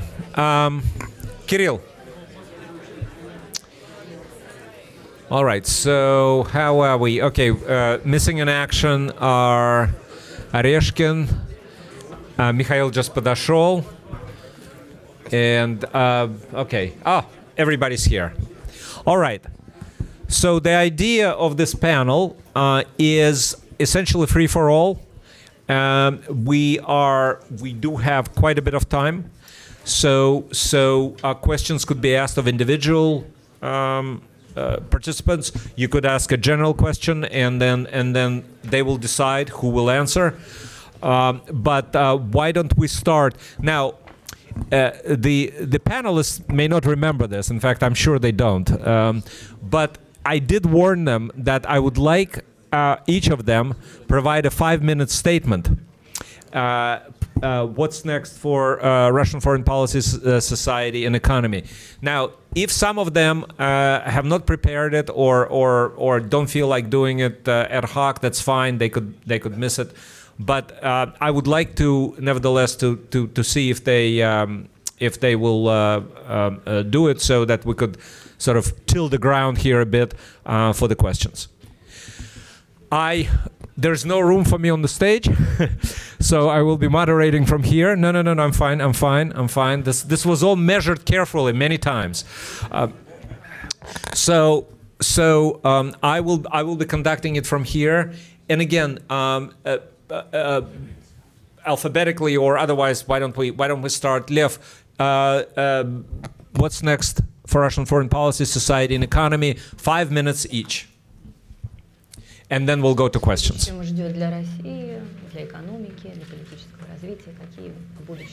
Пять минут каждому. Пять минут, пять минут. Медленное ухудшение ситуации, бесспорно. I see a slow degradation of the situation, no doubt about it. Это деградация системы управления, связанная с негативным отбором в систему власти людей, менее, все менее компетентных, но более лояльных. And uh, also the issue of um, the slow degradation connected with uh, the um, fact that the current um system of management will be selecting people less and less qualified, but that are easier to control. Через два года, так, судя по прогнозу, это нарастание социального недовольства и протестов. Two years from now, uh, according to our uh, estimations, we see that the social um, dissatisfaction will continue to grow, and the protests will also continue to grow. Но, вообще говоря, э, и, видимо, как, какие-то серьезные пертурбации в политической системе.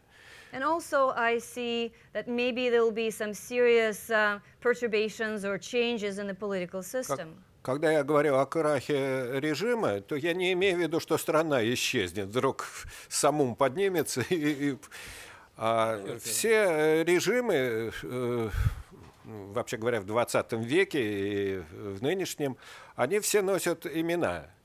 Сталинские, хрущевские, брежневские, горбачевские, ельциновские, путиновские. Это означает, что как раз э, нет механизмов, еще раз говорю, передачи власти, что вся система строится каждый раз под э, оп- определенную клику управляющую. Поэтому э, накопление противоречий э, и, и усиление конфликта во, верхнем эшелоне власти, она создаст э, нек, видимо, приведет к некоторым изменениям и э, к э, обострению борьбы за власть. Уже сейчас мы имеем признаки такого рода обострения. Ну, арест э, Харшавина, сахалинского губернатора, перехват башкир нефти силовиками. Это все признаки сужения ресурсов, поля, усиления конкуренции и внутренней борьбы. Это только... Ой. All right. Uh, after she translates... Uh, доста- все, достаточно. Спасибо большое. I have a whole novel here. Um, so the the regime, when I talk about the fact that the regime will crash, I don't necessarily mean that the country itself will uh, disappear. There is um, a certain um, flair or, or, flavor to all the regimes of the 20th and the current century. They all had a name, a personality behind it. Uh, you know, Stalin, Khrushchev, Gorbachev, Yeltsin, Putin. Um, and what I uh, what is regrettable about all this is that there is no mechanism for the um, transfer of power currently. And um, the system is built around this um, government clique, so to speak.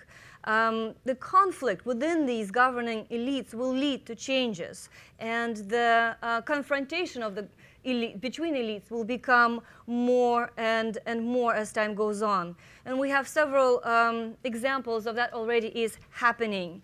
Um, the um, arrest of Khoroshavin, for example, or the um, takeover by uh, the um, uh, power authorities of the Bashkir oil. Okay, so one phrase.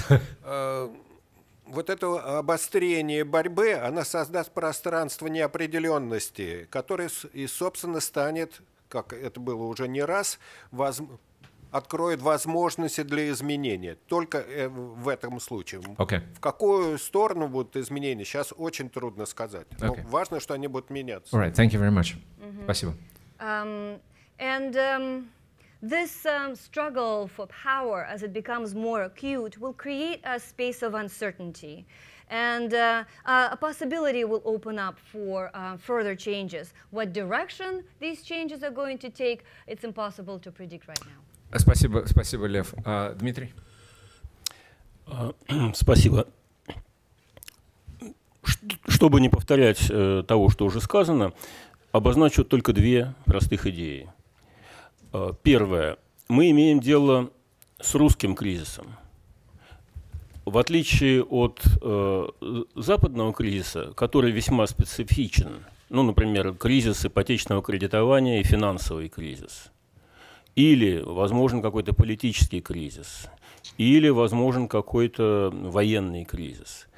В России ситуация разменяет, развивается прямо не прямо, но совершенно по другому сценарию, который я попробую сейчас изложить. Mm -hmm. So, um, not to repeat what my colleague has said, I'm going to focus on two main ideas. The first one is that uh, this is a crisis that is very specific to Russia and is rather very different from the crisis that we see in the West.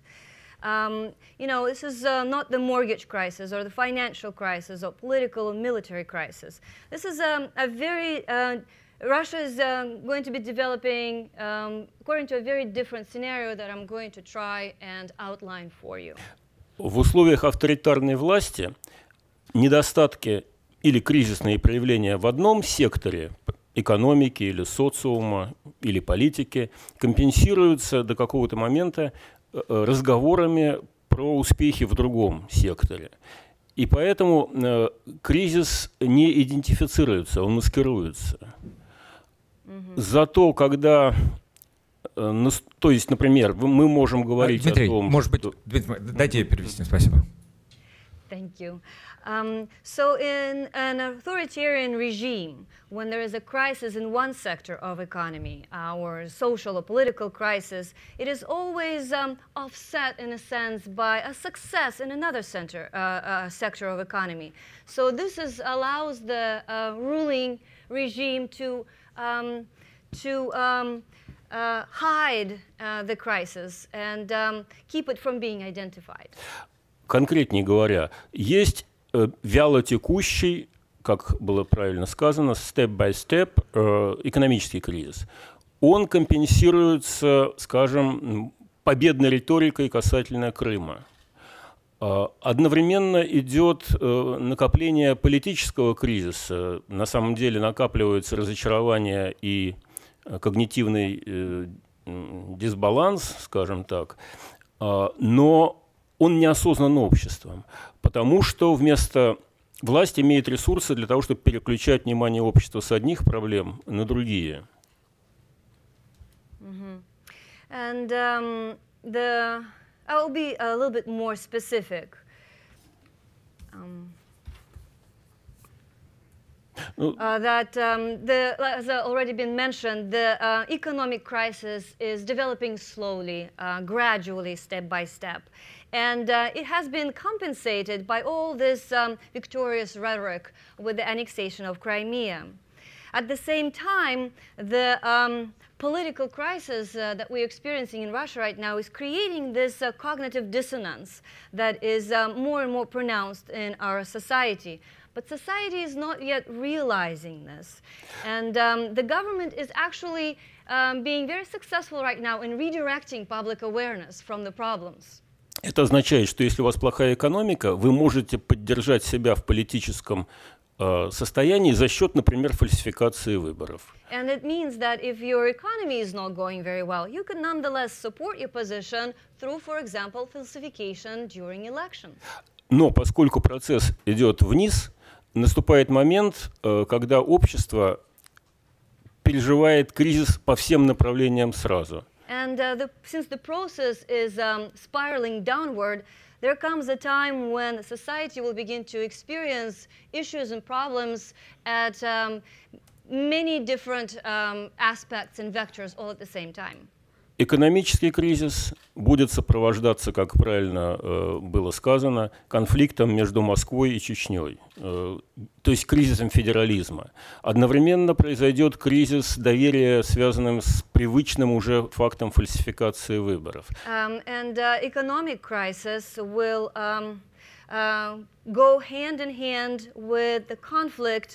between, um, for example, Moscow and Chechnya, the problem of federalism. And another one, for example, will be um, greater dissatisfaction with falsification at elections. Э, то есть, в отличие от западного кризиса, мы, в конце концов, получим кризис сразу по всем векторам, начиная от экономики, продолжая электоральным кризисом, политическим, потому что нет доверия ни парламенту, ни политическим партиям, ни избирательной системе, судебным кризисом, социальным кризисом, кризисом межрегиональных отношений.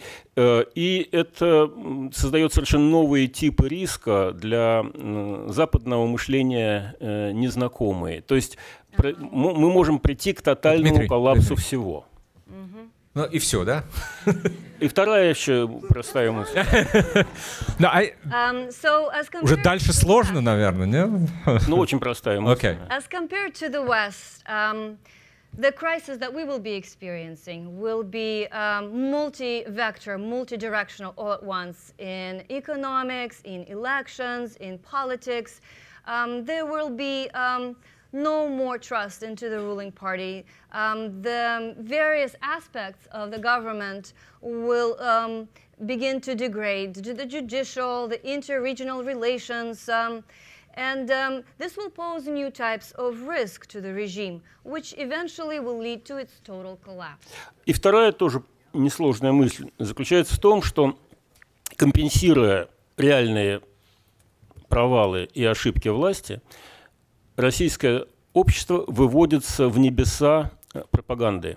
Мы, люди живут в вымышленном пространстве, где Россия поднимается с колен, где мы делаемся все прочнее, где вокруг нас э, клубятся враги, а мы их побеждаем. И вот разделение реальности и вымышленного мира очень характерно сегодня. Именно поэтому так хорошо работает пропаганда, потому что мы живем в мире пропаганды. Мы оторваны от действительности. И с каждым годом этот разрыв увеличивается. Раньше или позже мы с этого неба упадем на презренную материальную землю и довольно сильно расшибемся. Thank you.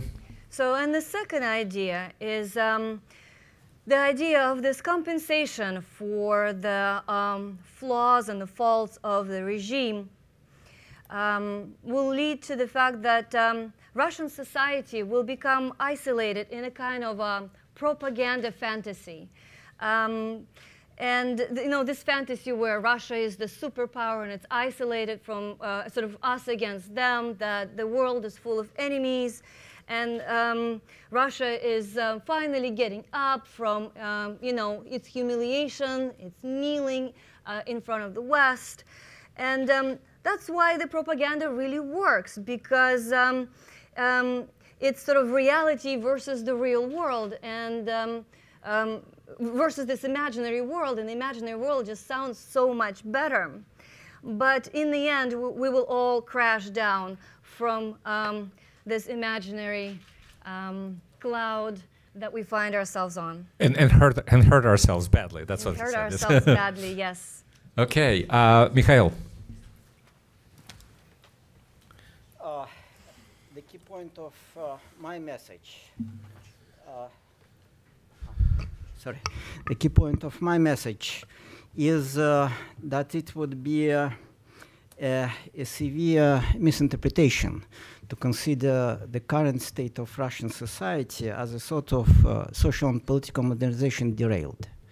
In my view, this is uh, a misinterpretation of how fundamental factors of uh, social and political progress are working in modern Russia today. Uh, what was actually happening, and we have a lot of compelling evidence for that, is that uh, uh, Russian social and political institutions are still having to catch up with the progress in material well-being. And the progress in material well-being was so dramatic that the setting from which it started in the late 1990s, I mean, social, political, institutional setting, is no longer fit for such a new uh, uh, society, which has become much more complex and much more sophisticated. And uh, this is exactly the challenge where the Russian society has started to oscillate.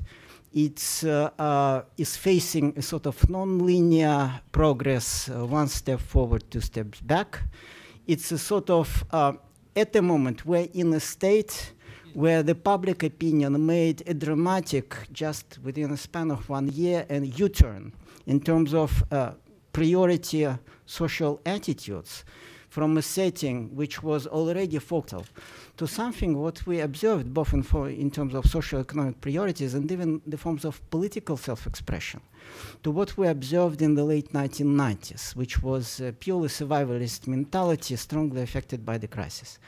But the fact that all this happened in a very short period of time does uh, indicate that a reverse uh, movement is also uh, cannot be ruled out. And uh, uh, basically, uh, what has happened last year is also clearly understood. It is quite closely related to two fundamental factors.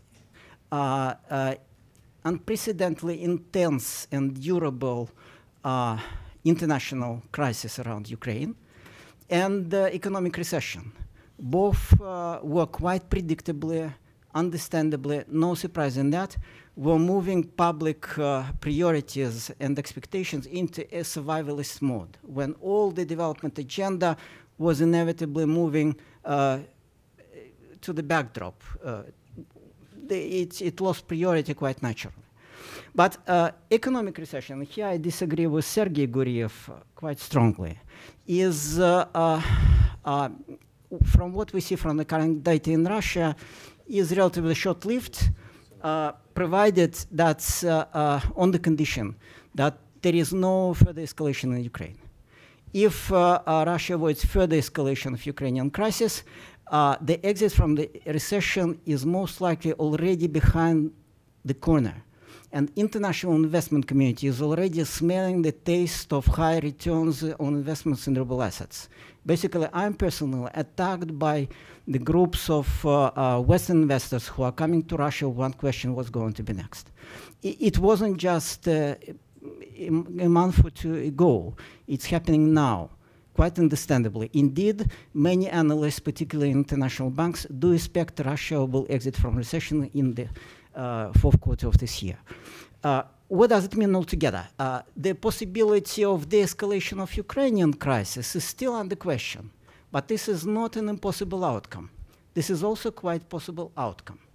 If it is combined with the exit from the recession, uh, the Russian society and the Russian state will both face a very different next step agenda and a very different next step agenda to what uh, society nor the Russian ruling elite never uh, even Vladimir Putin himself are not yet contemplating about is the agenda how to shift from uh, near to stagnation, low long-term projected economic growth rates to uh, more sustainable economic growth of somewhere in the range of 3 to 4 percent, which allows convergence with the advanced economies continued.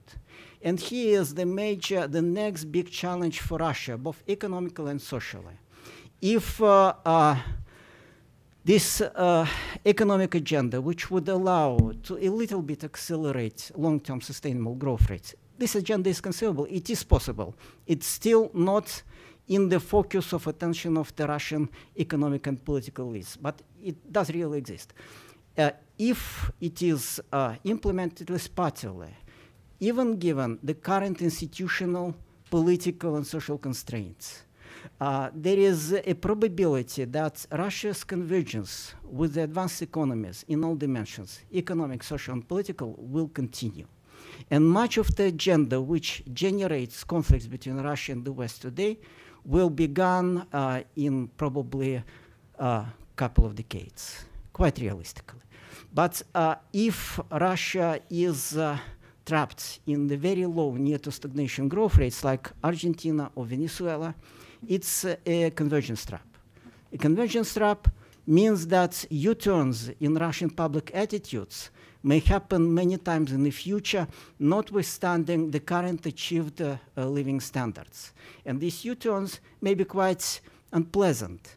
Basically, Russians may be uh, very negatively uh, looking at the world around them, uh, with great suspicion and not particularly focused on social, economic, and political progress. That's the point. This is a trade-off. It's still unresolved, but Russian society is not derailed. This is misinterpretation. Thank you very much, and thank you for almost um, within five minutes. yeah. Okay, uh, Evgeny. Uh, mm, I don't. Uh, I, I, don't want to um, repeat some uh, opinions um, that uh, were before before me, and um, but it's a very good tradition in Russia to uh, show two variants, good and bad, yeah, for Russia. A good good variant, uh, of course, it's that people uh, will go in the streets, uh, will be in some protests. No, maybe in several years, not not tomorrow. Uh, that uh, some these economic uh, troubles, economic problems, social problems will stimulate uh, our population for some activity, in citizen, civic activity or even political activity. Um, but of course, as uh, it's, uh, it was in Russia very regular, uh, result of this uh, revolution uh, very suddenly, as in uh, Ukraine is a very good example, and Russia too. but it's very from my position, it's very optimistic, very, and of course, with very big risks of um, some even destroying of Russia as a state as a country. But I'd like to mm, uh, say about bad variant. Bad variant uh, very quiet, very quiet. About about uh, without any troubles, any protests, any conflicts, and so so.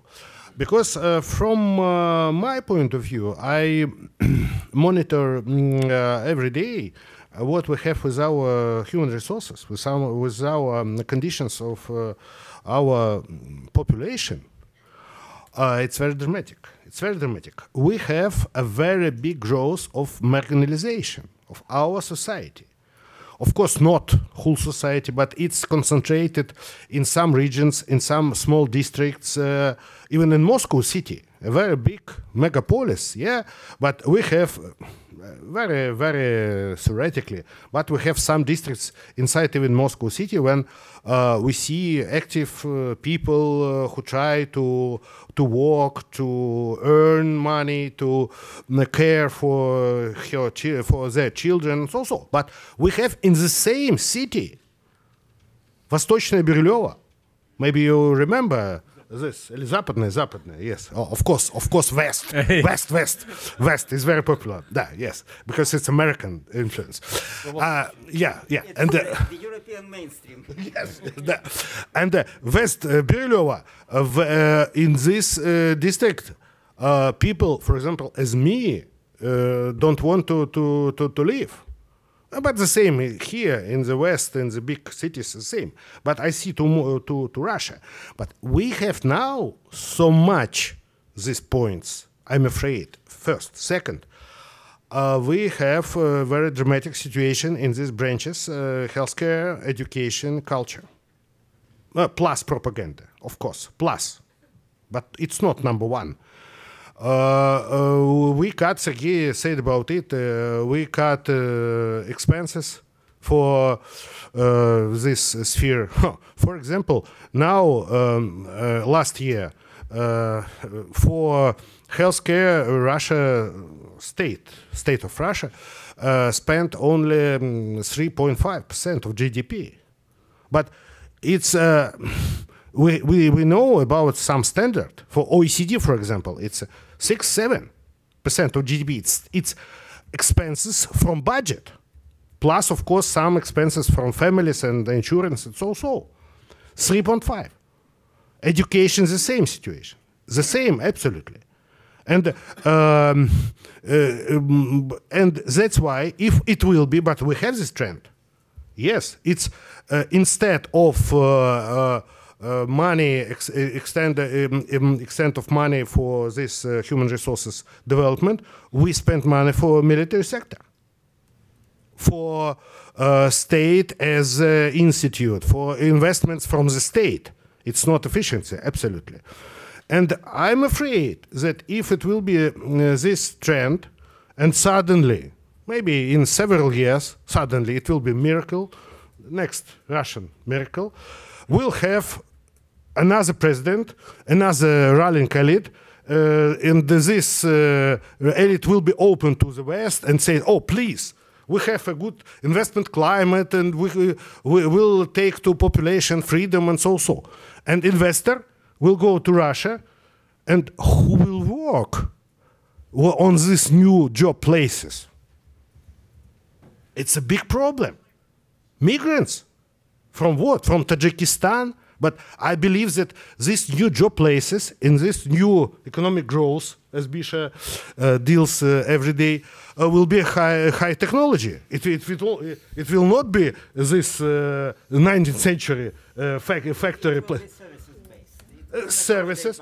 Okay, of course, but services, uh, service economy is a high, high, uh, high technology too. Uh, you know, yes, Misha, and that's why uh, we'll have uh, or we'll have only deficit of human resources. And what will what will do with this country? What will do with this country in this modern world? I think it's a it's a very very bad, but unfortunately, uh, is it's uh, the same as submarine, go up from the water, and we see now maybe only first sign, but uh, if we'll see full picture in several years, i i- we will be very sad, very sad about future.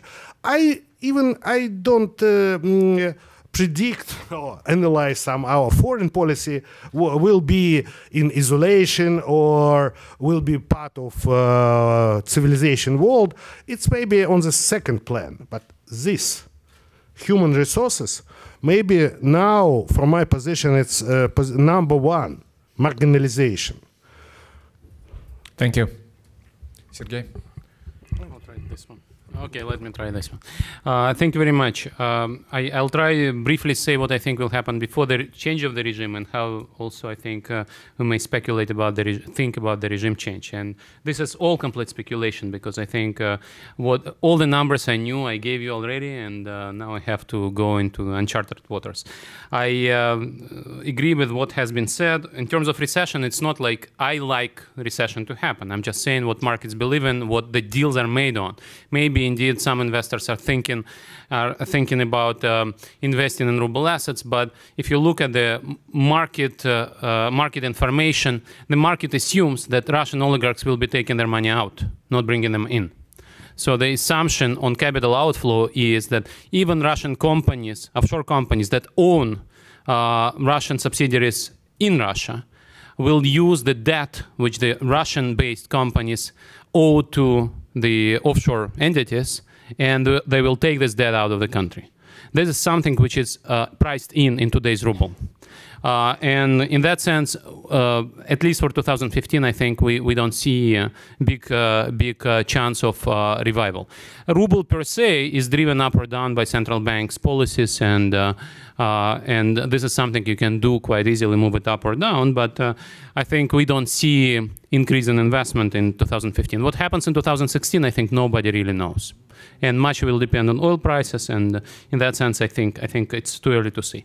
Now, I would like to advertise the paper we've written with uh, Dan Treisman about how regimes like this develop, and I think there is a regime, uh, there is an equilibrium in which a popular leader can preside over uh, fallen in, in living standards, and still his popularity would still grow. I say his because most most of the leaders we study, actually all of the leaders we study, uh, are men, um, and.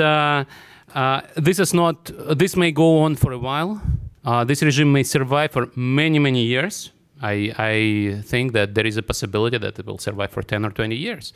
Uh, but that regime can also collapse overnight. A lot of people would say Putin has support of 85% and so on. But I mean, Ceausescu had support of 99% two days before he was killed. He actually called for a rally in Bucharest to show how big the support is. And then two days after, he was dead. Uh, Pinochet was kind of sure that he will win the referendum, and same same happened in Poland.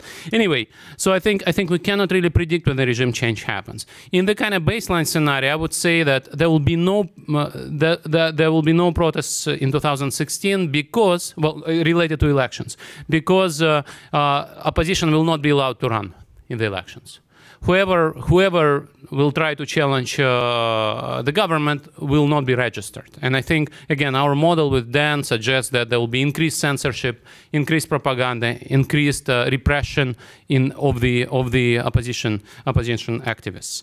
Now. Um, uh, much will, as I said, will uh, depend uh, depend on uh, oil price, but we can also see the uh, black swans or kind of foreign policy scenarios when the regime feeling that it's losing popularity and has no economic arguments uh, will undertake another Crimea. And here I come back to the question I didn't answer in the last session, what will be the next Crimea? And uh, my answer is I don't know. I have a lot of theories, and some of that will also include NATO countries. I think it's not impossible that uh, Russian military or paramilitary or volunteers or soldiers on vacations will end up in some uh, neighboring NATO countries. Uh, I think it is quite possible. As I said before, uh, we've been surprised last year, and we may be surprised next year as well. I think with zero probability this regime will give, give up Crimea. I think uh, giving up Crimea means this regime is gone. Uh, on East Ukraine, I think it will be the hybrid solution. Uh, whichever way we define it, I think uh, it, will remain part of Ukraine, but I strongly doubt that uh, Minsk II agreements will be respected by the end of this year in the sense that uh, Russian government will say, well, Ukrainian government did not deliver on Minsk II, and so we will not give up the border. The border will be continued to uh, controlled by separatists or Russian Russian troops. And uh, at some point, European and American leaders will come and say, "You've not uh, filled out, you've not uh, uh, delivered on Minsk II agreement, but you have nuclear arms, so we need to keep talking." And so there will be Minsk III and Minsk 4 and Minsk 5. And I think this is, this is, this is the foreign policy scenario for you. Uh, now, I think the weakest point, and this is, this is what Mikhail mentioned, is that this regime has no development agenda, no future. Ask the government what is the strategy, and the answer is we have no strategy. Our plan is to have oil prices going up, and I think eventually, when the survival mode switches back kind of to normal mode, people, people will ask, okay, you have no program and uh, these people in the opposition they at least talk about the future of this country. And uh, in this sense i think uh, the debate will come back and, and the popularity of the regime will stop uh, start falling start falling uh, quicker. Now what how the regime change will happen i think uh, there are many stories whether mr putin survives physically the change of the regime or he doesn't whether people around him take power and form a transitional government uh, there is some maybe some successor. I think you can you can. Uh, uh, Tim mentioned uh, statistics on change regime, change of the regime in personalistic dictatorships. Each each data point there is a fascinating story. I, I, can refer you to this Nobel Prize literature winner Llosa, who wrote the Feast of the Goat. Goat. Uh, which is a, pretty much a true story of Trujillo. And there is also a successor uh, who democratized uh, the country after Trujillo. And uh, this is some, some people who conspired against Trujillo were tortured to death and died. Some of the people who managed to run away showed up later and became heroes of democratization. So you never can predict uh, what happens uh, what happens during the regime change. I think the good scenario is there is some transitional government that presides over elections. There is a debate during the transitional government who gets immunity for what and uh, how the new new republic will function. And uh, as Tim mentioned, uh, we have a lot of uh, reasons to believe that Russia can become a democratic country uh, through through peaceful process because it's literate, it's wealthy, it's educated, it's urbanized, and so on. Now there is a negative factor, which is Russians are cynical and don't trust each other.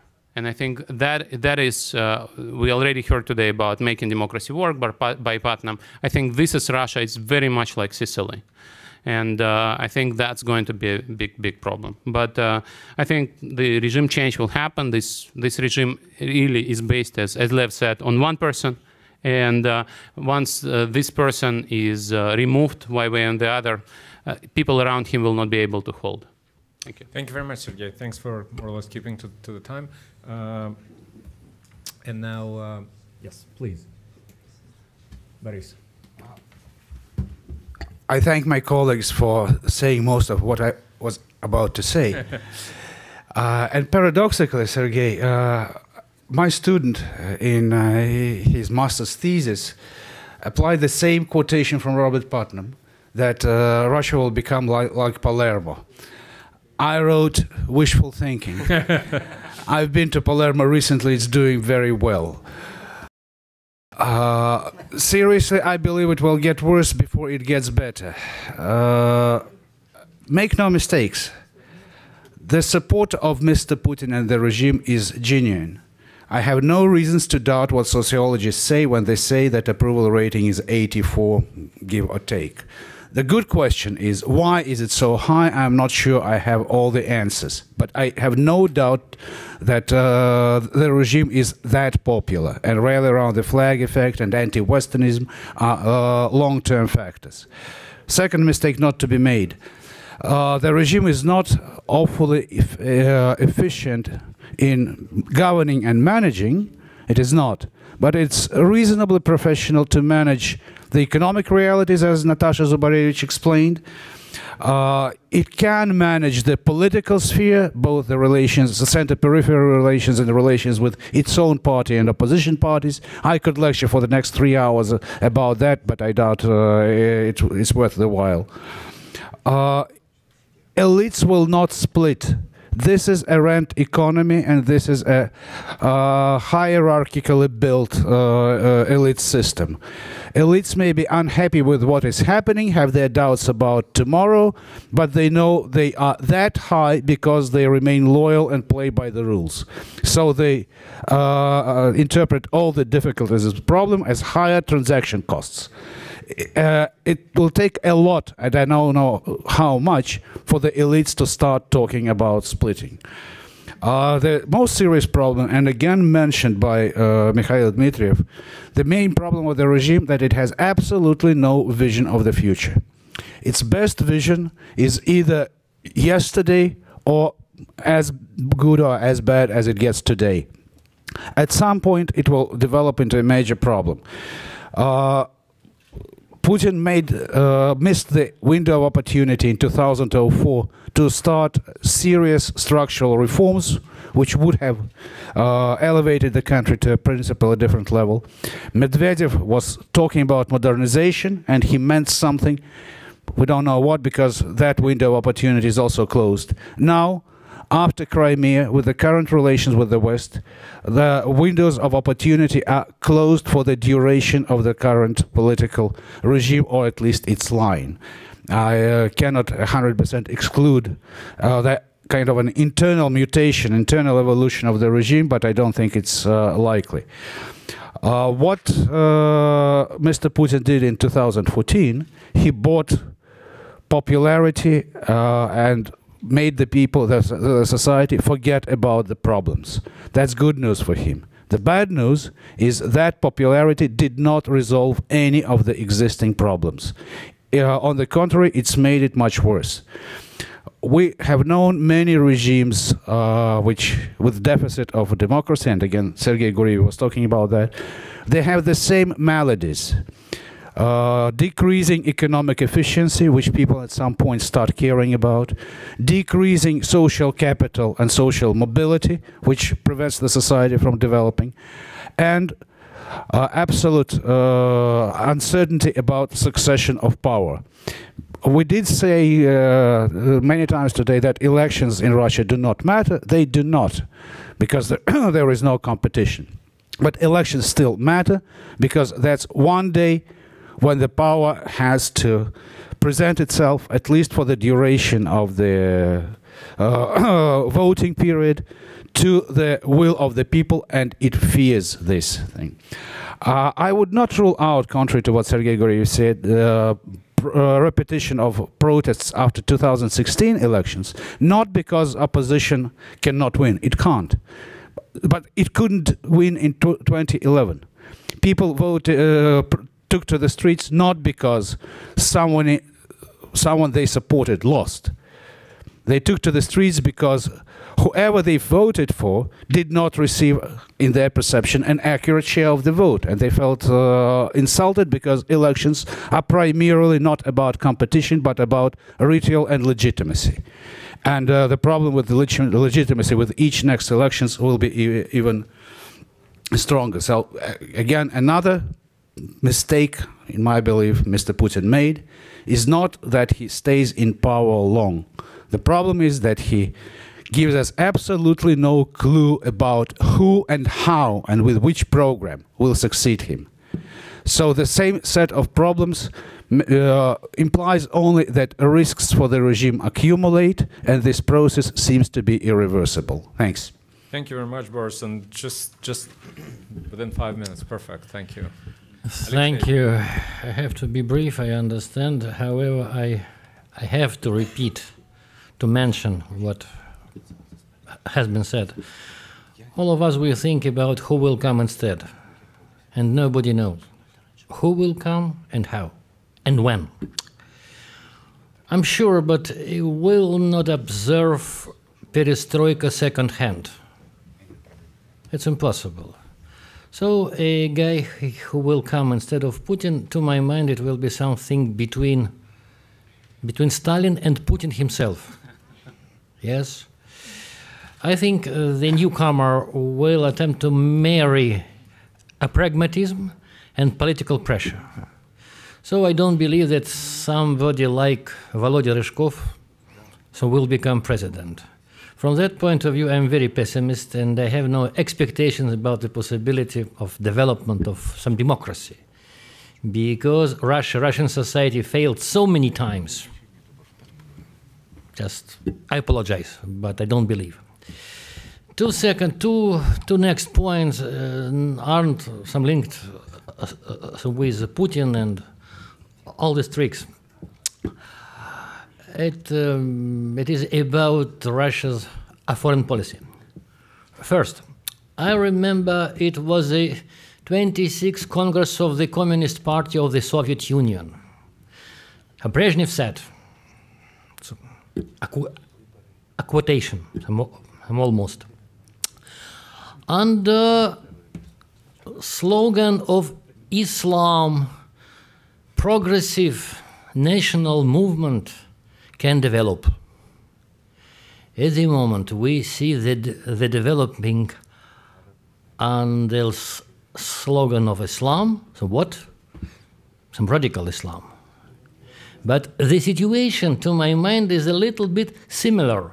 Because at that time, in 50s, 60s, 70s, Soviet Union supported liberation national movement who was directed against West, against a colonialism.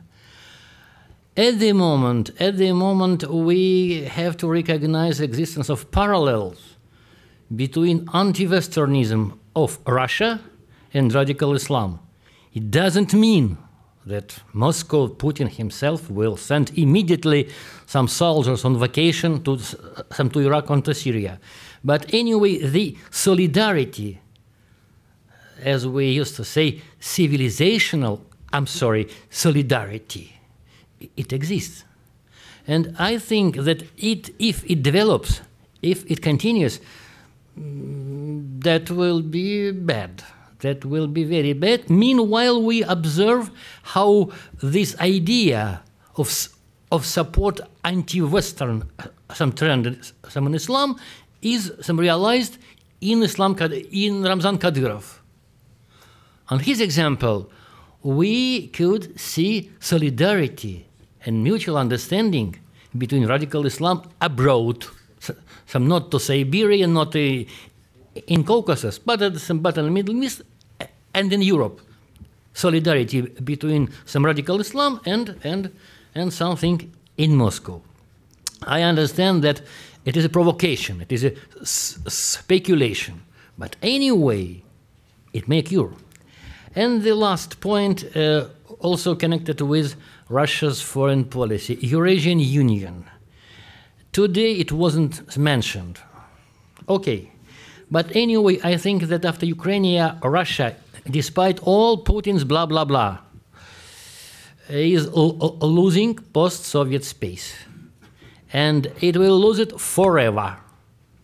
Eurasian Union, despite all declarations and expectations, that will some that will stay as a form of bilateral relations between Kazakhstan and Russia. as to integris- integrationists, some Russian projects, they will be totally subordinated to Chinese idea. Silk Road and something else. That's why, by the way, in Beijing, in, in, in China, they begin to talk not about Asia, but about Eurasia. Because they hope, and indeed their expectations are very deep, that they will control the situation not tomorrow, but in general, some on the post-Soviet space. Just, uh, I may continue, but that's enough. Well, I, th- I think yes. Thank you very much. Appreciate it. J- exactly nine minutes. I'm sorry, five minutes. Perfect. Please, Kirill. It is exactly difficult uh, to speak on future, and it's more difficult to speak on future to be the eighth person who is speaking on the future. Uh, and, uh, I, I- that is why I'm, I'm agree with. Speak about the past. Yeah, yeah, I'm agree with the more, with some uh, things uh, that were already said, and so I mm, I try to emphasize uh, only something which was not uh, um, uh, was not described um, a lot. Uh, I see. First, I, I, think uh, that uh, Russia already entered in the period of instability. Uh, and what we have seen for last three years, uh, four years, is uh, the evidence of, the, of this instability. Russia now is even country with not internationally adopted borders. Uh, it's a very, uh, um, very unstable situation, the, the demonstration of instability. I think that one of the uh, very uh, there are several uncertainties, uh, basic uncertainties. I think that one uns basic uncertainty is uh, uh, we don't know how resource-abundant countries will exit from the period of high oil prices, because all uh, we knew on the matter on this issue on this problem, we, we knew the panel we have seen in 1980s the, the panel of cases of how what, what happened with such countries when oil prices uh, are going down. Uh, uh, mm, uh, became became low, and we, we have seen that there are mm, dramatic consequences for some countries such as Venezuela and the USSR. Uh, mm, what uh, it would be now, what what it will be now, we don't know exactly. The the the world economy changed, and uh, the um, abundant economies. Uh, manage their, their resource revenues in another way. But um, it is very interesting and uh, uncertain. Uh, Russia had experienced for last 15 years, Russia had experienced two V-shaped crises in 1999, in 1999 and in 2009. Uh, uh, the both were uh, drastic drop and quick recovery. And now uh, people in Russia also are prepared, are ready for such crisis.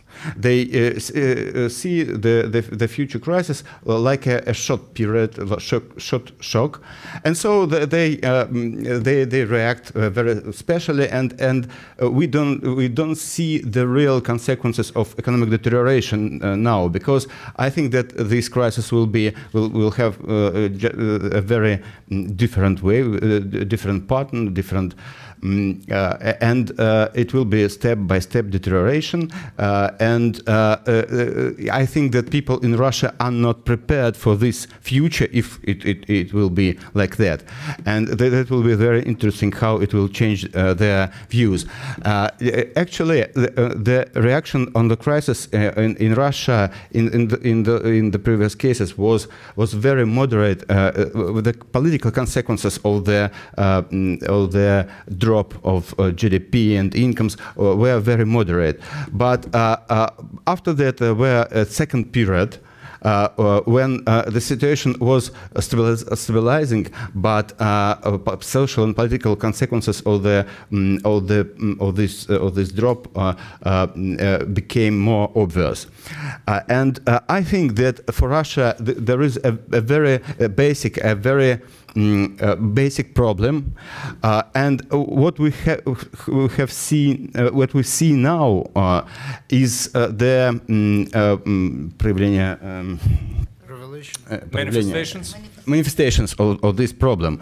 This problem is uh, that uh, the basic disbalance, uh, the level of incomes, the level of consumption, even the level of uh, education and uh, urbanization in Russia, as well as expectations in Russia, all those are um, provided by rent incomes in the previous periods.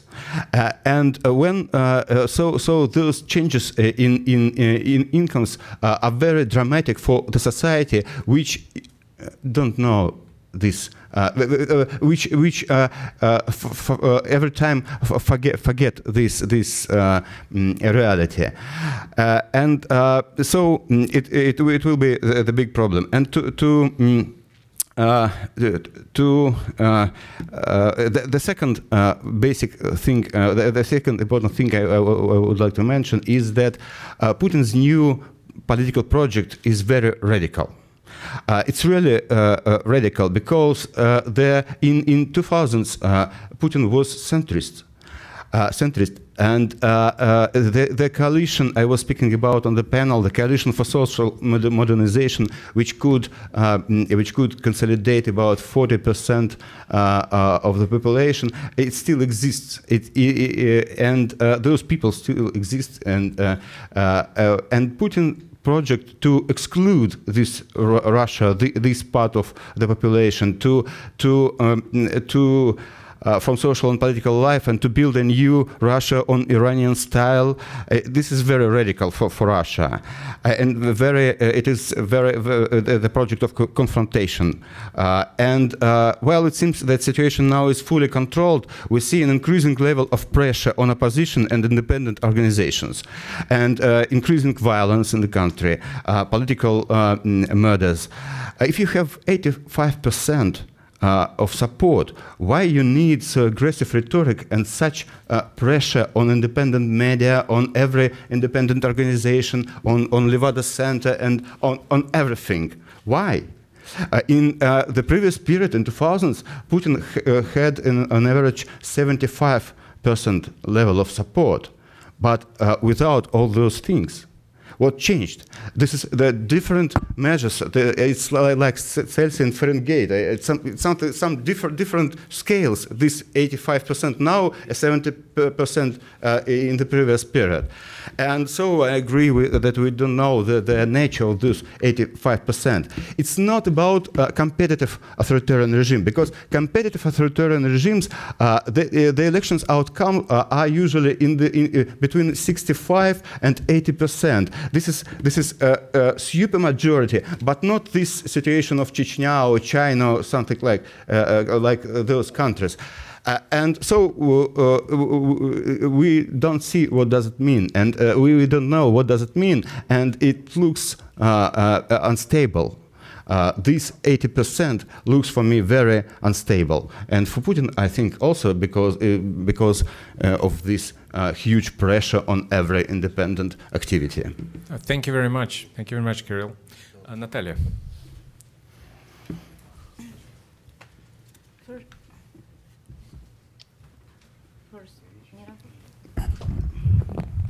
Uh-huh. Thank you. Thank you. Uh, okay. First point uh, the institutional degradation will continue in any cases. It's a very long term process connected with the type of regime. So it means that it does not matter what will be the level of growth or decline.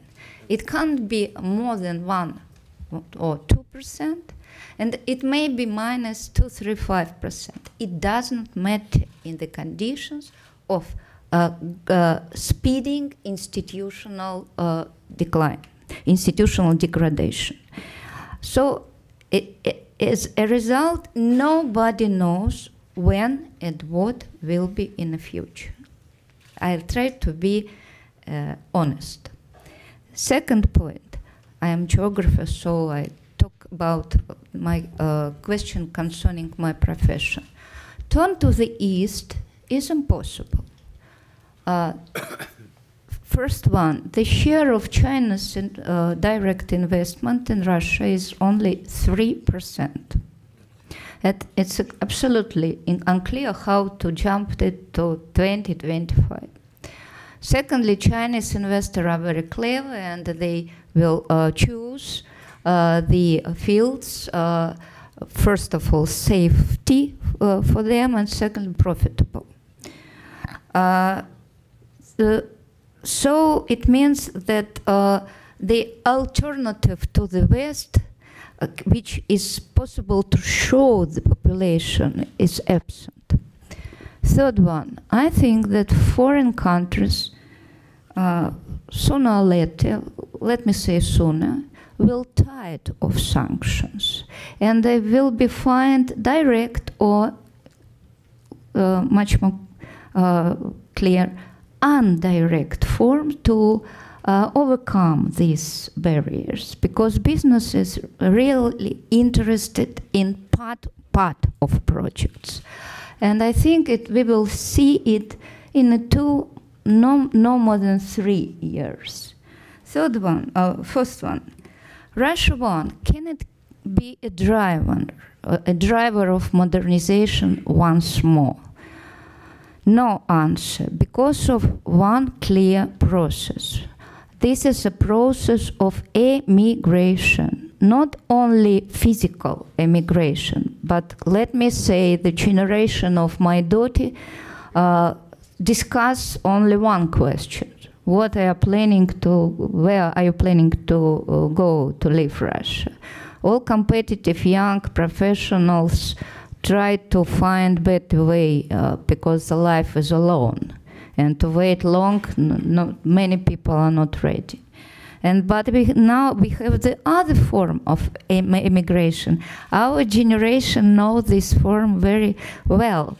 Uh, our kitchens, the place for talks, for discussion, private life, and many uh, professional uh, will choose uh, this form of internal immigration. We are very experienced at this way, and lots. Uh, the level of fears is growing, and let me repeat: everybody has his own uh, his uh, own life once. No more. Many people are opportunistic and try to find proper conditions for survival. And uh, the last one point. Uh, let me say the generation, I'm a teacher. Let me say, say that generation 2025 uh, is lost generation for modernization. They were socialized in the end of 90s and they uh, step from the knees in uh, to, uh, 2000. Uh, they have very specific way of thinking. They are not. They have to pass big troubles and big problems in their own life to understand what is a real world. Now they have a very strange picture in their uh, minds. And the last one, it's a long way to Tipperary, for Tipperary, let me say. So at least two, three generation, at least. Well, thank you, thank you all so much. Um, I encourage everybody to ask questions. Uh, now, before you do so, that, let me exercise uh, my, my prerogative here. And there's something that uh, uh, Mikhail Dmitriev said on the panel and then repeated again, which I want to clarify for myself. Uh, it, it, it, am I I interpreting this correctly? There's kind of a vicious circle or a trap for the regime, and let me let me uh, explain what I mean based on what you said. In order to um, start attracting foreign investment, in order to kind of normalize the situation, you have to lower foreign tension. You have to lower a situation uh, externally, right? Now that happens, investment comes in, but then the country moves from survivalism to development. Those issues of 2011 come back. Uh, they, they, they start to worry about things that they worried at the end of 2011, early 2012. But then, but then the regime faces the same, the same issue uh, because it escaped from, from, from those issues by, by uh, embarking on a foreign adventure. So am I, am I understanding this correctly? Is, is it a vicious circle? Is it a trap? Leon, you're making uh, a little bit of a shortcut from recovery to longer-term sustainable growth. And uh, my interpretation here is very close to what Sergei Guriev said, is that uh, currently this is, uh, uh, these are the short-term investors who are interested in returning into uh, increasing their exposure to ruble assets because they appreciate, because uh, ruble is uh, likely to appreciate in real terms quite considerably given the current state of the current account. And uh, this is where the interest comes from. This by no means guarantees longer term sustainable growth and has, frankly speaking, nothing to do with that. And longer term sustainable economic growth needs the new drivers. These drivers still are not understood by the government. Uh, we economists, I hope, understand them. And uh, we are working hard uh, to explain the society where the opportunities lie and what should be done. But the government and society so far uh, have very vague ideas about that.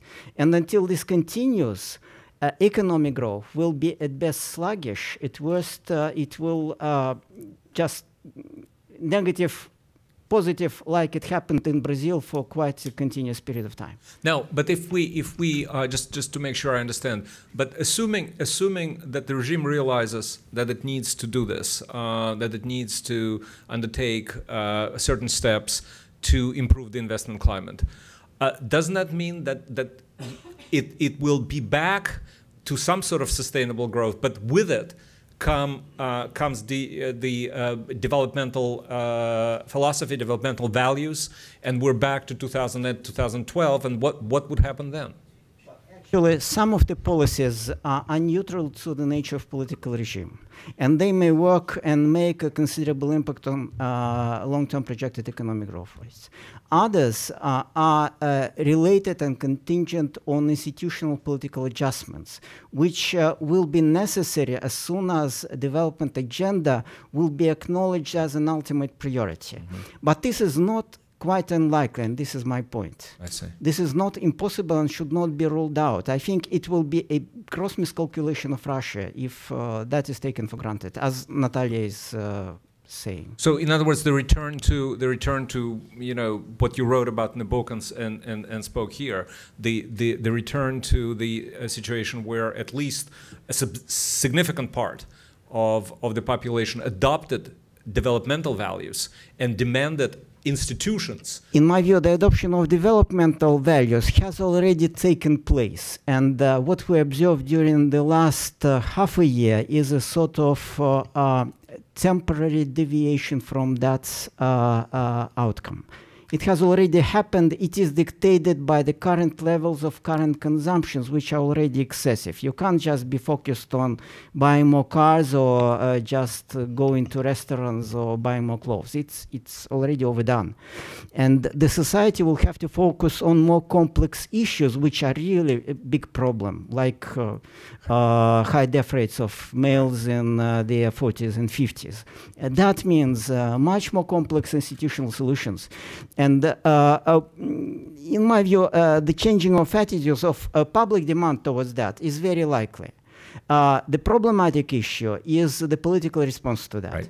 Whether it will be genuine uh, with full acknowledgement that this is a chance for, uh, I would say, overall successful transition to a more modern state society and political system, or there will be a uh, misapprehension of that, uh, uh, uh, denial of this opportunity. There will be a completely different outcomes. I see. Uh, you wanted to Yeah, add something, uh, right? I wanted to Boris? uh, ans- you know, find a simpler question to your uh, answer to your question without applying categories from the pseudoscience they call economics. uh, it's not uh, what happens to the economy. It's the famous uh, de Tocqueville law. Right. Alexis de Tocqueville wrote that people rebel not at the peak of the crisis when it's the worst. It's too risky. You increase the chaos. People rebel when they smart from the crisis and start thinking, who did this to us? Whom are we to punish? Of course, it's related to uh, relative deprivation. Uh, a student of the Tocqueville, Ted Gurr, wrote about that. When people feel the growing gap between their expectations and deliveries, Sure. that's where the risks ma- maximize. Sure. Thank you very much. All right. Um, Anders. Yeah, first of all, congratulations, Leon, on having organized this, and thank you to all of you. I think that this is really outstanding. Uh, what I have heard today, that is that everything is getting worse, but relatively slowly, and uh, that the regime is not sustainable, and uh, uh, it has no vision, it has no strategy, it cannot be reformed, and therefore it has to crash. So all this sounds very sensible to me. And then uh, the various people have presented different uh, variables, which are the key ones that we should focus on. And that's fine because that's what social science is about. Everybody picks up uh, their piece. And then the surprising conclusion that is dominant here is that not much will happen in the short term in any case. Are two people over here that uh, stand a bit uh, out against that is Kirill Rogov, who now said that Russia has entered a, pe- a period of instability and this looks shaky. And Sergei, who said that we can't really know anything when it happens, uh, uh, the- we must be uh, humble. Well, most other people think that it's not really so bad for the next year or two. To me, this looks very much like Yegor Gaidar's uh, collapse of empire, that uh, things will happen pretty fast, very unexpected, and uh, you all seem to believe that it will be a collapse.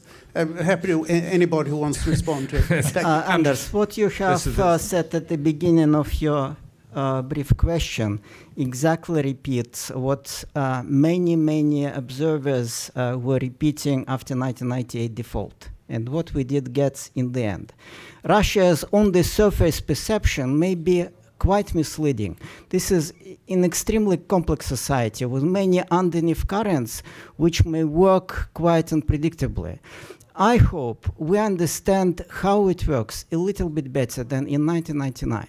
I wouldn't call for uh, such utterly uh, one way pessimistic outcomes for Russia. Russia may be different and it may surprise. Um, yes, please. Um, one, one, Of course, one of course. No, no, it's a question. I, am not. Whoever wants to I'm not sure we understand uh, uh, Russia better than in 1999.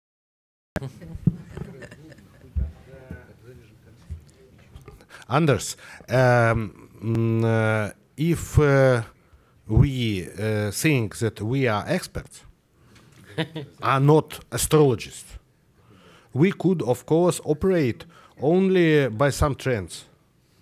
Of course, you are right. Maybe tomorrow something happen in Russia. Nobody knows. Yeah.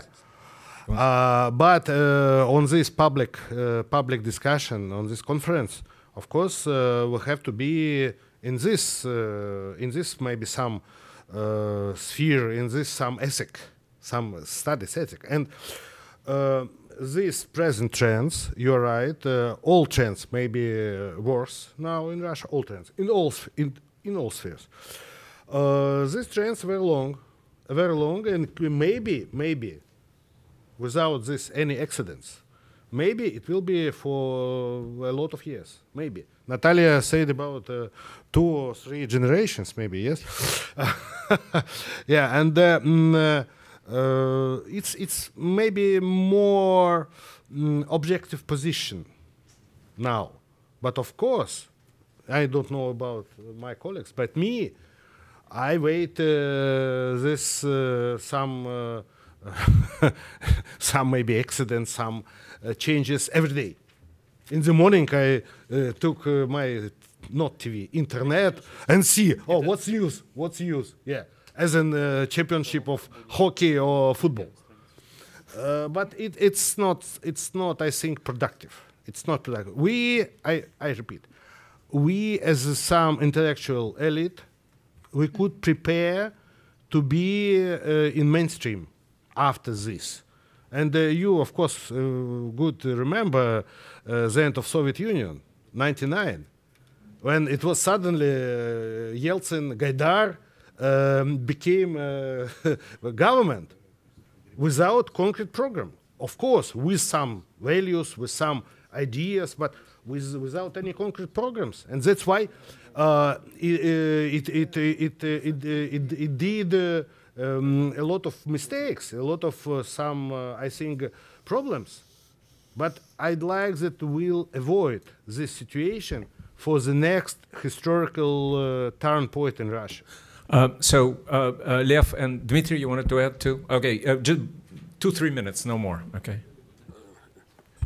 Очень трудно гадать о будущем, особенно для социолога. Я не гадалка. It's very difficult to make any predictions, uh, especially for a, social scientist. So Един- I'm not going to um, try and read tea leaves here. Единственное, что могу сказать, э, как только появится какая-то слабина у режима, возможность альтернативы более или менее реальная, э, немедленно поддержка режима будет сыпаться и будет э, рушиться, как песо- песок высохший. And э, um, as soon as um, uh, the regime shows any crack, any sign of weakness, any appearance of a real alternative, uh, the regime will immediately collapse. It's almost like, you know, a, a sand castle. It will start falling apart at, in front of our very eyes. Я напомню, что все сегодня говорят о 85% и говорят «не верю». И одновременно... and let me remind you that everybody here is talking about the 85% support that uh, he's enjoying, and everybody says, I can't believe this. Но одновременно, э, когда мы говорим, действительно ли э, Путин виноват, э, спрашиваем людей, Путин виноват в тех злоупотреблениях, э, в которых обвиняет его оппозиция. And at the same time, everybody is questioning whether Putin is indeed guilty of all the things that the opposition is blaming him for. Только от 13 до 19 процента э, готовы его защищать. And only 13 to 19 percent of the people are prepared to defend him. Представление о том, что государство тотально коррумпировано, что оно несправедливо, э, э, что оно э, насквозь прогнило, существует очень серьезное. Это очень серьезные убеждения. And uh, there are really some seriously, deeply held beliefs that the government is totally corrupt, completely unjust, and uh, decaying um, at its very core. And it's really real beliefs. Это не только отражение как бы фактического положения вещей, но и глубокий дефицит основания самоуважения людей. And uh, it not only reflects the reality, but also um, um, reflects the fact that there is a deficit of self respect among people. То, что выводило людей на протестные движения, это был не столько политическая программа, сколько моральный протест. And the, fact that people took to the streets with the protests, it wasn't not so much political, but it was a moral protest. Люди хотят себя уважать. People want to respect themselves. На какой-то момент через аннексию Крыма, через суррогат национальных коллективных ценностей Путину удалось убедить значительную часть именно тех людей, которые выступали с протестами, дать им суррогат вот этих национальных ценностей. And at some point, through annexation of the Crimea, um, the, uh, Putin was able to um, offer the surrogate national values to the people. He was somehow able to convince all those people that were unhappy and upset and dissatisfied that this surrogate n- uh, national values is what their values are. Это эффект временный, это некоторая ситуация истерики коллективной. И это не стойко, это должно пройти через какое-то время. And uh, this is a temporary effect. This is some kind of um, collective um, hys- hysteria, and I think that at some point it will go away. Поэтому как только по- появится вполне реальная альтернатива для другого варианта действий, немедленно начнет консолидироваться вот то самое скрытое, латентное меньшинство, недовольное. Mhm. And as soon as um, any real alternative will um, surface, um, this will um, lead to this consolidation of this latent minority, this unhappy minority. Okay, thanks. Um, Dmitry?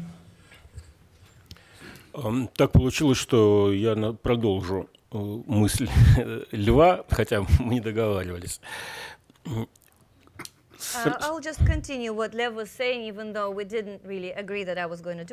На конкретном примере упомянут был кризис 99 года, и, I'll give you a specific example. We have mentioned the crisis of the 1999 и нынешняя ситуация. and compared it with the current situation.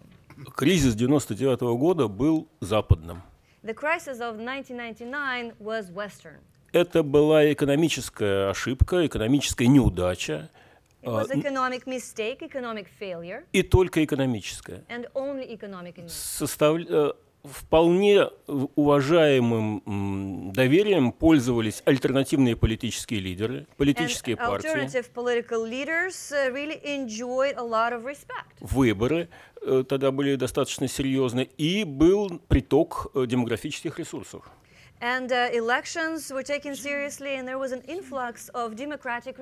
И главное было ощущение будущего. Поэтому как только кончился э, финансовый кризис 99 года, за полгода примерно, уже через год начался быстрый рост. Потому что институты работали, и люди не боялись инвестировать, наоборот, стремились. And uh, Сейчас- as soon as the financial crisis of 1999 was over, just six months after that, we saw this tremendous growth because people and financial institutions were not afraid. Сейчас мы как раз имеем дело вот с тем русским кризисом, о котором я говорил. And now we are dealing with the kind of Russian crisis that I already mentioned earlier. Когда отдельные недоработки компенсируются раздутой пропагандой или фальсификацией выборов, или давлением на альтернативные оппозиционные источники или там личности. а, And um, um, the, when, um, when we're dealing with this uh, crisis that is purely Russian, when we are trying to compensate with a kind of propaganda, with falsifications on elections, with uh, pressure on opposition. Так что э, болезнь не лечится, а прячется под одеяло. So the disease is not being treated, but is rather hidden under a blanket. И как только это одеяло будет убрано, так случится то, о чем говорил Лев. Э, э, Король окажется голым. And as soon as this uh, blanket is removed, um, the fact what was Lev talking about will become evident that the king is naked. И Бог с ним, с королем, потому что важнее Россия. And Но, the hell with the king because Russia is more important. А, но мы же не имеем альтернативы. Куда, куда от этого короля можно деться? Ж- Есть Путин, есть Россия. Нет Путина, нет России. Where can we go without the king? You know, with Одну Putin минуту we have Russia. Without Putin we don't have Russia. All right, um, one minute. Yeah. I was involved in this opposition of two group, groups of experts Andreas mentioned, and so I, I would like to specify to um, uh, my position. I don't think that current regime, uh, uh, Putin's regime today, is uh, weak in some, uh, in in many in, in spheres and many aspects. Vice versa, I think it is very strong and very effective. It is uh, effective in many in many aspects, even in, in diplomacy with uh, Western countries. Uh, very effective, Mm, and it is effective uh, in the, uh, to some extent. It is effective in its uh, economic politics uh, because it it knows the way how to mm, minimize some consequences of crisis, crisis so that job deval- uh, drastic devaluation was a very mm, effective m- measure. So, and uh, vice versa, I think that uh, this, uh, I, I don't know uh, if I can say in Russian, in, in, in, in, English, in Russian, this vitalny, vitalize, uh, Vital, vital. What, vital, yes. Uh, its vitality uh, and its strongest uh, strongness uh, uh, is uh, its problem. And uh, so uh, uh, this instability connected with with, uh, uh, with the fact that a regime is effective and strong, but not uh, has not mm, real base, has not a real economic and social base. We, this base is is um, falsified in a, in a, in a, in a mm, high degree. So this is not not not weakness, but but this. Excellent. Thank you very much. Okay, I have four people, and I think that's where we'll, st- we'll, we'll uh, Angela Stent. Um, there's this woman that's been waiting very patiently. Thank you very much. Um, um, and then um, you, and then Ed Verona. And I think that that should probably do it. Thank you. Thank you very much. Um, this question is for Natalia Zubarevich, but anybody else who wants to answer it. Uh, and it's about the younger generation, the people who will lead Russia eventually. Um, in Soviet times, educated Soviet citizens were extremely skeptical about anything they read in Pravda, what they saw on television, etc. And they didn't even have the opportunity to travel. Why is it that so many of these educated young Russians who can travel, who surf the internet, who are on social media, why do they believe um, there's, or they're part of this collective hysteria. They believe all the stuff that they hear about, you know, fascists in Ukraine, America's out to get them.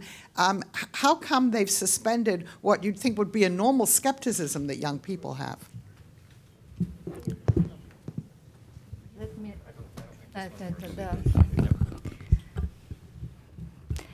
I know uh, I really don't know proper answers an answer on your question, but you remember that the, my generation very skeptical concerning Soviet regime. Uh, uh, has uh, was socialized in, uh, in the base of 60s. You remember this period, and uh, I hope so. Uh, you read about No comment. some kind o- o- I don't know how to say it. Thaw, I, rem- I remember the experience. It it was based on the another ano- another land, let me say so. And this new one generation started from huge disappointment and see the star on the sky and went to the star named our leader uh, in the dream to jump, to get stronger.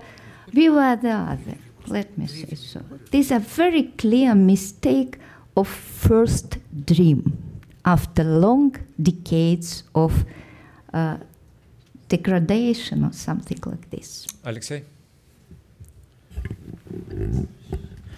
Shall I add a couple of words?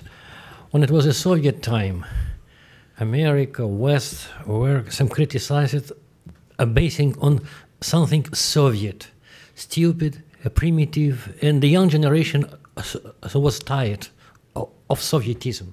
I remember it very well. At the moment, it is uh, criticized uh, basing on national values, religious uh, values. And indeed, the young generation wants to believe that I am Russian, I am Orthodox, and so on. And it will continue because, because the Soviet Union had to disappear. And what about religious values or national values? It cannot uh, disappear, but it can, it, it must be changed. But how? Boris? Uh, I still don't have a, a good answer. One guess: younger generation is more optimistic than the older ones. Uh, to a great extent, because uh, life did not teach them otherwise. uh, but uh, applies to any country, including Russia. Uh, in Russia, uh, younger generation is particularly more optimistic, but they did not find sufficient reasons to be optimistic about something happening inside their country. And here it seemed to them that there is a reason for pride and optimism. They thought they, they saw it. Thank you very much. Um, uh, then we have this. Yes, thank you very much. Anya Grigas, Truman National Security Fellow. Uh, I was very struck with uh, Lev uh, Gudkov's uh, data, um, how the Russian public has consistently uh, expected the Russian president to restore Russia as a superpower. And I wanted to ask the panel uh, if you could shed more light on that. What is expected of this Russian superpower? Is this a return to the Soviet Union? Is this a military power, economic superpower, territorial superpower? And do you think this expectation will change from the Russian public? Well, we'll start with uh, with Lev as soon as. Oh, she translated already. Okay, very good. Ну, прежде всего, это представление, конечно, о военной мощи, бе- безусловно. First of all, it's this idea of military power. No mistake about that. Э, Главная тут идея в том, что э, это с- средство во- военного, ядерного, ракетного оружия, это средство ува- заставить уважать себя других. And the main idea here is that this uh, military power, um, nuclear arsenal, is a way to make others respect you.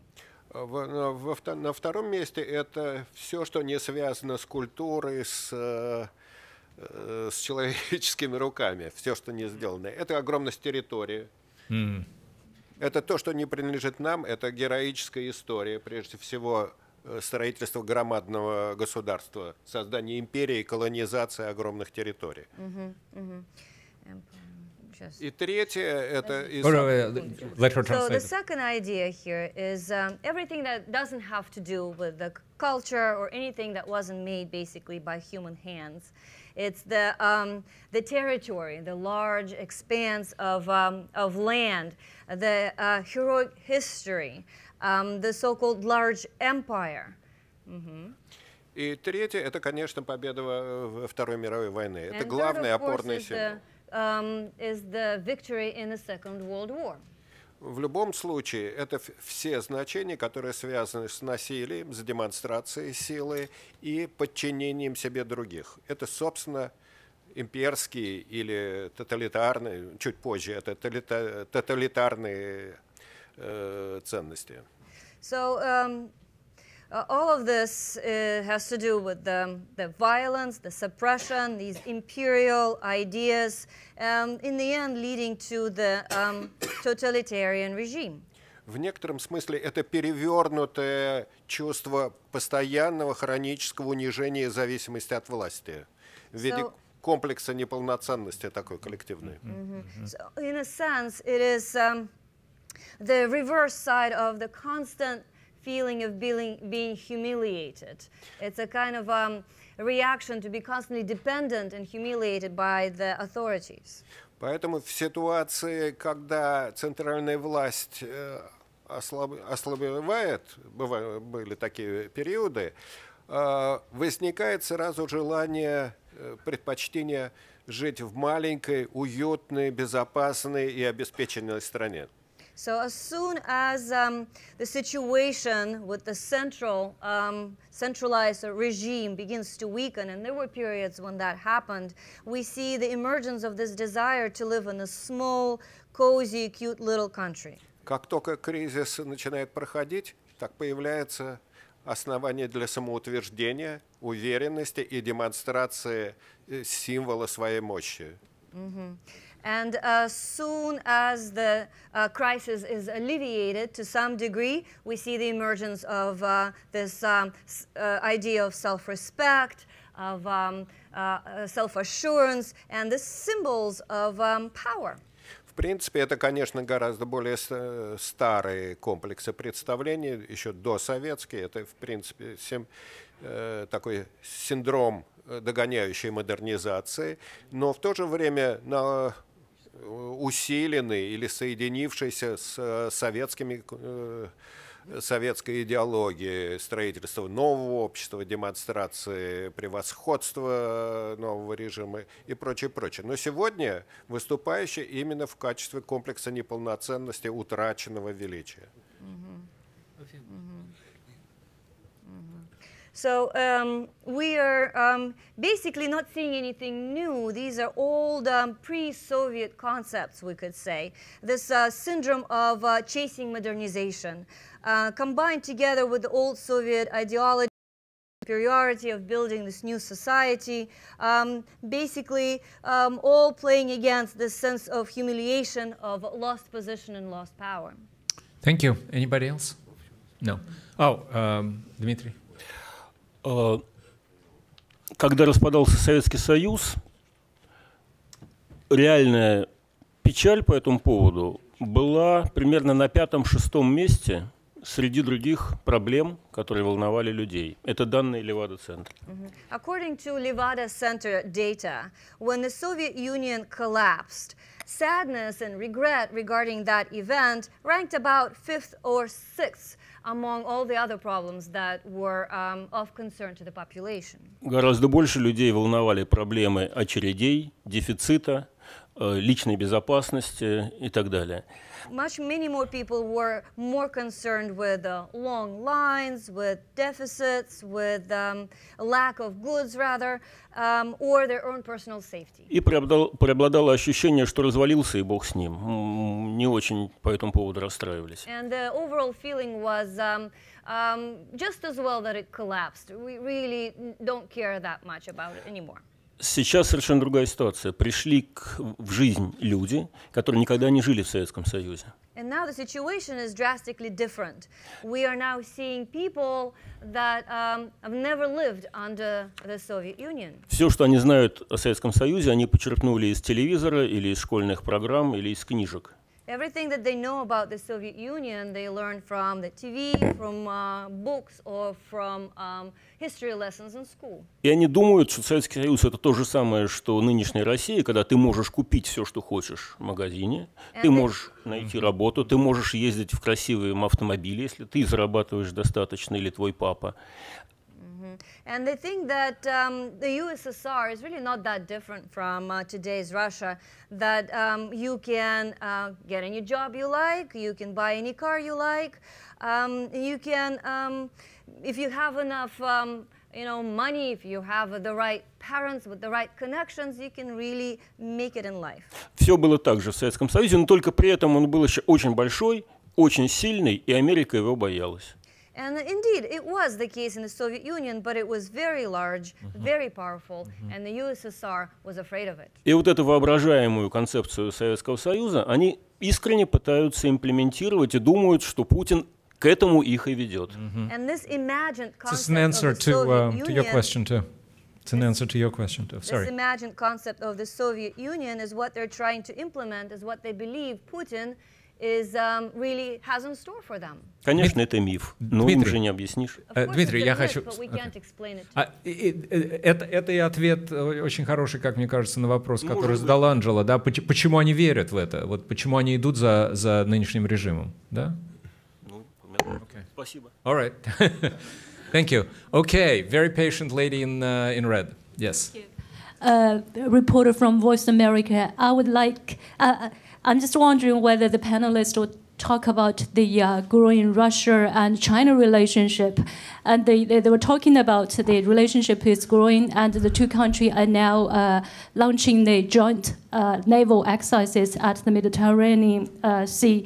So, my question is, what is the significance of these joint exercises? Second, how durable is the relationship? And third, what are the driving forces behind it? Thank you. Uh, China, China has been touched uh, already in the, but uh, okay, uh, very briefly. uh, very briefly. Uh, I think that uh, it's only it's very good myth about that China now it's a very big close partner for Russia. No, in any sense.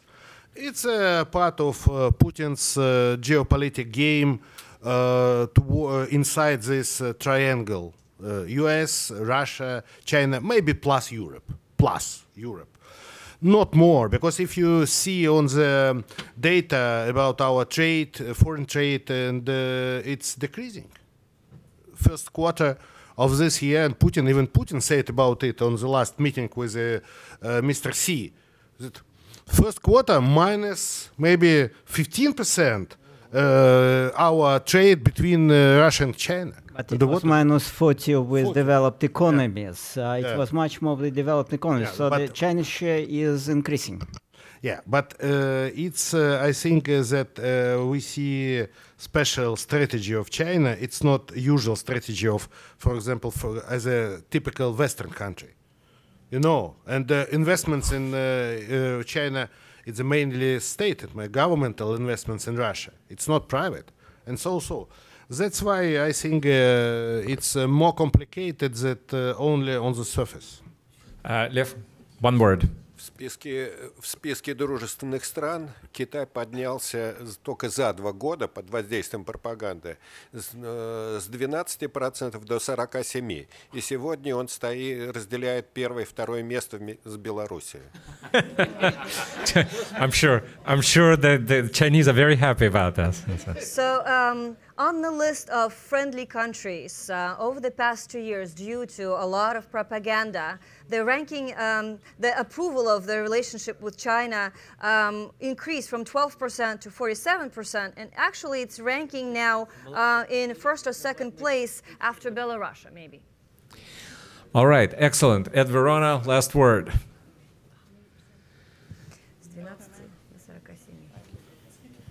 Thank you, Ed Verona with McClarty Associates. And I don't want to beat a dead horse here, but uh, you anticipated my question in part. But it, I have a two part question related to China. Um, the uh, uh, first for, for, for Sergei and then for Natalia. Um, I see uh, Putin's pivot to the east as making a virtue of necessity. And we've already seen it pay off in, in terms of, of, well, we may question the trade numbers, but we certainly know that there are significant Chinese investments now in, in major new oil fields. Uh, uh, one, Vankor, another, uh, the natural gas liqui- liquefaction project in Yamal, financing of the uh, Eastern Siberia Pacific Ocean pipeline. Those are, those are very significant. Um, with Russia's access to Western financial markets restricted and likely to remain so, uh, whether whether sanctions remain in place or not. There's a chilling effect, and, and financiers are going to be reluctant to provide long-term investment capital. Um, and with the EU beginning to enforce its uh, single market uh, rules on access to the European market, um, the, the market for Russian gas there is at risk. So uh, the pivot to the east is, is perhaps uh, uh, the only option. So I see it as, as, as, as real. Um, but the question I have is, one, um, is to what extent is China likely to be willing to be the financier of last resort? Uh, and to what extent it, does Russia risk becoming a captive supplier uh, of natural resources to the Chinese market? And following from that, Natalia, to what degree do you think this will produce a, a nativist, populist backlash um, among uh, the population in Siberia or the Far East? Or on the contrary, are they now drawn more toward the Far East, toward China, toward Japan, and away from Moscow and his, and his attempts to try to control from the center? Thank you. All right. Okay, hold on just a second. Uh, so, who is going to take the the first go? I, I think the question was to me and to Natalia. And, uh, so, Ed, I think uh, this is a very good question. I think, uh, uh, although there is a lot of discussion of those deals you mentioned, none of that is yet signed. We have protocols, we have memoranda, we have uh, communique, but all of that are intentions and uh, that is actually something which is not uh, going through as smoothly as Russia wanted. And that's one big uh, uh unexpected event uh, that is a piece of bad news for Russian government. It hoped for much bigger increase in cooperation. Now, among things which have been signed is $1 billion credit line to Sberbank. And Sberbank is not as big as Chinese banks, but $1 billion is not much. Uh, why this is happening, um, some people would say that Chinese government companies treat Russian government companies as too corrupt, cannot accept that level of kickbacks that they have to pay. They, they are, they've been doing business in various countries, in Africa and Venezuela, and yet for some reason they're reluctant to go ahead. We've just heard once again that Moscow-Kazan high-speed railroad will be built, with Chinese investment, but again, nothing is signed. We just have memorandum of co cooperation or something like this. So in that sense, I think we still need to see what's going to happen. Now, another explanation of that is Americans say that they told Chinese not to cooperate deeply with Russians, and China values relationship with America more than it does with Russia. We don't know. Another explanation is that uh, the story of BNP Paribas, which had to pay $9 billion uh, to the US uh, after violating sanctions regime with other countries, is a very important message for Chinese banks. So you deal with Russians who are under sanctions, and then you have to choose whether you stay in the US or you pay a huge, uh, huge fine, which will be too expensive to pay. So in that sense, I think we still we, we see a huge willingness from Russian government to engage with China. And the very top level government officials see that as their mandate to cooperate with China. But currently we've not seen that, that happening. Now, uh, will Russia become captive supplier? Very likely. I think if these deals are signed, they will be signed at the levels which uh, make it kind of break even for Russian producers. Yeah, because Chinese are very good negotiators. And uh, before handing over to Natalia, I would like to say on the Far East China issue, I think one thing people often overlook is demographic dividend. China has something like 20 million, 30 million extra men, and uh, Russia has missing men, right? So we'll see a lot of mixed marriages in the in the years to come, and uh, that I think will help the peace and understanding, which I think is good news for everybody.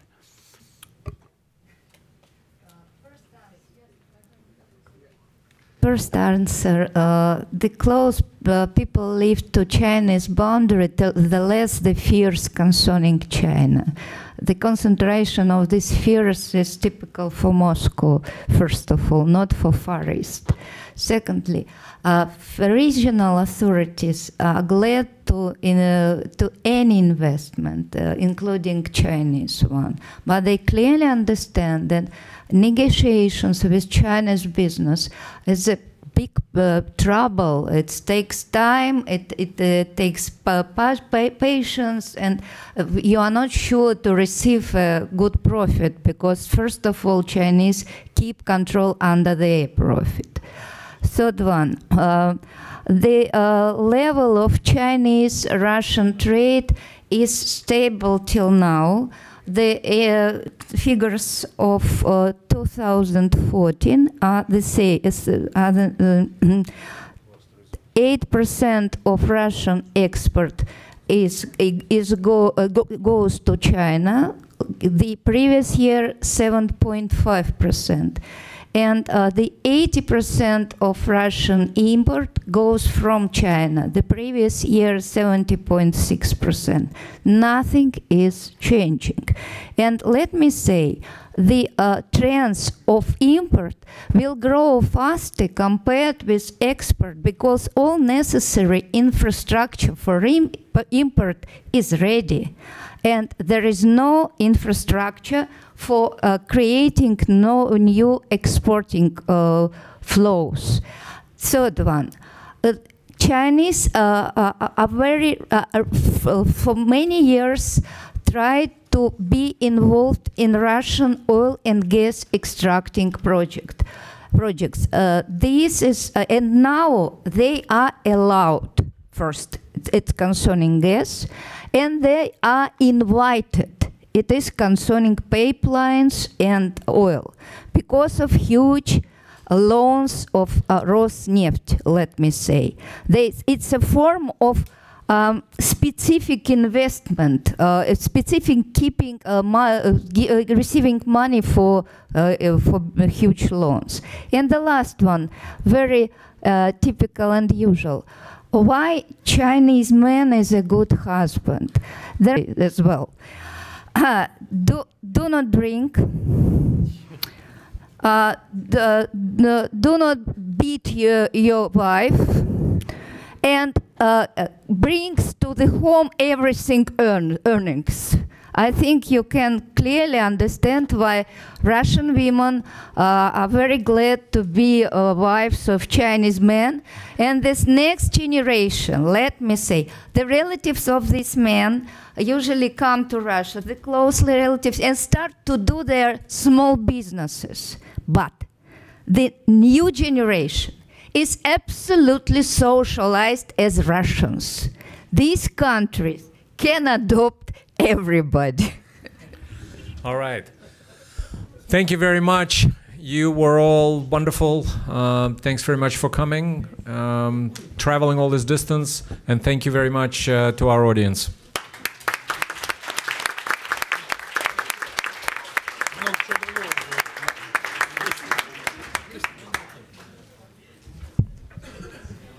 теперь кто-нибудь все-таки знает, сам что нас ждет? вот, да? как сложилось, да? Ну, 40 градусов. Все знают, что сейчас у нас будет регион. А где ты?